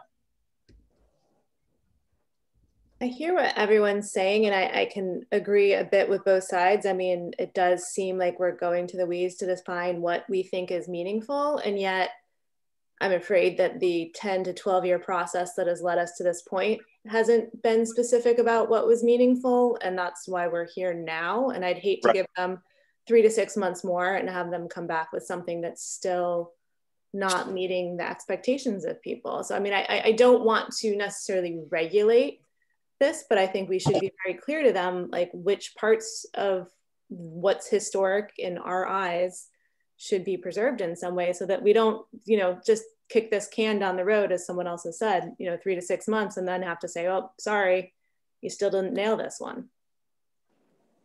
Great. Num number nine says that there will be an external advisor hired by the town. So presumably we have some say as to who will be the external advisor to work with the library to come up with some meaningful preservation.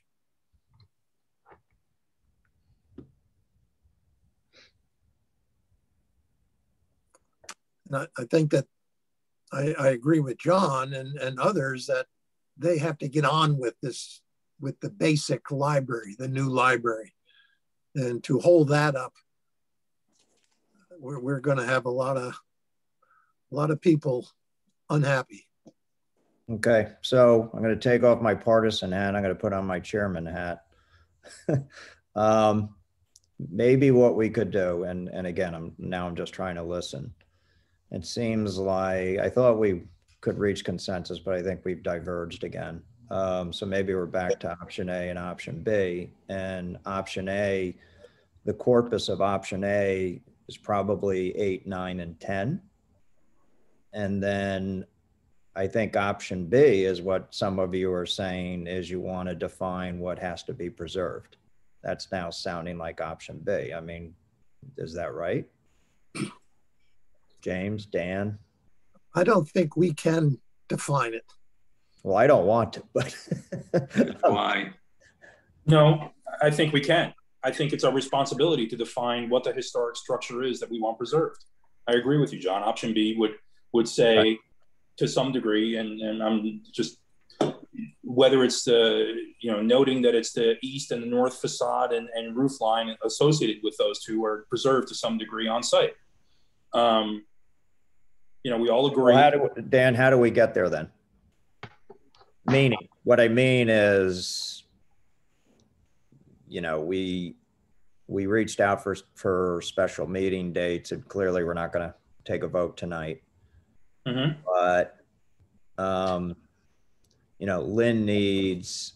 Lynn is nothing against Lynn, she's not the one now to define this. I think, you know, for for those of you who feel that it should be delineated, you know, it's now up to you all to figure that out and tell Lynn what to put into option B. I mean, feel free to tell me if you disagree and if I'm misreading this, but you're right. We got to yeah. do that. That should yep. be done. I mean, okay. Incorporate the facade in some meaningful way. Yeah. And I think I, oh I, no, but but Dick, but Dick, Dan is saying you can't just say incorporate in some meaningful way. I think what you guys are saying is you're going to define, which scares the heck out of me. Yes. But but, but they incorporate the facade. Okay, then the facade is going to have to appear in the meaningful way, And what else is it beside the facade? But which facade? East and north. Why that? Because those are the remnants of the old buildings that are still intact to some degree of originality. I think To you your know point, to your point, the south facade and the west facade have already been taken apart and modified to integrate the additions that were added over the years. They've been torn down. So, so what I, I think, you know, to that point, we already have the basis of some of the language and it could be further fleshed out, clarified. But in finding f- five within the overlay zone draft, when it says, and I quote, the applicant shall preserve important aspects, facades, portions of all structures on site that are older than 1937. I think that's an accurate characterization of what scenario B is going to look like. And again, it can be further fleshed out very soon and should be very soon. Um, but conceptually, that's what it is. But I still think that scenario A is more than adequate for us to achieve the needs that have been discussed by this commission and by the community. I know. And, and look, we're, I, I- know this is going to be one of those things. It's divided the town, it's dividing the commissioners. I, I get all that, John, like John, Kriz, I, I totally understand your points. I think what it might come down to is different interpretations or weightings to different aspects of the POCD and the village district guidelines. And along with the, the overriding notion, and I totally understand your part and, and others, that this is a project that's really important to the town. And um, yes, we've been dealt an- a really lousy hand, but it's from this moment forward that's relevant. Um, and I totally get that. I, I understand where you're coming from. Okay, well, Tom Sorry. Goodwin, would Yeah. it be option A would be what we have now? And option B would be like, we're gonna dive in and tell the library what exactly it is they need to come back to us. I'll, I'll, I'll let Dan and I'm, I'm, you know, now I put my partisan hat on. Eight, nine, and 10 is the core of option A. And I guess And what we need. You teach to it. Let me just and finish real quick, Dick. What we need, I, thi- I guess James and Dan to do is to come up with option, is to, to wordsmith option B. Sorry, Dick. I was just saying that you could have option A, eight, nine, 10. I agree with you there. And, and I think that you can put, put maybe a few teeth in that to, you know, I don't want to say it makes it closer to option B, but maybe it just makes it clearer that there is some meaningful preservation. And, I- and if I can just speak to option A, I, I, I sincerely believe that giving the applicant, if it's option A, giving them 90 days to produce a solution is not unreasonable at all. It I should would not agree take, with, I would agree with that. I think 90 days is enough time. I would it with should that. not take a year. 90 days is enough. It's like a lot of I mean, things. let Give them a me- week, they Dan, take a let me, week. let me be clear about the year. I plucked that out of the thin air. I'm, I'm Yeah, yeah, yeah. completely flexible. No, and, and just to just to complete the thought, it's for both option A and option B. Quite frankly, there's nothing that says for option B they can't produce something in 90 days that could satisfy our concerns. Okay, well, let me ask you, you and James and whoever else wants to jump in, can you guys come up with wording within the next week? Oh yeah, absolutely. I'm so confident in Dan. No, I'm just kidding. Pass the buck. Pass the buck. He is great. He is a wordsmith. They won't be able to agree. I can see it coming. Wordsmith Okay, and, the. and, and let me ask uh, Pete, Pete Well, So I think we have an agreement, which is um, eight, nine, and 10 will fi- form the core of option A. Um, to Dick's point, if, um, for those of you who believe in option A, who can put more teeth into it, as well as Lynn and Pete, we can beef that up. Then James and Dan will work on option B. Um, and then it seems to me, Pete and Lynn, tell me what you think about this. I, I think it was good that we moved to the special permit. And I think if, if we can get these two options um, drafted in the special permit, then we can backfill into the overlay zone. We will have an overlay zone option A and an overlay zone option B. Lynn, I, I think where what we need to do different this time, Lynn, is we need to have an option. Tell me if you guys agree. We need to have an option A for the overlay zone and an option B for the overlay zone. And we need to have an option A for the special permit and, and, and an option B for the special permit, just to make it crystal clear. Because Dan is right. And Dan, I knew you were going to bring this up because I agree with you based upon your position. Is you know some of the stuff you read in you know some of the the the findings is you know counterintuitive to you know option B. So obviously it can't be in there. So Right. we, we have to break out these documents so we have consistency of language for each of the respective votes. Does that make sense? Yep. Yeah. Everybody else, does that make sense? Yes. Yep. So Dan, you can, Dan, James, you can work with Lynn over the next week. Yeah, of course. Yeah. Right.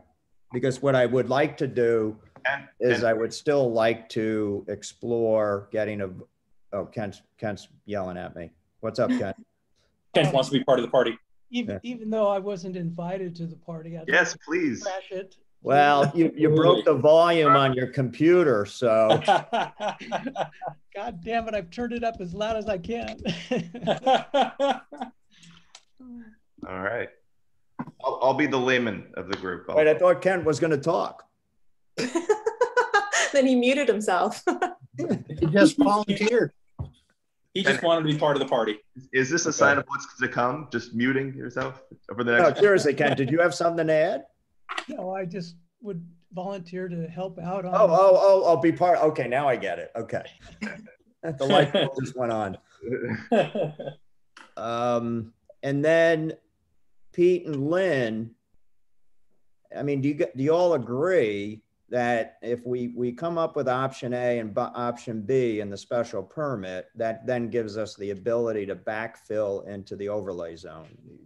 Do you agree? Absolutely. Yes. Okay, Yeah. Okay. When do we have to decide? When do we run out of time? Uh, we still have lots of time. Lynn, what's our deadline? Um, well, um, as Pete Gelderman said, um, last meeting it's 65 days to close the public hearing, which is on May 25th. And, um, our July 27th meeting would be 63 days from the close of the public hearing. So we would have to have a special meeting sometime in July. Oh, so I was wrong. So we need to have a special meeting in July. Mm -hmm. Yes. Okay. Not a problem. You know, in a way, that's good anyway. Now, the, the only thing that I'm concerned about is that I think it's very, very important that um, all, um, how many seated do we have? Eight, nine? We have eight people Nine, seated, right? nine, nine seated. I think it's very important. We just got to reach a date in which all nine vote. I Mhm. don't want, I don't want eight because I don't want a four, four tie. I mean, I'm not saying it would happen that way. Um, but I also think it's just important. I, I think all of us that are seated, we have to own this one way or another. So, Yeah. okay, should we move on? Pete, Lynn, questions? Not from me. Lynn? No, not right now. Okay, but we have a game plan clearly delineated, right? Mhm. Yeah. Okay. Um,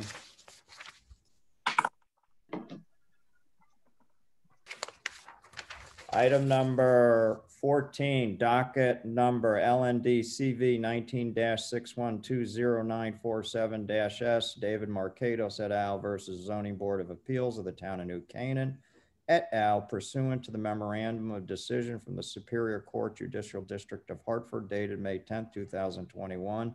In accordance with the judge's decision, the matter is to be referred to the Planning and Zoning Commission for its considerate, for its consideration in accordance with the judge's decision. Um, Pete, brief us, please.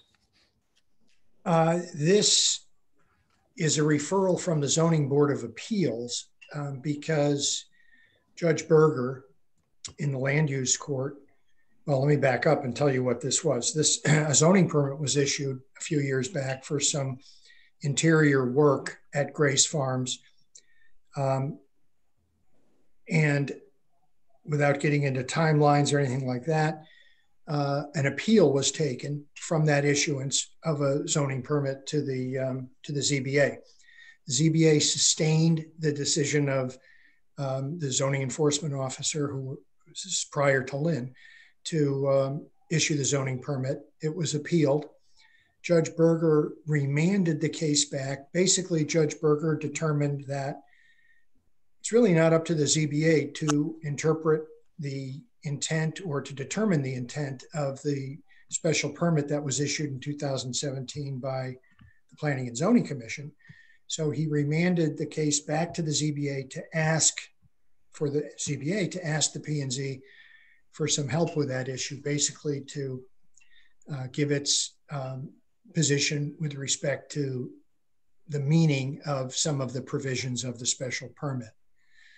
Um, now, tonight, the, the, intent tonight is not to discuss it in any substantive way, um, but to push it over to the next meeting because there are other, there is the other parties um, to the litigation, and they are the Markatos' attorney, Amy Souchuns, Grace's attorney, uh, Brian Smith, who would probably want to have an opportunity to at least address the commission about this with respect to their feelings. And, um, and that we told them would not be happening tonight. So we don't want to get too far into detail. Um, rather, the hope is that the commission, some of you weren't on the commission in 2017.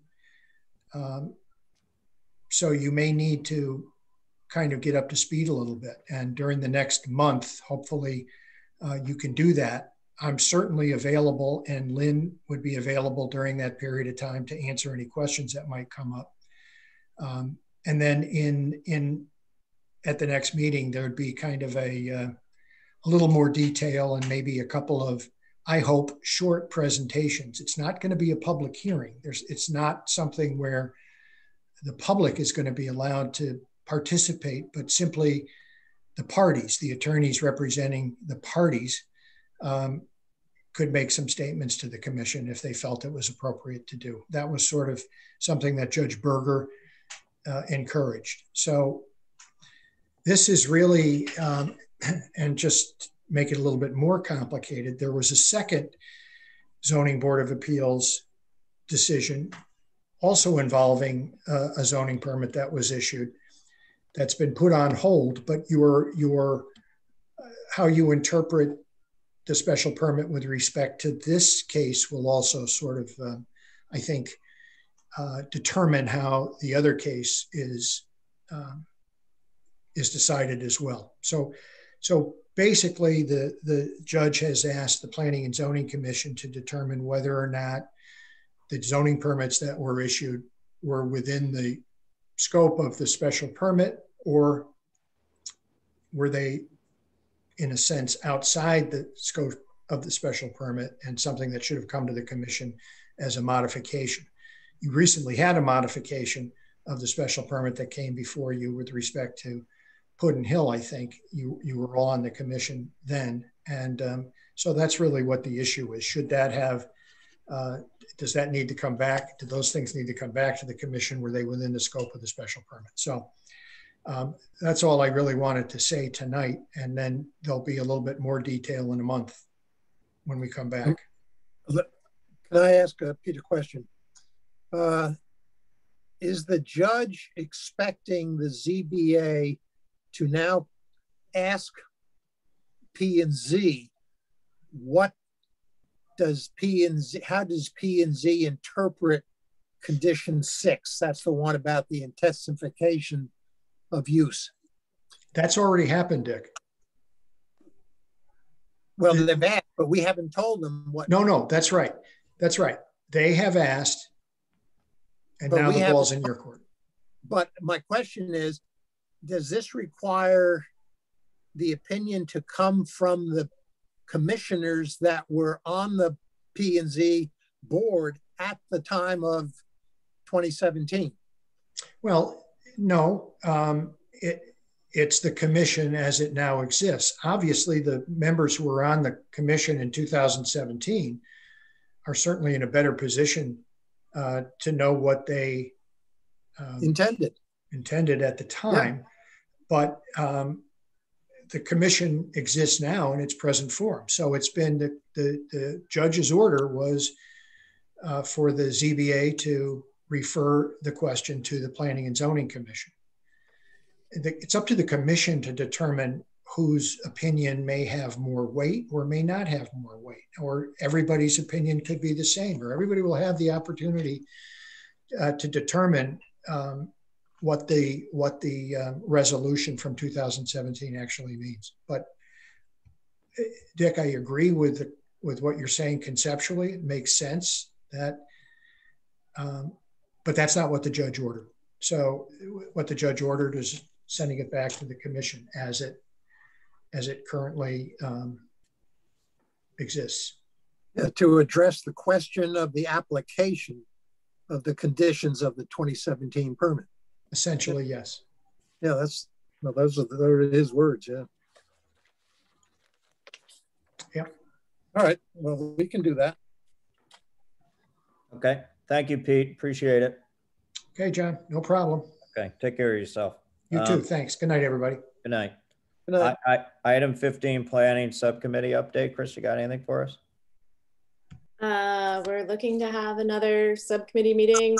We didn't want to do it tonight because we knew this was going to be a long one and we didn't want to subject you to any more torture than you're already going through. Um, but maybe when we do the special meeting is what Lynn and I talked about um, in July. So, and and at that meeting, we hope to really just get the subcommittee to come. I mean, I don't think we're far apart from you know coming to a place of recommending the language uh, for inclusionary zoning that we've worked on. That's our hope is to just really hammer that out so that we can bring it as a recommendation to the full commission at the July regular meeting. That's great. Okay, super. I love it. Thank you. Um, uh, Lynn, item 16, admin action. Do you have anything for us? None. Okay. Item 17, approval of minutes. We had a May 25th regular meeting. Do I have motion? Well, does anybody have any changes to those minutes? No. Do I have a motion of approval or denial? Move to approve. Move to approve. Do I have a second? Second, Okay. John Goodwin, I vote yes. John Kriz, Yes. Krista Nielsen, Yes. Dan Radman, Yes. Claire Tiscornia, Yes. Ken Turner, Yes. Dick Ward, yes. Arthur Cassavant, Yes. um,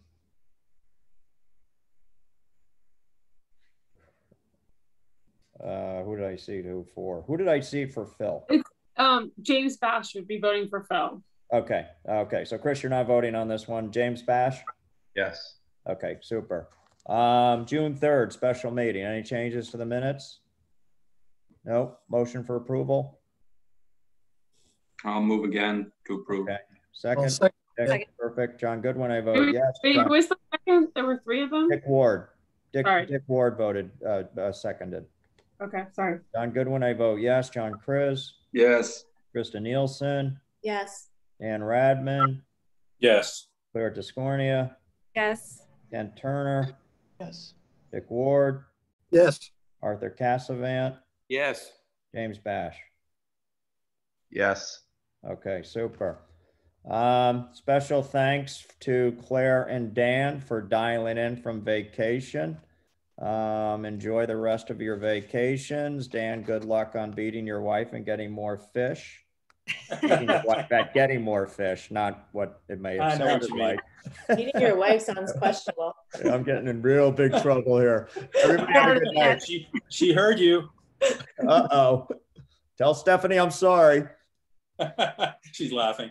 Okay, good night, guys. Bye, guys. Right.